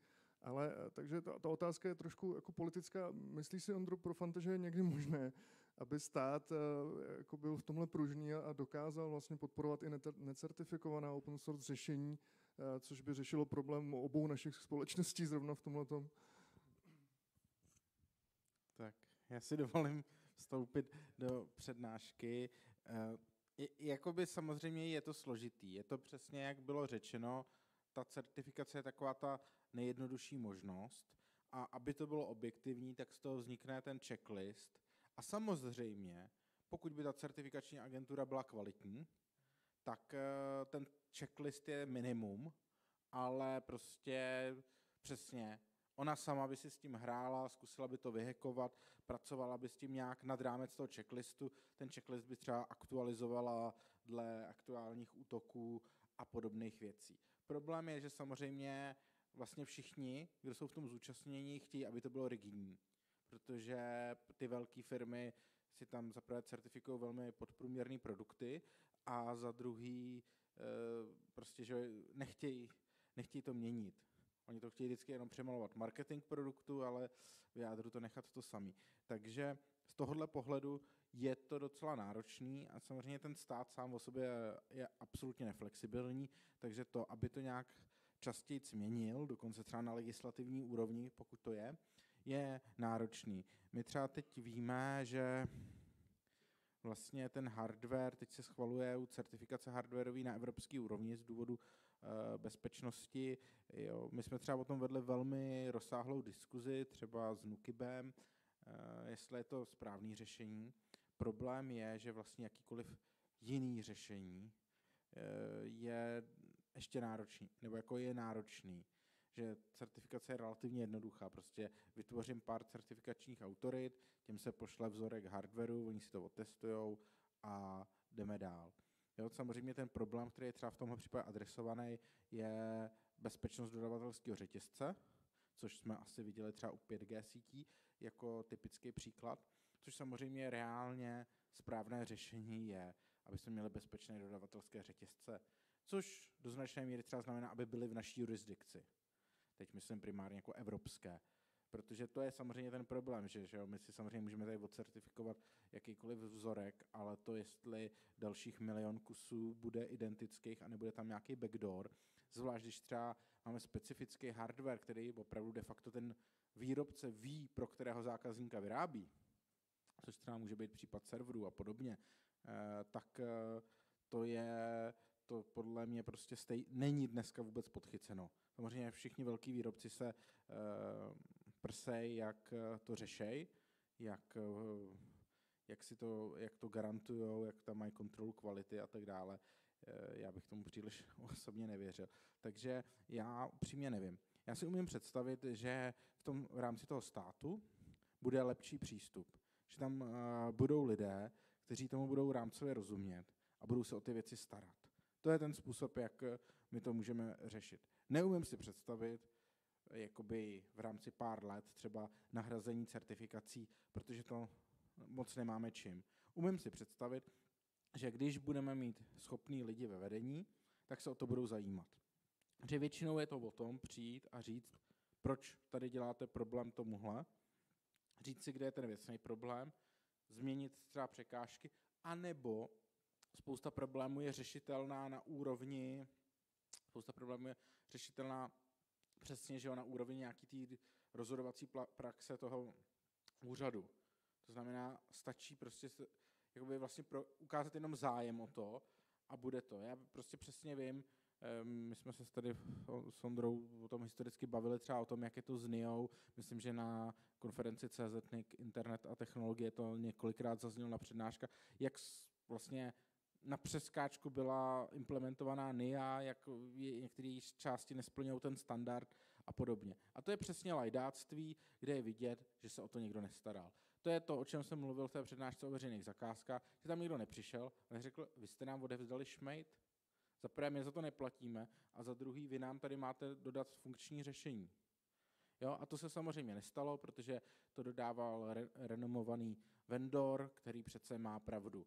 Ale to je prostě o dostatku lidských kapacit a tak dále. Takže jakoby vidím to jako problém, eh, problém velmi komplexní a umím si představit, jako, že se zlepší ten přístup. Že budeme schopni třeba v budoucnu sedět u jednoho stolu a povídat si o tom. Ta certifikace je problém, protože tu certifikaci třeba prodražuje něco, to je typický, že, že něco prodraží certifikaci. Jo. Když máte auta, tak musíte spoustu kusů zničit, že jo, abyste dostali certifikaci. E, tak e, ne, ale jakoby prostě jasně to, ty, ty náklady narůstají. A tam se můžeme bavit třeba o tom, aby ta certifikace měla části. Aby měla nejdřív ty neinvazivní části, které jsou třeba levné, aby jsme už věděli, že jsme prošli 80%, protože prostě samozřejmě, když ten výrobek chce certifikát, tak vy mu věříte, ale když prostě v tři tisícím kritérium najdete nějakou úplnou administrativní blbost, ale přesně takovou, kterou už pak neodstraníte, jakože nemáte secure hardware, protože máte jinou revizi hardwareu nebo a ta jiná je za příplatek, který už se vám cenově nevyplatí, tak to se prostě přesně dá řešit tím, že prostě se to třeba rozdělí. Eh, dá se to dělat přesně, víc komunikace, jo? prostě i nějakou dobrou praxi. Eh, jo? Nařídit těm třeba certifikačním orgánům, ať, ať jsou otevřený, ať dělají nějaký kulatý stoly, ať o tom komunikují. Jako je to třeba, já už jsem se tedy dneska k tomu nedostal u těch veřejných zakázek, ale například to, myslím si, že teď se hodně otevírá úřad pro Eh, dohled na to eh, pro hm, antimonopolní úřad a dohled nad veřejnýma zakázkama. Jo. A prostě to, že když budou napřímo komunikovat, tak se to můžeme někam posunout, protože většinou je to o tom lidsky se dohodnout a pokud je řešení, tak ho aplikovat. Jo, problém je, že občas nemáme to řešení. A já se moc omlouvám za vstup. Jo, v pohodě, tak ta otázka byla víceméně na tebe, ale já k tomu chci dostat, dodat to, že uh, Myslím si, že ta odpověď byla vlastně docela dobrá.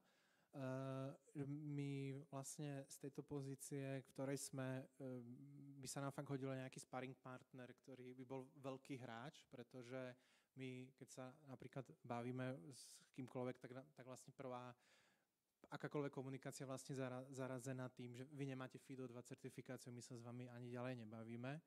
Eh, já jsem se vymenil, vymenil jsem si spoustu mailů z FIDO 2 alianci, mali jsme koly a tak ďalej. A spalil jsem na tom tolko času, že eh, vlastně už nechcem tomu žádný další čas investovat, mám upřímně lepší věci na práci. A přitom tam možno chýba fakt už iba jeden, jeden call, ale jsem tak jako trochu znechutený a cítím se tak jako by malo, že vlastně v tomto nechcem pokračovat, ale ak by tam byla nějaká další strana, která ideálně za kterou by som mohl přijít úplně na začátku a povedať, prosím, ak chcete toto, tak to prostě doriešte, já tu budem ďalej robiť tento hardware, tak to by bylo, to by bylo akoby strašně super.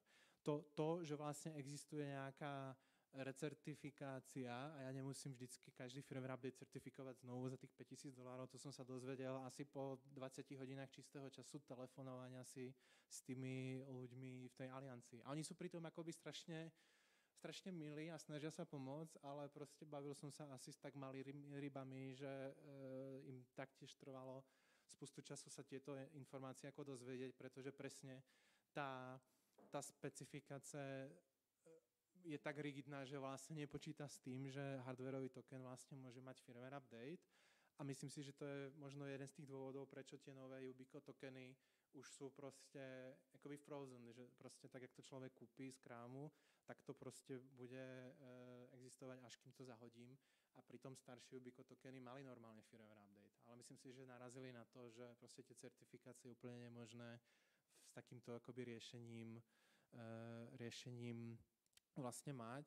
A uh, keď tu bola vlastne otázka spojená na certifikáciu turistu, myslím si, že to je úplne ten samý problém. V momente, keď tam mám firmware update a dokonca aj automaticky, tak akákoľvek certifikácia padá zo stolu, pretože Uh, ono je na to asi dobrý dôvod, keby, keby sa vlastne ten vendor rozhodol pušnúť tam nejaký malýšie update, tak tá certifikácia vlastne nemala vôbec zmysel in the first place. Ale páči sa mi tá odpoveď, poďme sa o tom baviť.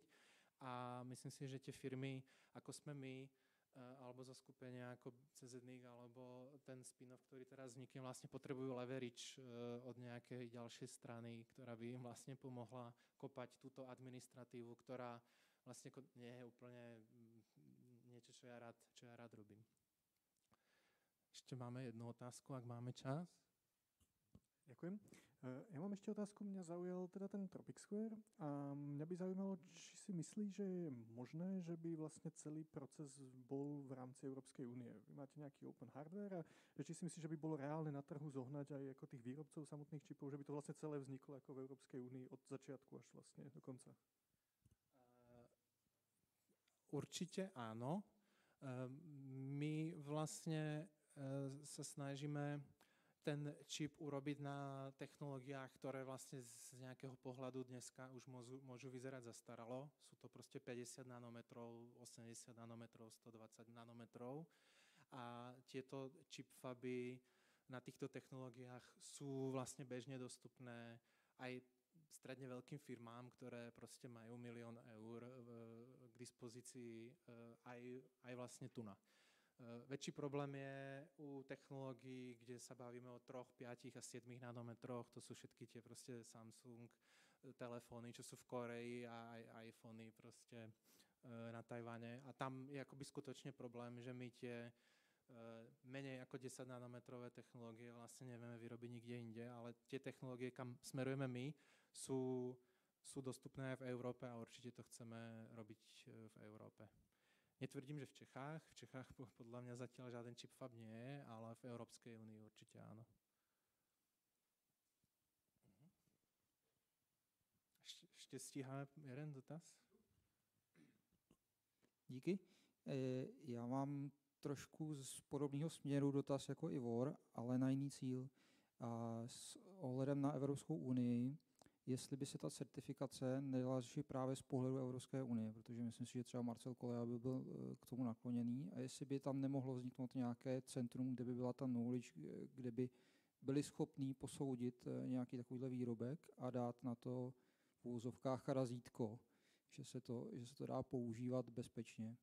Protože eh, jsem trošku skeptický tom, že by něco takového vzniklo na úrovni České republiky, protože to, s ohledem na to, co se tady řeší za problémy, eh, jako věřím tomu, že Ondra tomu hodně pomůže v příštím volebním období, ale určitě se nepovede změnit všechno a natolik to zvrátit, aby, se, aby jsme byli natolik progresivní. Takže jestli by se nedalo nějaká takováhle cesta využít mikrofon asi rovno posunem, protože to je otázka skôr na politiku jako na techniku. Jo, uh, no tak oni vlastně všechny ty věci jsou dneska většinou právě ještě, uh, ještě nad úrovní Evropské unie, protože ty certifikace jsou většinou mezinárodní. Takže to je jeden z kamenů úrazu, jo, že i když my se třeba v Evropě shodneme, že prostě třeba tahle certifikace stojí za nic, nebo tohle ISO stojí za nic, tak jakoby prosadit jako standard něco jiného, pokud to třeba není v zájmu amerických firm, bude dost náročný, protože Amerika bude se skopat za své firmy logicky. A jinak ty certifikace, o kterých já jsem mluvil, tak ty jsou všechny samozřejmě na evropské úrovni. Tady prostě vznikají certifikace hardwareu na Evropské unii úrovni, ale nedělal bych si iluze o tom, že to bude lepší. Byla třeba spousta států Unie, která proti tomu bojovala. Konec konců já myslím, že třeba nám to může ukázat situace s elektronickými podpisy, kde teoreticky existuje trh v každém státě Evropské unie, jsou vzájemně kompatibilní, ale když se podíváte reálně na to, kdo, eh, kdo má, kdo splňuje všechno, kdo to vydává, tak jich je velmi málo. Takže ono to opravdu bude boj toho, že se určí nějaký rámec, ten je prostě, ten vychází z té reality toho, že je to systém, který obsluhuje třeba 600 milionů lidí. No, to už není jednoduchý, už to prostě musí fungovat na spoustě míst, mít to nějakou dostupnost, nějakou, nějakou komunikaci. Ono to, ono to vypadá všechno strašně lehce, ale pak se zjistí ty praktické dopady, ty specifika národních legislativ, kde to koliduje s něčí ústavou, kde to koliduje s tím, že někdo má nějaký třeba bezpečnostní výjimky pro stát, jo, typicky armáda, že jo, si všechno řeší po svém a ten moment se to docela zkomplikuje, no pak teda vzniknou nějaký ty certifikační autority, které prostě budou mít nějakou kvalitu, e, spíš bych řekl, že to bude velmi konzervativní kvalita a tam pak bude de facto ta možnost jako na to působit. Ale nemyslím si, že principiálně opravdu to jde jednoduše opravit. Jo, protože prostě nemáme systém, který by zaručoval, eh, je to úplně stejně jako slušnost. Jo? My nemáme systém, který zaručuje, tyhle lidi opravdu to budou zkoušet, budou plný energie a zároveň si nikdo nebude stěžovat, že eh, porušují třeba jako pravidla rovného přístupu. Protože samozřejmě v momentě, kdy oni budou mít něco jiného než primitivní checklist, tak pak přijde nějaký výrobce a řekne, hele, ale jim jste tady pustili router, o kterém je jasný, že už má tuhle chybu a nám jste tady tu jinou chybu odhalili a necertifikovali jste to a tím jste nám udělali škodu.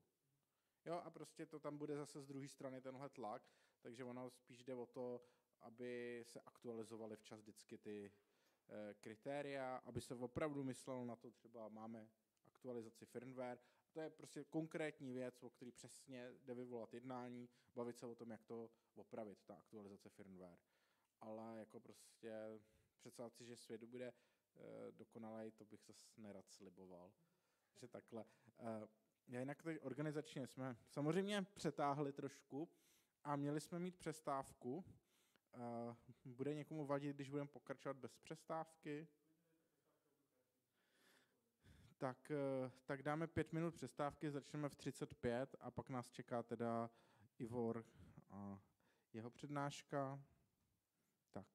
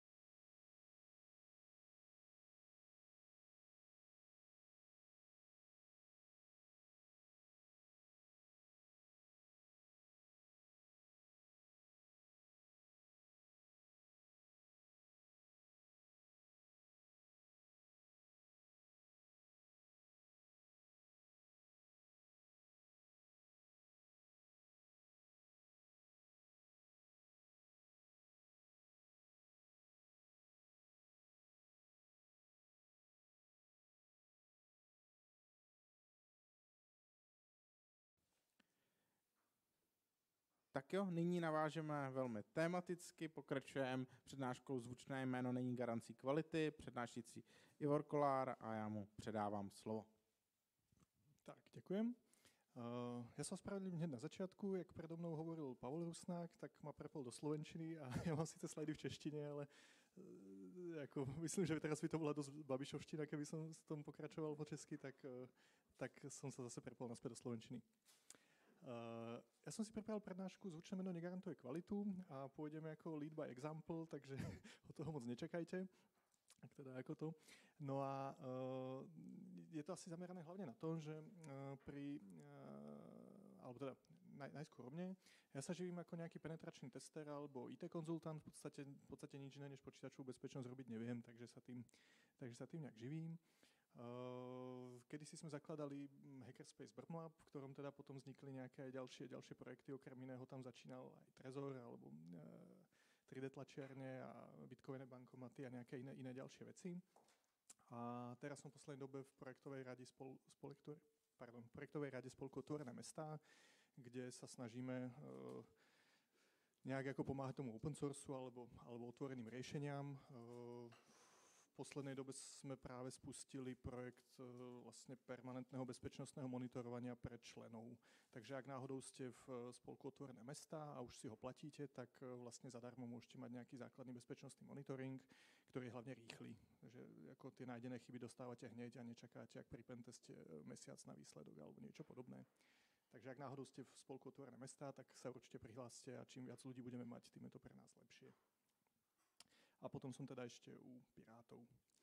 A o čom by vlastne mala byť e, táto prednáška? Ide o to, že sa často pri zavádzaní otvorených riešení stretávame s tým, že ľudia sa boja. E, jo, proste ľudia, ľudia ako nerozumejú, nerozumejú tej technológii, sú v nejakej pozícii, kde o tom rozhodujú a teraz si nie sú istí. A tým, ak tomu nerozumejú, tak majú také tendencie, tak kúpime riešenie od niekoho veľkého, ten asi, ten asi ako vie, čo robí, keď ako ho kúpili tam niekde na ministerstve alebo v nejakej banke, tak to snáď ako nemôže byť, nemôže byť zlé. Jo, ako, ako sa hovorí, aj som tu teraz pred chvíľou počul, nikoho nikdy nevyhodili za to, že sa rozhodol pre IBM. To už, to už ako našťastie neplatí, ale, ale ako tá, tá mentalita stále ešte ako žije. Jo. A, no, a ako v praxi sa bohužiaľ stáva, pozerám, že mi pretekajú slajdy, v praxi sa potom stáva, že vyberete si nejaké veľké meno, utopí sa v tom neuveriteľné množstvo peňazí a vlastne sa dodatočne zistí, ideálne po tom, čo vyrobíte nejakých milión zariadení do celého sveta, že vlastne je to celé zlé a treba to vymeniť. A stáva sa to ako fakt veľkým firmám, stáva sa to proste v oblasti IT, stáva sa to výrobcom automobilov a neviem čoho všetkého možného. Zrovna teraz asi, asi týždeň dozadu sa riešilo, že všetky Toyoty sa dajú vzdialene otvoriť len tým, že niekde niečo nahráte. No, teraz si predstavte, koľko máte po svete aut a teraz vymente to. E, tak Jo, proste keď, to, to, ušetríte si trochu času ako na začiatku, keď ako to nejak ako ten vývoj trošku ako akcelerujete, alebo jak sa to, jak sa to dnes ako volá, a následne potom ako snáď vás stihnú povýšiť a odídete niekam inám, kým, kým teda ako e, na, na ten problém dojde. No a jasne, tak ako taký úplne najkrajší, najkrajší príklad, kde, kde sa na to môžeme pozrieť, sú VPNky. A to z toho dôvodu, že uh, to, to je niečo, čo uh, sa v minulosti, asi pustím timer, pardon, uh, kde, kde už vieme ako rôzne problémy a čo sa v minulosti rôzne ako používalo, nakupovalo a mali sme open source alternatívy a vlastne takto spätne to vieme porovnať, uh, jak, jak dobre to fungovalo. Tak taká v Čechách dosť populárna bola Forti, FortiGate alebo Fortinet. Fortinet je firma, FortiGate bol ten, ten produkt a dosť, dosť aj českých aj ako úradov, aj firiem si ju ako nakúpilo, bolo také ako jednoduché riešenie, ako celá VPN ako všetko pokope, vedelo to dvojfaktorovú autentizáciu, čím ste splnili rôzne tie ako vyhlášky o kybernetickej bezpečnosti a bolo to také ako riešenie, ktoré kopa ľudí ako nasadzovala. No. A ako to samozrejme nebolo zadarmo, nechali si zaplatiť, nebolo z tých najdrahších, ale ako dosť často sa používalo. No a tam sa vlastne e, nejakí, e, neviem, či čínsky alebo tajvanskí výskumníci robili bezpečnostný výskum a našli tam niekoľko chýb. Podľa tých CVčiek to keď tak nájdete, ak vás to zaujíma, ale to už asi, asi, asi každý, komu to bolo relevantné, už, už sa s tým zoznámil, pretože nejaký bod z druhého konca sveta vám už to dávno vás ako vytrestal, ak ste, ak ste ako neaktualizovali. No a e, našli sa v tej vpn zásadné chyby, ktoré umožňovali vlastne vzdialenie bez, bez čohokoľvek ďalšieho to plne ovládnuť tú sieť. Hej, proste získať úplne všetko, obísť dvojfaktor, proste kompletne kompromitovať sieť. No a ako v praxi sa to používalo, alebo stalo sa to ako tým, s takým vstupným vektorom pre kopu ransomwareových útokov, ktoré boli po celom svete, aj, aj, aj ako v Českej republike. A vlastne spätne sa zistilo, že veľmi často práve tým pôvodným vektorom bolo toto, keď tam mali nejakú tú Forty vpn -ku. Oni boli samozrejme ako spokojní, máme tu dvojfaktorovú autentizáciu, cez to nikto neprejde. No ale proste keď bola chyba v tom zariadení, tak to vlastne celé padlo a tá vnútorná sieť často už bola proste už ako ten posledný problém. No a ako No a tých, tých chýb tam bolo samozrejme oveľa viac. Proste potom, keď sa ľudia na to nejak ako viac pozerali, tak zistili, že tam používali nejaké hardkodované kľúče na šifrovanie, takže vlastne to šifrovanie tiež vôbec nefungovalo, dalo sa ako na domácom počítači triviálne ako e, proste polámať a tých, tých chýb tam bolo proste strašne moc. No a vlastne tie chyby ešte, čo je na tom zaujímavé, akože napísať ako kvalitný software je strašne ťažké. Že ten, ten software je veľmi komplexný a tie chyby môžu byť na rôznych úrovniach a je to, je to fakt ako ťažké. Ako ne, ne, nedovolím si tvrdiť, že by som ja bol schopný niečo napísať ako fakt ako bulletproof. No ale ako tie typy chýb, ktoré sa tu nachádzali, tak vlastne boli také ako, my, my zvykneme hovoriť ako v obore, že, že 90 že tak, jak sa ako deli, diali ako v spoločnosti rôzne veci v 90 rokoch, tak sa povie, o, to boli to, to, boli, to byli 90 to bylo tehdy možné, to, to sa tehdy ako tak dělalo. No, tak to, to, to sú presne tie typy chýb, ktoré sa tam ako nájdú. Jo? Také úplne základné, také tie akože keď si dáte nejaký návod, chcem sa naučiť hekovať, tak ako to prvé alebo druhé, tretie video, tak nie, niečo z toho by ste tam ako našli. Jo. A v podstate bolo až ako fascinujúce, že to trvalo 5 rokov alebo koľko, než sa na to, než sa na to prišlo.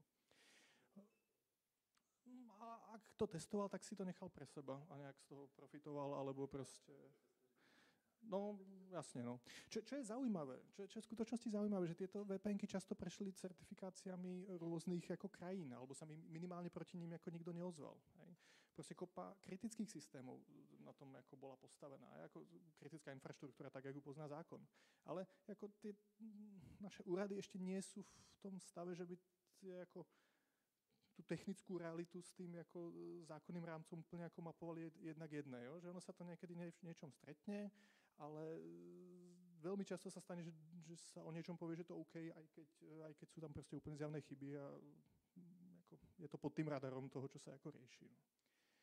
Čo, čo je na týchto VPNkách zaujímavé, je, že vlastne celá trieda ako pro, e, produktov, ktoré mali úplne podobné problémy. Jo, že to nebol ako jeden výrobca, ktorý niekde ako uletel, ale vlastne celá trieda takýchto SSL VPNiek vlastne dopadla úplne rovnako. A zistili to teda tí ľudia, čo robili ten, ten výskum, že ich tam mali ako viacej, že to nebolo jedno. V podstate úplne rovnaký problém sa týkal Pulse Secure VPN a úplne rovnaký problém sa týkal Citrix, myslím, že sa to volá Netscaler, som si úplne istý, ale bolo to od Citrixu tiež, tiež ako podobné, podobné ako riešenie. A ešte sa to potom týkalo aj Sonic Wallu, to je zase ďalší výrobca. Ten Sonic Wall sa tu v Čechách moc nepoužíva, ale vo svete dosť populárny. Tam z toho boli ako veľké, veľké útoky. V Čechách sú hlavne ten Pulse Secure a ten, ten FortiGate tí majetnejší mali toho Citrixa, ale on bol dosť drahý, takže ten, ten bol iba v tých skutočne ako, zaujímavejších cieľoch.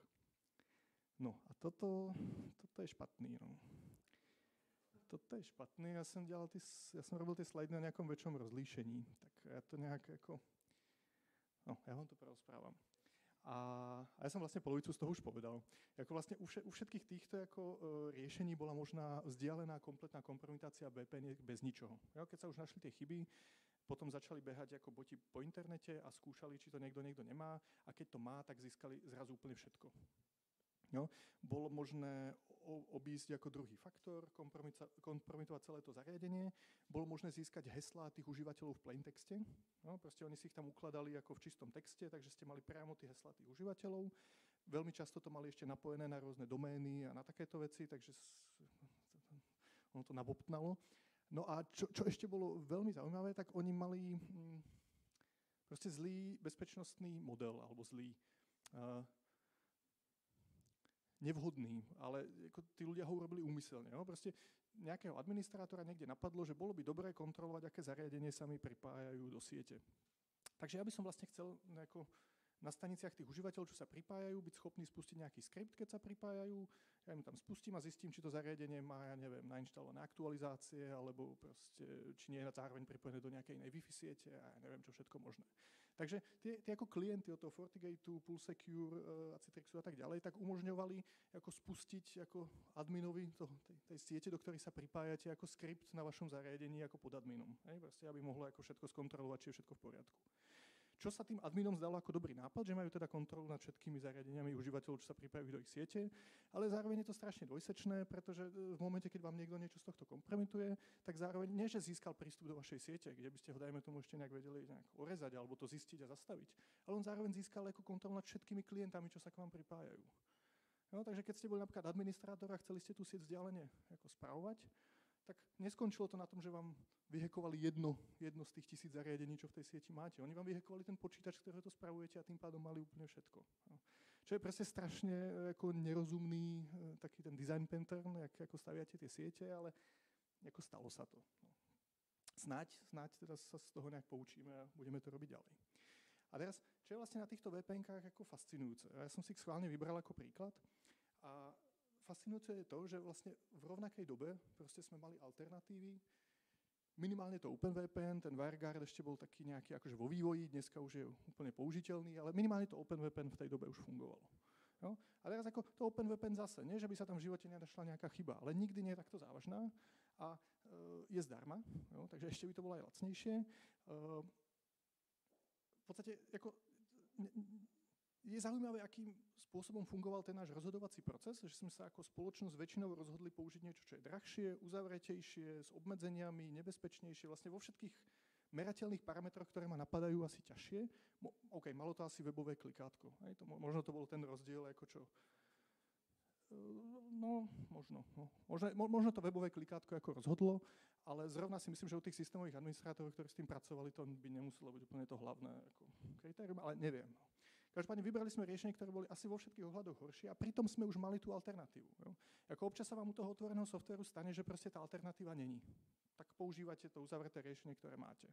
Ale zrovna toto bol prípad, kde tá, tá alternatíva bola a napriek tomu sa z nejakého dôvodu nepresadila. Veľmi zaujímavé bolo sledovať, ak začal COVID, tak kopa úradov a proste veľkých firiem mala nakúpené, mala nakúpené práve rôzne podobné riešenia a zistili, že zrazu chcú, aby ľudia pracovali z home office. No. A oni zistili, že teda ako majú nakúpené riešenie, ale majú tam, dajme tomu, 100 licencií. Jo? Ten, ten FortiGate síce technicky by zvládol ako oveľa viacej, alebo čokoľvek z tých ďalších, ale proste mali nakúpených 100 licencií. A teraz si predstavte, že ste úrad a chcete zvýšiť ako počet licencií na 500, aj zo 100 alebo niečo podobné tak musíte riešiť nejaké verejné obstarávanie, musíte a tak ďalej a tak ďalej. A ako kopa úradov to proste nezvládla. A nie, nie, že by to ako nezvládli technicky, ten hardware nám to dajme tomu aj mali, ale proste urobiť to formálne správne, aby teda ich ako nikto nenapadol a aby teda ako to, tak sa ukázalo ako obrovský problém. A len úrady, aj, aj korporácie rôzne s tým mali problémy. Tam to našťastie išlo potom na silu, že v tej korporácii už niekto dostatočne vysoko hore povedal, že takéto priorita, ale ako v tých úradoch to bol, to bol obrovský problém. Keby mali niečo otvorené, tak možno budú musieť k tomu dať nejaké ďalšie železo, aby to výkonovo stíhalo, ale ako s licenciami problém rozhodne mať nebudú. No, tak e, to, je také ako... Tie VPNky sú na, naozaj pekné na to, čo, som chcel ukázať. Uh, potom ešte u toho WireGuardu, ten, ten to ako veľmi doporučujem, keď náhodou to budete riešiť niečo podobné teraz. Uh, WireGuard je urobený tak, že vlastne neumožňuje žiadnu renegociáciu, žiadne zložité vyjednávanie o šifrách a podobne. Je tam proste iba jedna povolená šifra. Čo má ako nevýhody, bude sa to blbo aktualizovať niekedy, upgradeovať. Výhoda je tá, že ten protokol je násobne jednoduchší než čokoľvek iné. Hej. Vlastne tam, tam není ako máš platný kľúč, nemáš platný kľúč. Je to strašne jednoduchá podmienka, nie sú tam žiadne ako zložité veci. Väč, väčšinou, keď sa pozriete spätne na kryptografiu nejakých riešení, tak tie chyby sa nenašli uh, ako v samotnej až tak matematike, ale skôr v tých ako veciach okolo. Hej. A tým, jak je to jednoduché, tak si, osobne si myslím, že tam tá bezpečnosť je niekde úplne, úplne inde. A, a ako funguje už na Linuxoch, na Macoch všade a používam to, je to super. Tak, Ďal, ďalšia problematická oblasť je vlastne centrálna správa zariadení. Keď máte už nejakú veľkú organizáciu, typicky v nejakom momente sa dostanete do stavu, keď chcete ako všetky zariadenia manažovať naraz. Jo? Máte nejakých zamestnancov, odíde zamestnanec, vy chcete vedieť, kde všade mal prístupy, všetky prístupy mu naraz za, ako zrušiť. A ako, keď sú tie systémy rôzne, sa to robí blbo. Takže dojdete do toho štádia, že to chcete mať nejak všetko pod jednou kontrolou. No a ako do čoho skonverguje tak 90% firiem u nás, aspoň tých takých menších a úradov a podobne, tak je nejaký Active Directory od eh, Microsoftu. No a ja som mal asi pred dvoma rokmi alebo troma na Cybercone prednášku na túto tému a som tam strašne ako vietil a potom, potom ako mi tí ľudia hovorili, že som ako moc negatívny a že to, ako to vnímam príliš negatívne a že teda ako musí byť konštruktívny, že musím dať nejakú alternatívu, že ako, tak to ako nefunguje. No. Prešli dva roky a myslím, že väčšina z tých ľudí, čo mi vtedy hovorili, že, že ako to vidím príliš čierne, tak ako už, už si to nemyslia. Jo? Proste po posledném, poslednom roku, čo sa dialo, tak uh, ako, uh, väčšina ľudí uznáva, že tie problémy sú, akorát je problém, že nemáme príliš rozumnú alternatívu, na ktorú by boli ľudia zvyknutí. Jo, my sme sa dostali do stavu, že proste máme celú generáciu administrátorov, ktorí 20-30 rokov nerobili nič iné než Active Directory a majú problém prejsť na čokoľvek iné. Jo, nie sú na to naučení, sú zvyknutí a ne, neviem si predstaviť, že proste v 50 rokoch pred dôchodkom si poviete, no tak posledných 20 rokov som to robil zle, teraz to začnem robiť. Jo. To proste tak ako nefunguje. Takže ono, sa to, ono to ešte s nami asi nejakú dobu ostane, ale ako tie, tá cena za to je vysoká. Uh, ako veľmi v skratke, proste opakovane sa tam vyskytujú závažné bezpečnostné problémy, majú zlý bezpečnostný model, taký ten veľký, ktorý podľa mňa nikdy nepôjde e, opraviť. E, dneska sa systémy vyrábajú systémom Zero Trust, teda nulová dôvera, ako ničomu nedôveruj, pokiaľ nemusíš, tu je to presne naopak. Tu si dôverujú tak nejak všetci všetkým a keby to chceli urobiť na Zero Trust, tak v podstate celú tú domenu vyhodíte a urobíte ju znova. Netvrdím, že sa tam nič nedá urobiť a nič vylepšiť, ale jako najjednoduchšie riešenie by bolo proste to spáliť a postaviť znova. Microsoft to už tak trošku nejak ako si tiež uvedomil a nejak to začali prerábať, ale proste im to trvá a nejak, nejaké NTLM haše, proste to, to, to je staré už 23 alebo 4 rokov, to už proste niektorí z nás ešte neboli na svete, keď tá chyba bola známa, za 20 rokov neboli schopní odstrániť 23. No tak proste to, to není o tom, že potrebujeme ako rok času navyše, to je proste o tom, že to je tam zadrátované a že už sa toho nikdy nezbavíme. No a jako, e, je to taký ten najslabší článok reťaze, to je ako tá bezpečnosť nejaká reťaz a toto je to väčšinou ten najslabší článok, keď sú nejaké prieniky, no tak ten útočník ide vždy po tej doméne. Tá doména je proste zle zabezpečená, je ľahká, e, keď ju vyhekuje, má vlastne prístup všade, pretože sú tam všetci adminy a keď už má adminov, tak, e, tak už sa dostane všade. No. Teraz bola napríklad taká tá print nightmare, ak ste to ešte nevideli, tak to, to si pozrite to je taký, jak, jak hovoria angličania, gift that keeps on giving, to znamená, že proste našla sa jedna chyba. Oni to po dvoch týždňoch nejak opravili, potom sa zistilo, že to opravili zle, tak po ďalších troch týždňoch to znova opravili, potom zase sa zistilo, že iba čiastočne a doteraz to není úplne opravené a v podstate povedali, tak vypnite celé tlačenie, on to vlastne nikto nepotrebuje, ako celý tisk. Jo? Proste ne, nevedia s tým urobiť, majú tam zlé koncepčné návrhy, bolo to tak, že vlastne jednou chybou ste vedeli celú domenu ovládnuť na prvý pokus. Teraz to už urobili tak, že musíte mať lokálne konto na tom serveri a potom, ale furt je to proste zlé, není to ako opravené a jo, ako to, kopa, kopa ako rozumných riešení potom narazí na to, že vy ich vlastne musíte integrovať na tú centrálnu správu zariadení a pokiaľ tam máte nejakú starú doménu, tak povedia, že tam sa to inak nedá. No. Videl som kopu organizácií, kde povedali, no my nemôžeme updateovať na nové riešenia, alebo proste by nám nefungovali tlačové servery, tiskové. No nešlo to, nešlo to, nešlo to, teraz konečne vyšla táto chyba, no tak to za týždeň museli vypnúť. No. A celý úrad prestal tlačiť, lebo proste sa, sa inak nedalo. No. Takže tie, tie okolnosti vás nakoniec aj tak dobehnú, ale proste to trvá. No. A to je hlavne ten, ten bod, ak, ak si toto centrálne riešenie zvolíte zle, tak e, sa vám to vlastne e, zaplatíte úplne všade. Všade okolo sa vám to ako vráti. Jo? Akože, Není to, že mám túto jednu zlú vec a ostatné sú dobré, ono na to musí, jak na to musíte všetko integrovať, tak uh, stojí vás to strašne moc ako úsilia a všetkého. No a keď teraz, teraz také ako e, obdobie ransomwareu, alebo hlavne cez ten COVID to bolo také ako živé, ale ešte, to ešte aj stále, tak vlastne to, to, čo v tých médiách ako až tak moc nevidíte, je, že ako, jak je možné, že ten ransomware napadne nejakú ako sieť. Jo? Tak vždy vám tam vybehne kopa expertov, ktorí vám povedia, že no tej užívateľa na niečo klikli, chodili na nejakú stránku, prišiel im nejaký mail a oni nám ho klikli a tak sa tam ten ransomware dostal čo ako môže byť ako pravda, ako ten vstupný vektor do tej siete, ale tá, tá otázka, ktorá ostáva je, no dobre, tak ako nejaký užívateľ na niečo klikol, ale jak je možné, že si to kompromitoval celú tú sieť? Jak je možné, že celý tam nejaký ropovod niekde a to? Jo? Tak ak to spravil jeden užívateľ, mohol sa povedať, OK, tu má proste jeden kompromitovaný počítač, máme ich tu 10 tisíc, tak to je asi tak nejak akceptovateľné.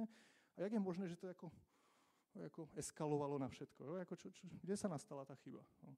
A typicky právě ta chyba je v tom, že jak ten Active Directory je jako zle vymyslený, tak jako kompromitovali z toho jedného stroja ten celý Active Directory. To je tak asi 90 případů toho ransomwareu, který se dostane do novín. Jo? Jo, a to, ono to potom vo výsledku strašně drahé. No. Uh, jak byste to mali robiť správně? Správně byste mali používat asymetrickou kryptografii, to už, to už tu jako tu zaznělo. A vlastně malo, malo by to jako vzťahy důvěry by mali být jednosmerné. To znamená, vy keď se jako admin někam pripájate, tak tým, že máte někde kľúč, tak byste mali mať vy prístup tam, ale nikdo by nemal prístup mať jako späť k vám. Jo? Nemali by se, nemalo by se vám stať, že v tej topologii tej, tej jako dôvery v tej sieti vám vznikajú cykly. Jo? Proste keď sa stane, že ja môžem pristupovať niekde, niekde, ale ten niekto môže cez nejaký tretí server zase pristupovať ku mne, tak ktorýkoľvek z tých strojov po ceste, ako si niekto kompromituje, tak padne úplne všetko. Jo?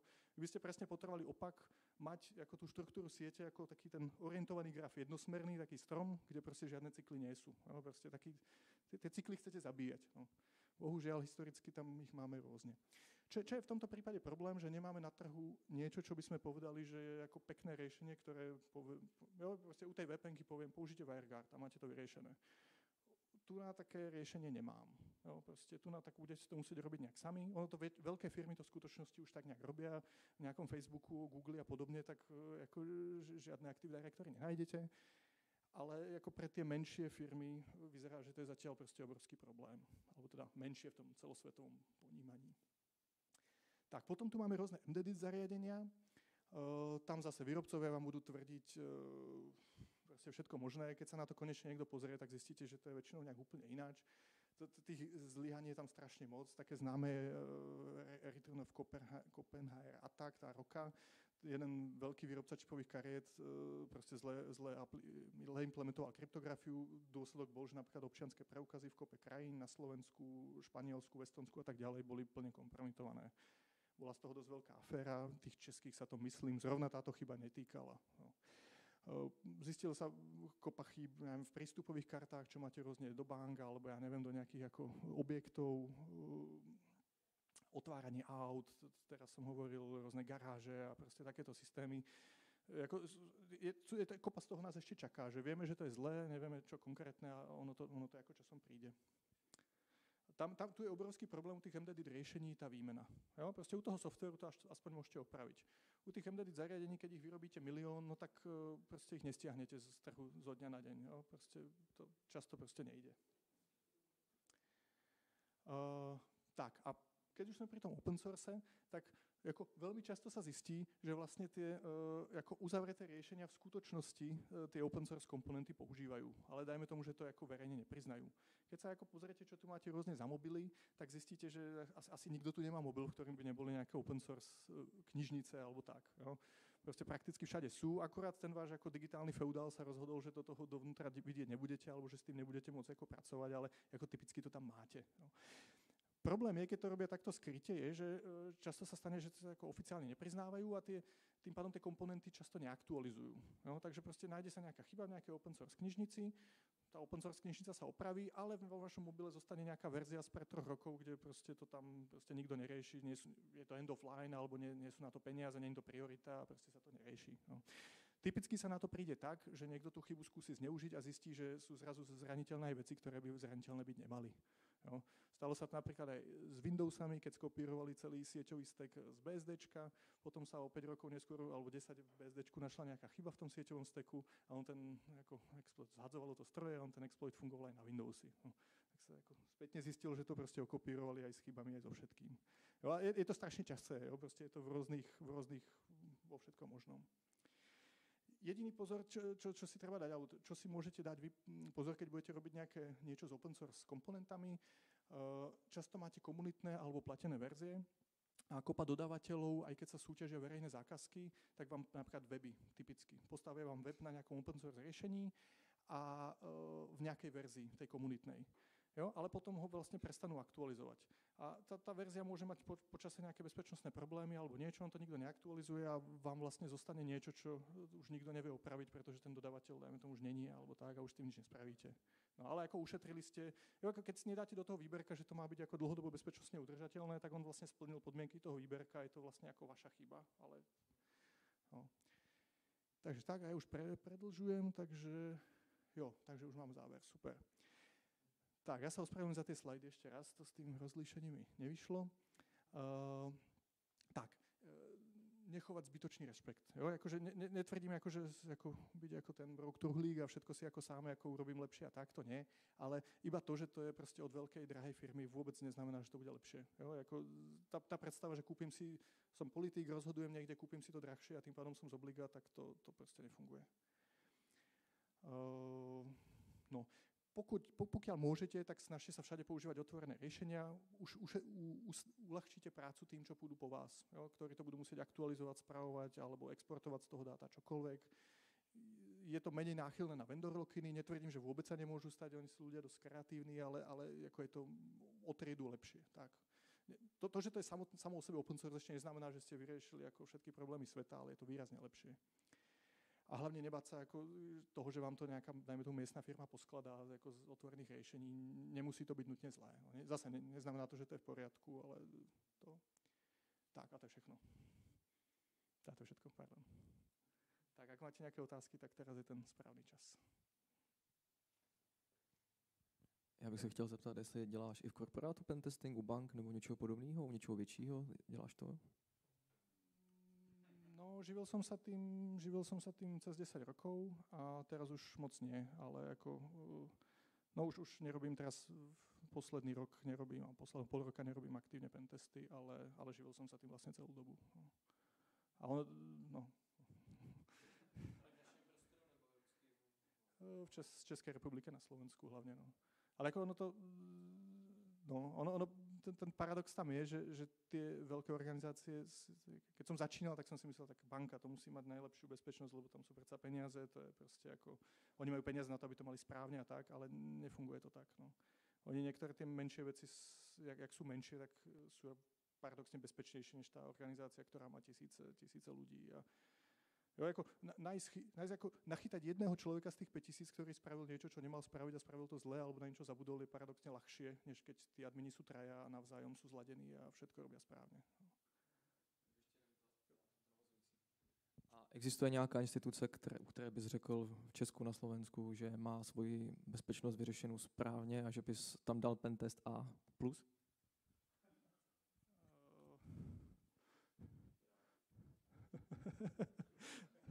No, ne, ne, neviem, či by to nebolo dehonestujúce voči tým ostatným, ktoré to, no.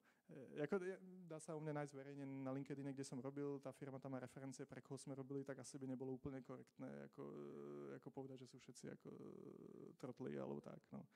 Uh, tak to sú, sú, sú organizácie, kde to riešia viac a kde to riešia menej. A ani ja sám osobne, keby som to mal robiť, by som to nevedel robiť 100%, ale ako niektorí to riešia tak, nie, nie že 100%, ale tak ako 5%. No, akože, proste, nie, niekde ako ľudia ešte stále odmietajú uveriť, že, ten, že, že keby toto bolo možné, tak predsa celá organizácia by padla. No. A ako ono sa to ako v praxi deje a potom ako jedného dňa príde nejaký ransomware a ono to skutočne celé padne, ale ako, kým to tí ľudia ne, nezažijú, tak tomu proste odmietajú veriť. Jo? Proste si hovoria, no, tak to asi, asi vedia, čo robia, nie? Asi, asi to, jo, akože, no. Dobre, tak ja ďakujem a pustím ďalšieho. Tak, ďakujem.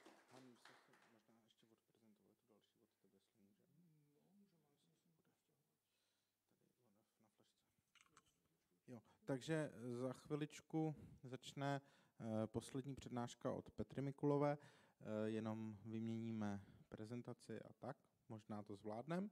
A já jsem...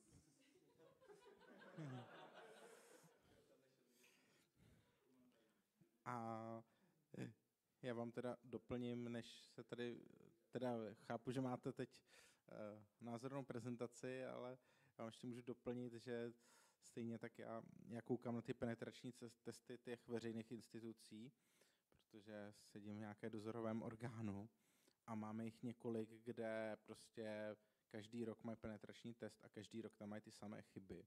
Opravdu jako, ale existuje instituce, která si za rok a několik urgencí nedokázala změnit heslo. Jo, jakože samozřejmě některé chyby typu nemáte dvoufaktorovou autentizaci, jsou, můžou být trochu složitější, ale může být i hůř.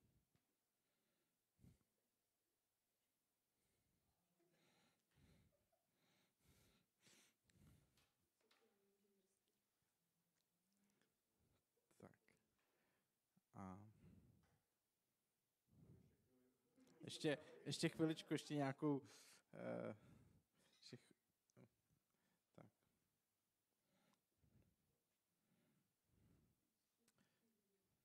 Teda... Mně už dochází nápady. Jak bych vás zabavil.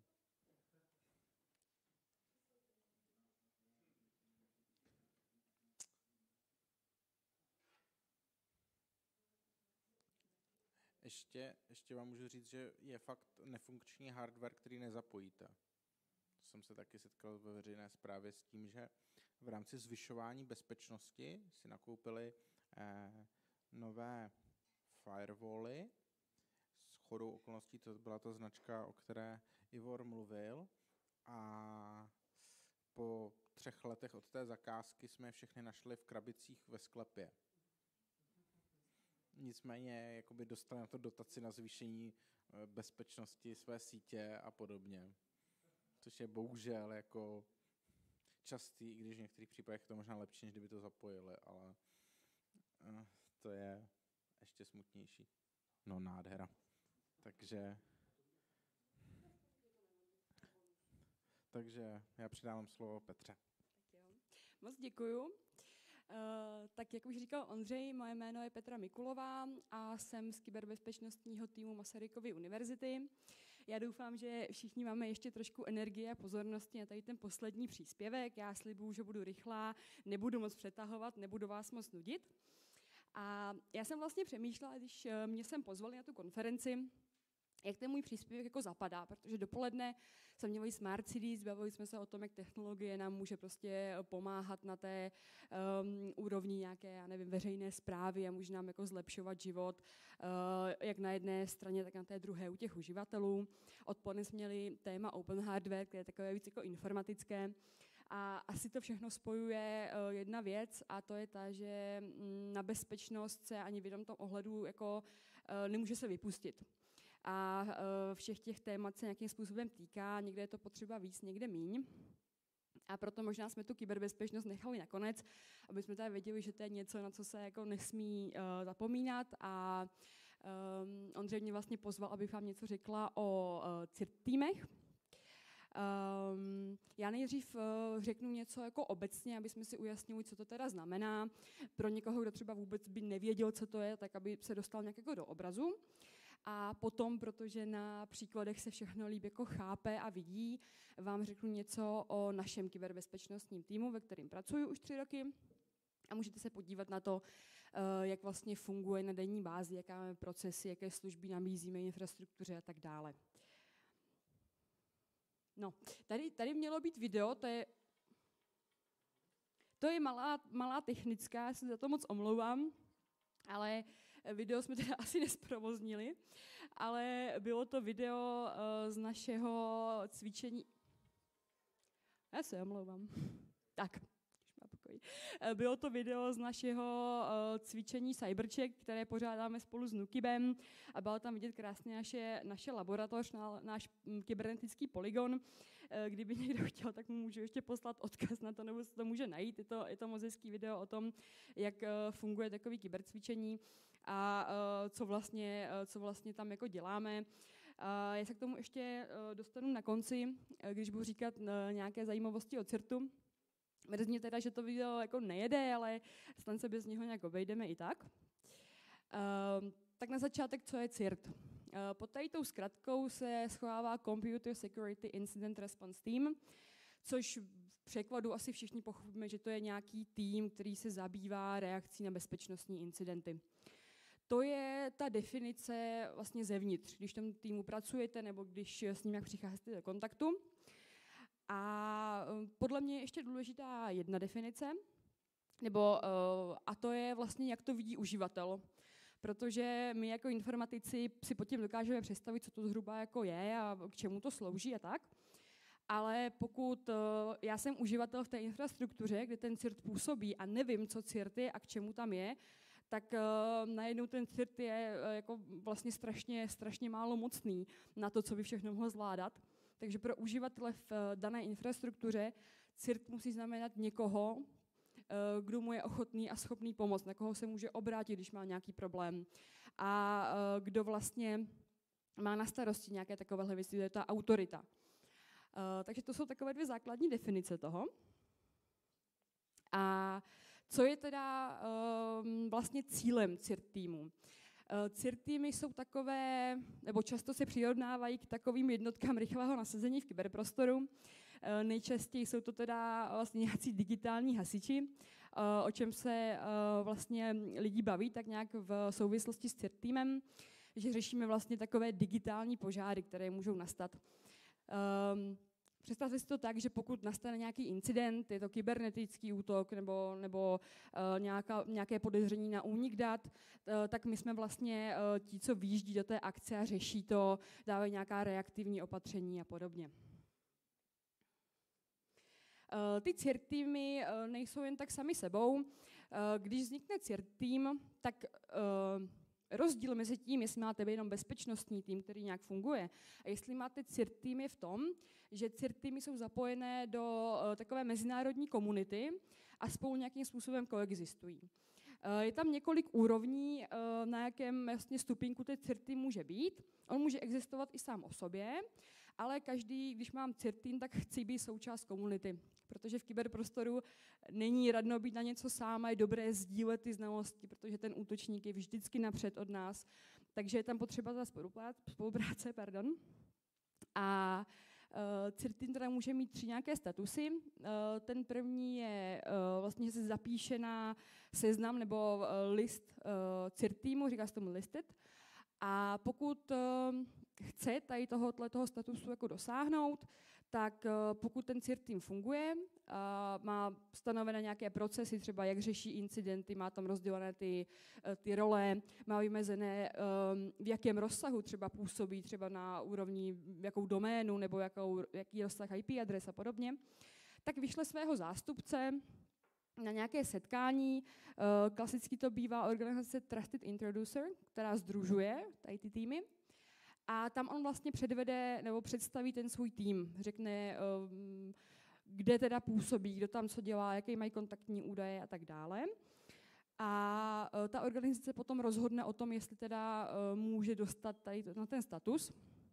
S tím, že uh, to funguje hodně na mm, principu té komunity, takže musí další dva týmy, které už jsou v té organizaci, podpořit tady ten návrh, nějak se jako zaručit, podstatě za to, že ten tým opravdu existuje a funguje, jak má.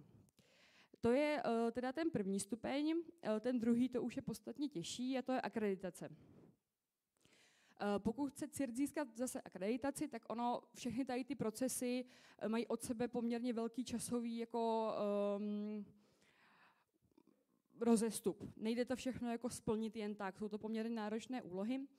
A ta akreditace spočívá v tom, že teda Eh, ten CIRC zažádá o to, že by chtěl akreditaci, v tu chvíli se z něho stává kandidát na, eh, na ten akreditační jako eh, proces a musí splnit nějaké podmínky, musí třeba implementovat nějaké požadavky, co ten Trusted Introducer má, nebo nějaké politiky a podobně.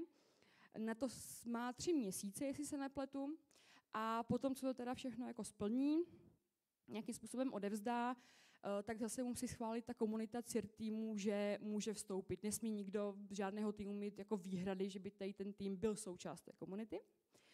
A potom je poslední eh, stupínek a to je certifikace. Eh, certifikace už je věc, kdy fyzicky přijede auditor do toho týmu a kontroluje veškeré věci, co s tím CIRTem nějakým způsobem souvisí na úrovni lidských zdrojů, financování, nástrojů a podobně. Následně teda vypracuje zprávu z toho auditu a vytyčí tam nějaké věci, třeba ve kterých ten CIRT má nějaké nedostatky. A on pak má uh, rok na to zapracovat je a uh, pokud to teda splní a proběhne znovu ten audit jako v pořádku, tak může dostat tu certifikaci. Ale to zase není na pořád. Ona platí na tři roky a potom je potřeba projít procesem recertifikace a tam se znova celý ten proces opakuje. S tím, že uh, každý tým nebo má někde nějaké mezery, může to být, já nevím, bezpečnostní politika třeba, která se při každé té recertifikaci jako tomu auditorovi nemusí zdát a ten tým by měl prokázat, že zrovna tady na té slabině se snaží nějak jako pracovat. Ale žádná, žádný z těch procesů a statusů není žádná formalita. Eh, CERTI může ale plnohodnotně fungovat, eh, ať má jakýkoliv z těch statusů. Není to, měl by to být sice, měla by to být sice záruka nějaké, eh, nějaké kvality a prestiže v tom mezinárodním měřítku, ale CERTI může úplně v pohodě fungovat na úrovni třeba té akreditace a pokud certifikaci nechce nebo z nějakého důvodu po ní jako nepráhne, tak ji mít nemusí. Spočívá to vlastně v tom, že čím eh, vyšší ten stupeň má ten tým, tím více se třeba může zapojovat do aktivit té komunity, a tím více se podílí eh, na, na nějakých projektech a tak dále. Eh, prakticky se to využívá třeba tak, že jelikož spousta CIR týmů má oddělení na vývoj nebo týmy na vývoj, tak pokud se zjistí nějaká nová zranitelnost, ať už v nějakém hardwareu nebo v čemkoliv jiném, tak se to obvykle před uveřejněním třeba sdílí s tou komunitou. A ty CIRTy můžou zareagovat včas a potom se to třeba pustí ven. Protože uh, oznámí zranitelnost neznamená jenom to, že to můžeme jako včas zalepit, ale že i ten člověk, který to chce zneužít, může včas zareagovat. Takže v tomhle ta spolupráce spočívá. My v České republice máme v současné době asi 51 CIRT týmů. Je to poměrně vysoká koncentrace na Evropu. Uh, pro porovnání sousední Německo má třeba 47 CIRT týmů. A e, nejvíc jich tuším má Španělsko, jich 59. Zkrátka na tu, e, když to porovnáme na velikost země a na počet obyvatel, tak jich máme opravdu hodně. A e, ta kyberbezpečnost u nás se poměrně jako řeší. Máme tady spoustu odborníků, co se tím jako zabývá. Ač teda na trhu jejich nedostatek, tak to téma u nás jako není úplně ignorované, což je super.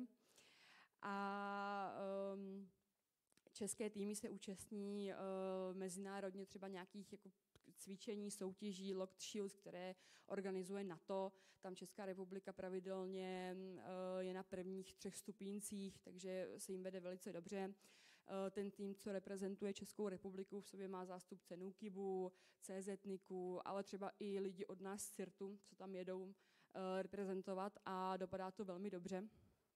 Takže je to u nás téma, myslím, že je dobré si takhle jako říct, že v něčem jsme dobří a že ta naše kyberbezpečnostní komunita jako mývá úspěchy a jako v tady těch věcech se jí obvykle daří. No. A teď už teda přijdeme k něčemu praktičtějšímu, už necháme té teorie a těch definic, ale půjdeme rovnou teda k tomu, co uh, CIRT MU je. Tady na fotce můžete vidět fotku našeho týmu. Jak vidíte, tak já nejsem úplně reprezentativní vzorek, protože ta fotka byla ta pořízená půl roku předtím, než jsem přišla. Ale od té doby jsme to trochu kolonizovali a máme tam o pár kolegyň víc. Eh, v tom týmu máme zhruba ještě jednou tolik studentů, kteří s námi spolupracují na různých projektech, mají u nás stáže, píšou bakalářky, diplomky, dizertačky a podobně. Um, co říct o CIRTu obecně? Um, my se rádi říkáme, že jsme nejstarší kyberbezpečnostní tým v České republice. Je to teda ale tak, že máme nejdíl uh, tu certifikaci, o které jsem tady mluvila. Uh, fungujeme přes 10 let. Za tu dobu jsme vyřešili něco přes půl milionu incidentů, které reálně teda se prokázaly, že, že existují, není to false positive. Eh, a naše, naše primární teda zájmy chránit Masarykovou univerzitu na všech úrovních, co nám naše znalosti jako dovolují. Um, ten náš profil se dá eh, zhrnout vlastně tak, že jsme rozděleni na tři skupiny. Um, ty skupiny se začátkem roku teď jako měnily a hm, přeměnovaly se, ale vlastně nic moc se nezměnilo. První je skupina bezpečnostní operativy, to dřív byla skupina reakce na incidenty, ta náplň té práce nám zůstává úplně stejná. Eh, je to ta skupina, která naplňuje tu primární službu CIRTu. Takže pokud přijde bezpečnostní incident našeho tiketovacího systému, tak na to reagujeme. Eh, ta druhá to je teda skupina uh, nějakého technologického vývoje a třetí je teda vývoj a výzkum. Takže to jsou takovéhle tři skupinky. My všichni úzce spolupracujeme, ty týmy jsou hodně jako prolínané, takže na projektech spolupracuje spoustu lidí z různých skupin. Není to, že bychom byli oddělení tak úplně jako separátně na tři, na tři pracovní skupiny, ale pracujeme všichni dohromady. Ale nějaké takovéhle rozdělení máme. Jaké služby poskytujeme Masarykově univerzitě? Tady tohle je teda z pohledu uživatele, jaké služby my můžeme nabídnout. To první je informace a varování. V tom spočívá to, že pokud třeba se v Českém hrne nějaká velká phishingová kampaň, nebo se objevuje ransomware nebo něco podobného, tak my na to upozorňujeme naše uživatele, že na to můžou někdy narazit, jak, jak, jak zhruba to funguje, jaký je ten princip. A pokud samozřejmě se nám něco takového objeví na Muni, eh, tak píšeme tu aktualitu přímo jako na, na míru těm uživatelům, že takovýhle e-mail chodí, tohle se stane, tohle nedělejte, když vám to přijde, udělejte tohle. A um, na tady vlastně tom kanálu se ti uživatelé můžou pravidelně podívat na to, co v současné době by se mm, teoreticky mohlo stát, nebo jestli se jim něco stane, jestli náhodou o tom třeba nevyšla nějaká aktualita nebo nějaký článek. A pomáhá nám to vlastně uh, nějak budovat tu, uh, tu osvětu mezi těmi uživateli s tím, že se snažíme, aby ty články vždycky měly i nějaký edukativní přesah, aby pochopili, o co se jedná. Ta druhá věc je incident handling, respektive tady je to incident reporting, ale říkáme to z pohledu uživatele. Uh, pokud se stane nějaký incident, tak uživatel může využít buď to vaši e-mailovou adresu, nebo formulář na webu, nebo případně i telefonní číslo a tam nám nahlásí ten incident, který se mu stal. Uh, nějakým způsobem se nám identifikuje, většinou pomocí UČA, našeho unikátního jako čísla, co má ten uživatel, popíše nám ten problém, který má a pokud chce, tak může přeložit i nějaké screeny, obrazovky a náš incident handling to s ním uh, řeší. Uh, tahle služba funguje každý den od 9 do 5 hodin uh, mimo víkendů a mm, máme tam garanci, že do 24 hodin se jako ozveme tomu uživateli a tady tohle to vyřešíme, s čím nás kontaktoval. Třetí je penetrační testování. To poskytujeme vlastně všem hm, oddělením nebo vlastně složkám, co na MUNI jsou, ať už jsou to projekty nebo nové systémy nebo webové stránky, tak nás můžou oslovit s tím, že uděláme penetrační test. Eh, ten se teda skládá z toho, to, že se na to mm, patřičně lidi jako podívají, píšou z toho nějaký report, podle toho se to opraví nebo pomůžou zalepit ty díry, pak se to udělá znova, udělá se finální report. Ale je to teda jenom pro, eh, pro služby na Masarykově univerzitě, externě tohle to neděláme. A ty poslední dvě uh, položky jsou teda vzdělávání uživatelů a správců. To je uh, oblast, kde teda působím uh, já. A jelikož my si myslíme, nebo zastáváme takovou myšlenku v CIRTu, že sice je jako dobré ty požáry hasit a řešit, ale lepší jim jako předcházet, tak poslední dobou hodně investujeme do toho, aby uživatelé prostě měli dobrou znalost to se projevuje například tak, že jsme udělali um, kurz na techniky sociálního inženýrství nebo kurz Kyberkompas, který nějak vede uživatele tou zlatou střední cestou té bezpečnosti, co je dobré znát, co už nepotřebuje, uh, jak něco funguje a podobně. Um, učíme teď nově na univerzitě třetího věku, na Masarykově univerzitě, kde máme edukační kurzy pro seniory. O ty je úplně obrovský zájem, dělám to velkou radost. Eh, tenhle ten semestr to bylo poprvé, měli jsme dvě první třídy a uh, ti studenti do toho byli strašně jako zapálení, nám se to hrozně líbilo, byli jsme strašně překvapení, protože jsme z toho měli obavu, že seniori nebudou mít úplně zájem eh, bavit se o tom, co je VPN, i když je to jenom na té uživatelské úrovni, ale opak byl pravdou. Dokonce to došlo tak daleko, že jedna naše studentka psala na naši podporu o 365, že našla nějakou chybu a že jí chodí nějaký, nějaké jako věci, které nemají a nějaké privátní jako adresy a podobně. Takže mi pak psal kolega z O365 podpory, že teda je jako zaměstnávají, že jim paní jako nahlásila nějaký bezpečnostní incident. I když to byla drobnost, tak to bylo úplně skvělý. A uh, ty výsledky, když se vidí, tak to hrozně jako nás těší. Vzděláváme taky samozřejmě správce, uh, na fakultách MUNI je jich poměrně dost, tvoří samostatnou jednu komunitu a ty vzděláváme především jako pomocí nějakých článků, i když jsou i nějaká, nějaká školení, tak oni mají poměrně jako individuální potřeby podle toho, s čím na té fakultě pracují, ale vždycky se jim snažíme nějak jako víc vstříc a spolupracujeme s nimi, pokud děláme třeba nějaké změny nebo něco, co se jich nějak víc týká. Tak, to první už jsem vlastně zhrnula, tady jsou nějaké jako fakty, které si myslím, že o CIRTu jsou zajímavé. On sice každý uh, CIRT tým je uh, trošičku uh, jiný, ale myslím si, že na představu, co ten CIRT tým může dělat, je to poměrně dobré.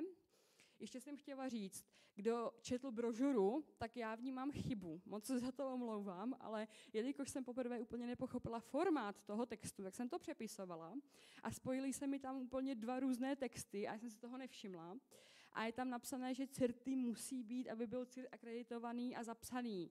A on to tak není. Jo? Takže jestli to někdo četl, tak to zapomeňte. Jestli to někdo už zapamatoval, tak potom přijďte, já vám to dovysvětlím, abyste si to pamatovali špatně, že jsem vám to řekla. Tak, první věc, že chráníme Masarykovu univerzitu. Uh, to jsem už zhrnovala nebo nějak jako popisovala. Uh, týká se to um, těch služeb, které nabízíme. Eh, Masarykova univerzita se snaží být jako moderní vzdělávací instituce a tohle to jako mm, bere poměrně zřetel a nebere to na lehkou váhu, za to jsme rádi. Uh, za druhé, že teda se snažíme, spolupracujeme uh, s těmi nejlepšími. V Česku spolupracujeme poměrně dost s Nukibem, což nám hodně, hodně pomáhá na práci na různých projektech že oni přece jenom uh, mají uh, jak finanční, tak lidské kapacity trošku vyšší, než máme my. Uh, spolu uh, děláme spoustu skvělých věcí, například ten cybercheck, o tom ještě budu mluvit. Teď nově chystáme s Nukivem i online kurz právě pro seniory, který bychom spolu chtěli udělat, takže ta kooperace je skvělá. V minulosti tím spolupracoval i na nějakém projektu uh, se Severoatlantickou aliancí a podobně. To jsem tam teda ještě nebyla, ale vím, že se to jako uskutečnilo. Uh, za třetí je, že šíříme nějakou osvětu. Um, my se samozřejmě primárně zaměřujeme na uživatele Masarykovy univerzity a ti jsou pro nás to číslo jedna, které musí být zabezpečené, edukované, vzdělané a jako v obraze. Ale není to jenom. Pokud máme uh, možnost, tak rádi jdeme za, ten, za tu hranu a máme tam přesah.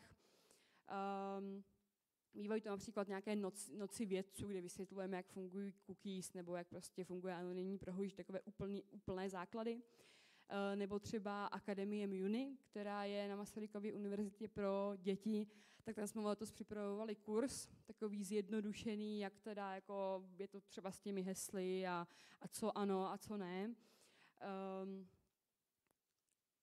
a mimo teda těch uh, vzdělávacích kurzů se vždycky jako snažíme, snažíme zapojit, do čeho, uh, do čeho to jde, na co máme energii, prostora, jako lidské zdroje. Samozřejmě do toho patří teda i, uh, že vzděláváme studenty na Masarykově univerzitě. S těmi spolupracujeme tak, že buď to můžou mít zapsané předměty, které vyučujeme. To je třeba simulace kybernetických útoků nebo kybernetická bezpečnost v organizacích a to všechno teda učíme v našem kybernetickém poligonu. Uh, podíleli jsme se na tom, že na MUNI nebo na fakultě informatiky vznikl takzvaný KIPOLAB, kde si studenti můžou vyzkoušet jako praktickou výuku kybernetické bezpečnosti. Uh, což jsme se zasazovali docela dlouho, už se nám to povedlo. Takže studenti, kteří se specializují tady na tohleto, tak uh, mají možnost to vyzkoušet jako fakt v praxi, osahat si to. Uh, pus, uh, organizujeme různé hacking day a podobně, kde můžou hrát nějaké kyberbezpečnostní hry, které vyvíjíme a nějakým způsobem tím probouzíme trošku to, tu, ten zájem o ten obor a tu touhu to třeba někdy jako dělat.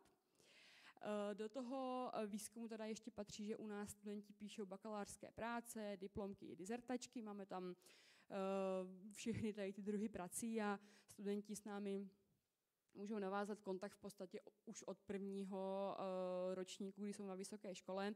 Máme tam pozice, které zvládne i průměrný jako uh, ajťák, který má snahu se učit a pod, pod vedením někoho se jako zdokonalovat. Tím vlastně se snažíme přispívat eh, k tomu, že vychováváme nějakou novou generaci bezpečnostních pracovníků a rádi s nimi navazujeme spolupráci i po tom, co to studium dodělají. Um, za páté tam mám, že teda jsme připravili uh, první cybercheck. Cybercheck je uh, kybernetické cvičení, které bylo ve své době jediné svého druhu. My jsme je založili spolu s Nukibem a ještě dalšími partnery. Uh, jedná se vlastně o to, že uh, v, téhoté, v tom kybernetickém cvičení připravujeme mm, odborníky, kteří už v tom oboru jako jsou nějak edukovaní na reálné stresové situace. Takže my si pozveme lidi z různých jako koutů, my máme i mezinárodní přesah, i z Izraele jsme tam měli jeden tým, kteří přijedou a tvoří takový ten modrý tým. Poskládáme týmy a ten cybercheck teda trvá dva dny. Ten první den si uh, ti soutěžící de facto, nebo ti přihlášení uh, osahají to, v čem jako to bude probíhat, s čím mají co dočinění, podívají se, jak to je jako postavené, uh, s, čím, s čím budou pracovat a podobně. Mají tak k dispozici celý tým, který s tím ochotný jako pomoct, aby jim všechno vysvětlil. A druhý den teda probíhá samotný, uh, samotné cvičení, to tam funguje tak, že teda jak ti soutěžící jsou ten modrý tým, který brání, tak my jsme ten červený tým, který útočí, jsme patro nad nimi a v různých vlnách spouštíme prostě útoky na to, co mají zrovna bránit. Poslední cybercheck se věnoval tomu, že jsme simulovali útok na integrovaný záchranný systém. Děláme to teda v našem kybernetickém polygonu, kde využíváme něco, čemu říkáme CyberRange platform. A to je um, teda v rámci našeho projektu něco, co nám umožňuje udělat uh, dvojče jakékoliv sítě, které jako, kterou máme, nebo kterou, který máme k dispozici nějaká data, a, a udělat vlastně tak, takzvané urban twin a na to pak simulujeme kybernetické útoky. Takže na tady tom principu to stojí, ten scénář je vždycky trošku jiný, ale v zásadě teda oni mají nějakým způsobem uh, to ubránit, mají tam mezi tím ještě bílý tým, který jako tvoří ty uživatele, takže ti modří komunikují s těmi bílými, ti bílým trochu jako uh, znesnadňují ty práci, protože otvírají prostě ransomwary a různé věci, oni to pak řeší. A uh, je to teda na body, takže po těch, já nevím, šesti hodinách, co u toho musí sedět, tak uh, mají před sebou teda board, kde vidí, jak si který tým vede, kolik komu čeho už spadlo a uh, kam se všude prolomili a kam ne. A na konci dne teda máme vyhlášení, ale uh, celý ten smysl je v tom, že se snažíme nasimulovat, jak vypadá ten stres při té reálné situaci. Takže pokud by se pak nějaký takový vážný incident stal, aby byli schopni uh, nějak adekvátně reagovat. Za šesté, eh, bojujeme s kyberzločinem. Eh, tady to je teda míněné ve smyslu, že občas se nám stane incident, který přesahuje naše schopnosti a možnosti řešení na MUNI. My jsme něčím omezení a musíme tady ten incident předat policii. Uh, nikdy teda policii ani její jako služby nenahrazujeme samozřejmě, ale pomáháme pouze expertízou, pokud se to policie přeje, což bývá poměrně pravidelně a nějakým představíme, o co se podle nás jedná, oni se to pak přeberou. Ale ta spolupráce probíhá poměrně jako dobře a uh, spoustu incidentů už jsme jako dovedli k nějakému zdárnému konci. Takže uh, tímhle tím způsobem se snažíme bojovat i tady v té oblasti. A za sedmé vzděláváme mm, budoucí kyberbezpečnostní odborníky. Tohle teda mimo těch stáží a, a předmětů a soutěží děláme i tak, že se každý rok účastníme takzvané kybersoutěže, což je soutěž pro studenty středních škol, eh, kteří se můžou vlastně zapojit. Má to několik kol a pokud se dostanou do toho finále, tak eh, jedou eh, v létě na týden do našeho kybernetického poligonu na takzvanou letní školu, kde se snažíme v nich se probudit tu vášeň k tomu oboru, vysvětlujeme jim nějaké věci. Současně to je i nějaký trénink na mezinárodní kolo, kde vlastně nějak vedeme a potom s nimi uh, náš zástupce jezdí na to, na to mezinárodní utkání, kde taky se umístí velice slušně. Rádi potom s těmi studenty jako zůstáváme v tom kontaktu, uh, protože spousta z nich třeba zrovna nastupuje na vysokou školu a třeba zrovna na FI a mm, ti, které to jako opravdu chytne a to téma je začne bavit, tak se začnou ve volném čase věnovat něčemu a potom nám píšou, my to konzultujeme a občas z toho vznikne velice plodná spolupráce třeba i na celou dobu toho, co jsou na fakultě nebo na škole. Tak. To je ode mě všechno. Já vám děkuji za pozornost. Vidím, že mě zbyly ještě tři minuty, takže jsem nepřetahovala. Tak jo, a moc děkuju a máme prostor na dotazy, jestli někdo máte.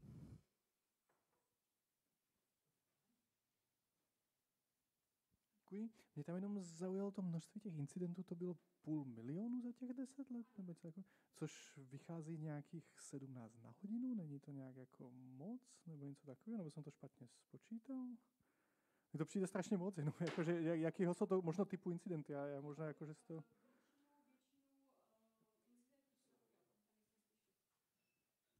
Děkuju. Jo, je to hodně. My totiž většinu incidentů, co nám chodí v současné době, už řešíme automatizovaně. Takže 90% jich jako se řeší a tak jedn, nebo 10% se dostane k tomu handlerovi, který reálně teda uh, tam odepisuje a páchá nějakou činnost.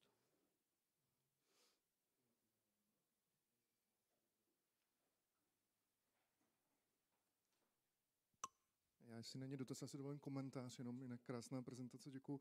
Vy jste tam říkala uh, o tom, že máme v Čechách na obyvatele nejvíc eh, bezpečnostních týmů. A říkala jste, že to je proto, že se hodně lidí věnuje kyberbezpečnosti. To je samozřejmě pravda, ale není úplná. Já totiž trochu za to si myslím můžu. Jedna z podmínek, abyste se stala členem bezpečnostní komunity Fénix, je právě institucionalizace hm, CIR týmu. Jo. Takže a vlastně u nás je hodně CIR týmů, které jsou operátorů, kteří by v jiných zemích prostě v té velikosti vlastně neexistovali. Takže my tady máme v tom, v tom Fénixu je nějakých, já nevím, 28 společností, takže tak 25 CIR týmů tady vzniklo proto, aby vstoupili do Fénixu vlastně a, a, a tohle je situace, která je trošku u nás anomální. Ale i, i kdyby to byla z těch 50 polovina, tak je to hezké číslo, jako, takže to, co jste říkala, je určitě pravda, jenom Jenom říkám, že tehdy, když jsme Fenix zakládali, tak já jsem právě trval na té podmínce toho, toho listy týmu a, a tím, tím vlastně tahle anomálie trochu vzniká, ale já, já jsem to vnímal takže to je dobře, že vlastně naučíme lokálně speaky se zapojit do nějaké větší sítě těch CIR týmů, takže proto to takhle vzniklo. Jenom aby, aby jsme to jako pochopili tu situaci, tak pán je eh, z CZ, což je tým, který je nadřazený. Ten národní CIR, takže my jsme jako pod ním, takže o tom ví hodně. Jen abyste pochopili.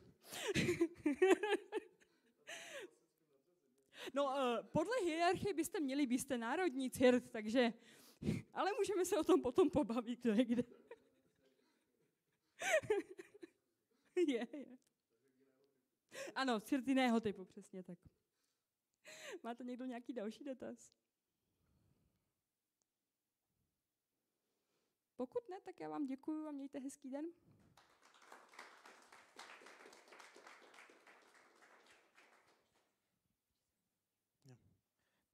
Já děkuji Petře za její přednášku a to byla poslední přednáška, nicméně eh, tady úplně nekončíme. My jsme teď plánovali, že uděláme nějaký, eh, nějaký prostor pro nějaký networking eh, tady. Navíc musíte dojíst všechno to jídlo, co jsme tamhle připravili. Teda já tolik ne, ale, ale další lidé ano. Takže a hned jak to dojíte, tak se můžeme přesunout na afterparty eh, v nějaké, eh, v nějaké hospodě. A poprosím, aby všichni přednášející zaslali své prezentace Zuzce, s tou jste všichni asi komunikovali, Zuzka Drázdová, aby po případě, i pokud eh, viděli jste asi tu brožuru, tady někde ji všude máme, tak pokud chcete pokud chcete tam nějak aktualizovat ty své příspěvky nebo přidat, pokud jste tam ještě neměli, tak asi je taky proto prostor, takže se nebojte to třeba sepsat, ať my máme nějaký výsledek, si tam dodáme i nějaký odkaz na ty prezentace, aby to prostě bylo všechno pohromadě, abychom z toho měli a třeba se uvidíme příští rok nebo něco takového. Teď nás teda čeká ten úkol u tamhle toho stolu a networkování. Já vám všem děkuji za pozornost a Mějte se krásně, Zuzi, chceš něco dodat? Jo, rovnou taková jako praktická poznámka, prosím vás, pošlete mi ty prezentace jakoby co nejdřív, ideálně jakoby hned, vytáhněte notebook, pošlete mi to a pak se běžte najíst, protože jako známe to, že pak jako to budu jakoby tahat jakoby další dva měsíce jo, z těch lidí. Tak, děkuju. Takže kdo, kdo to nedojí a nepošle prezentaci, nemůže odejít.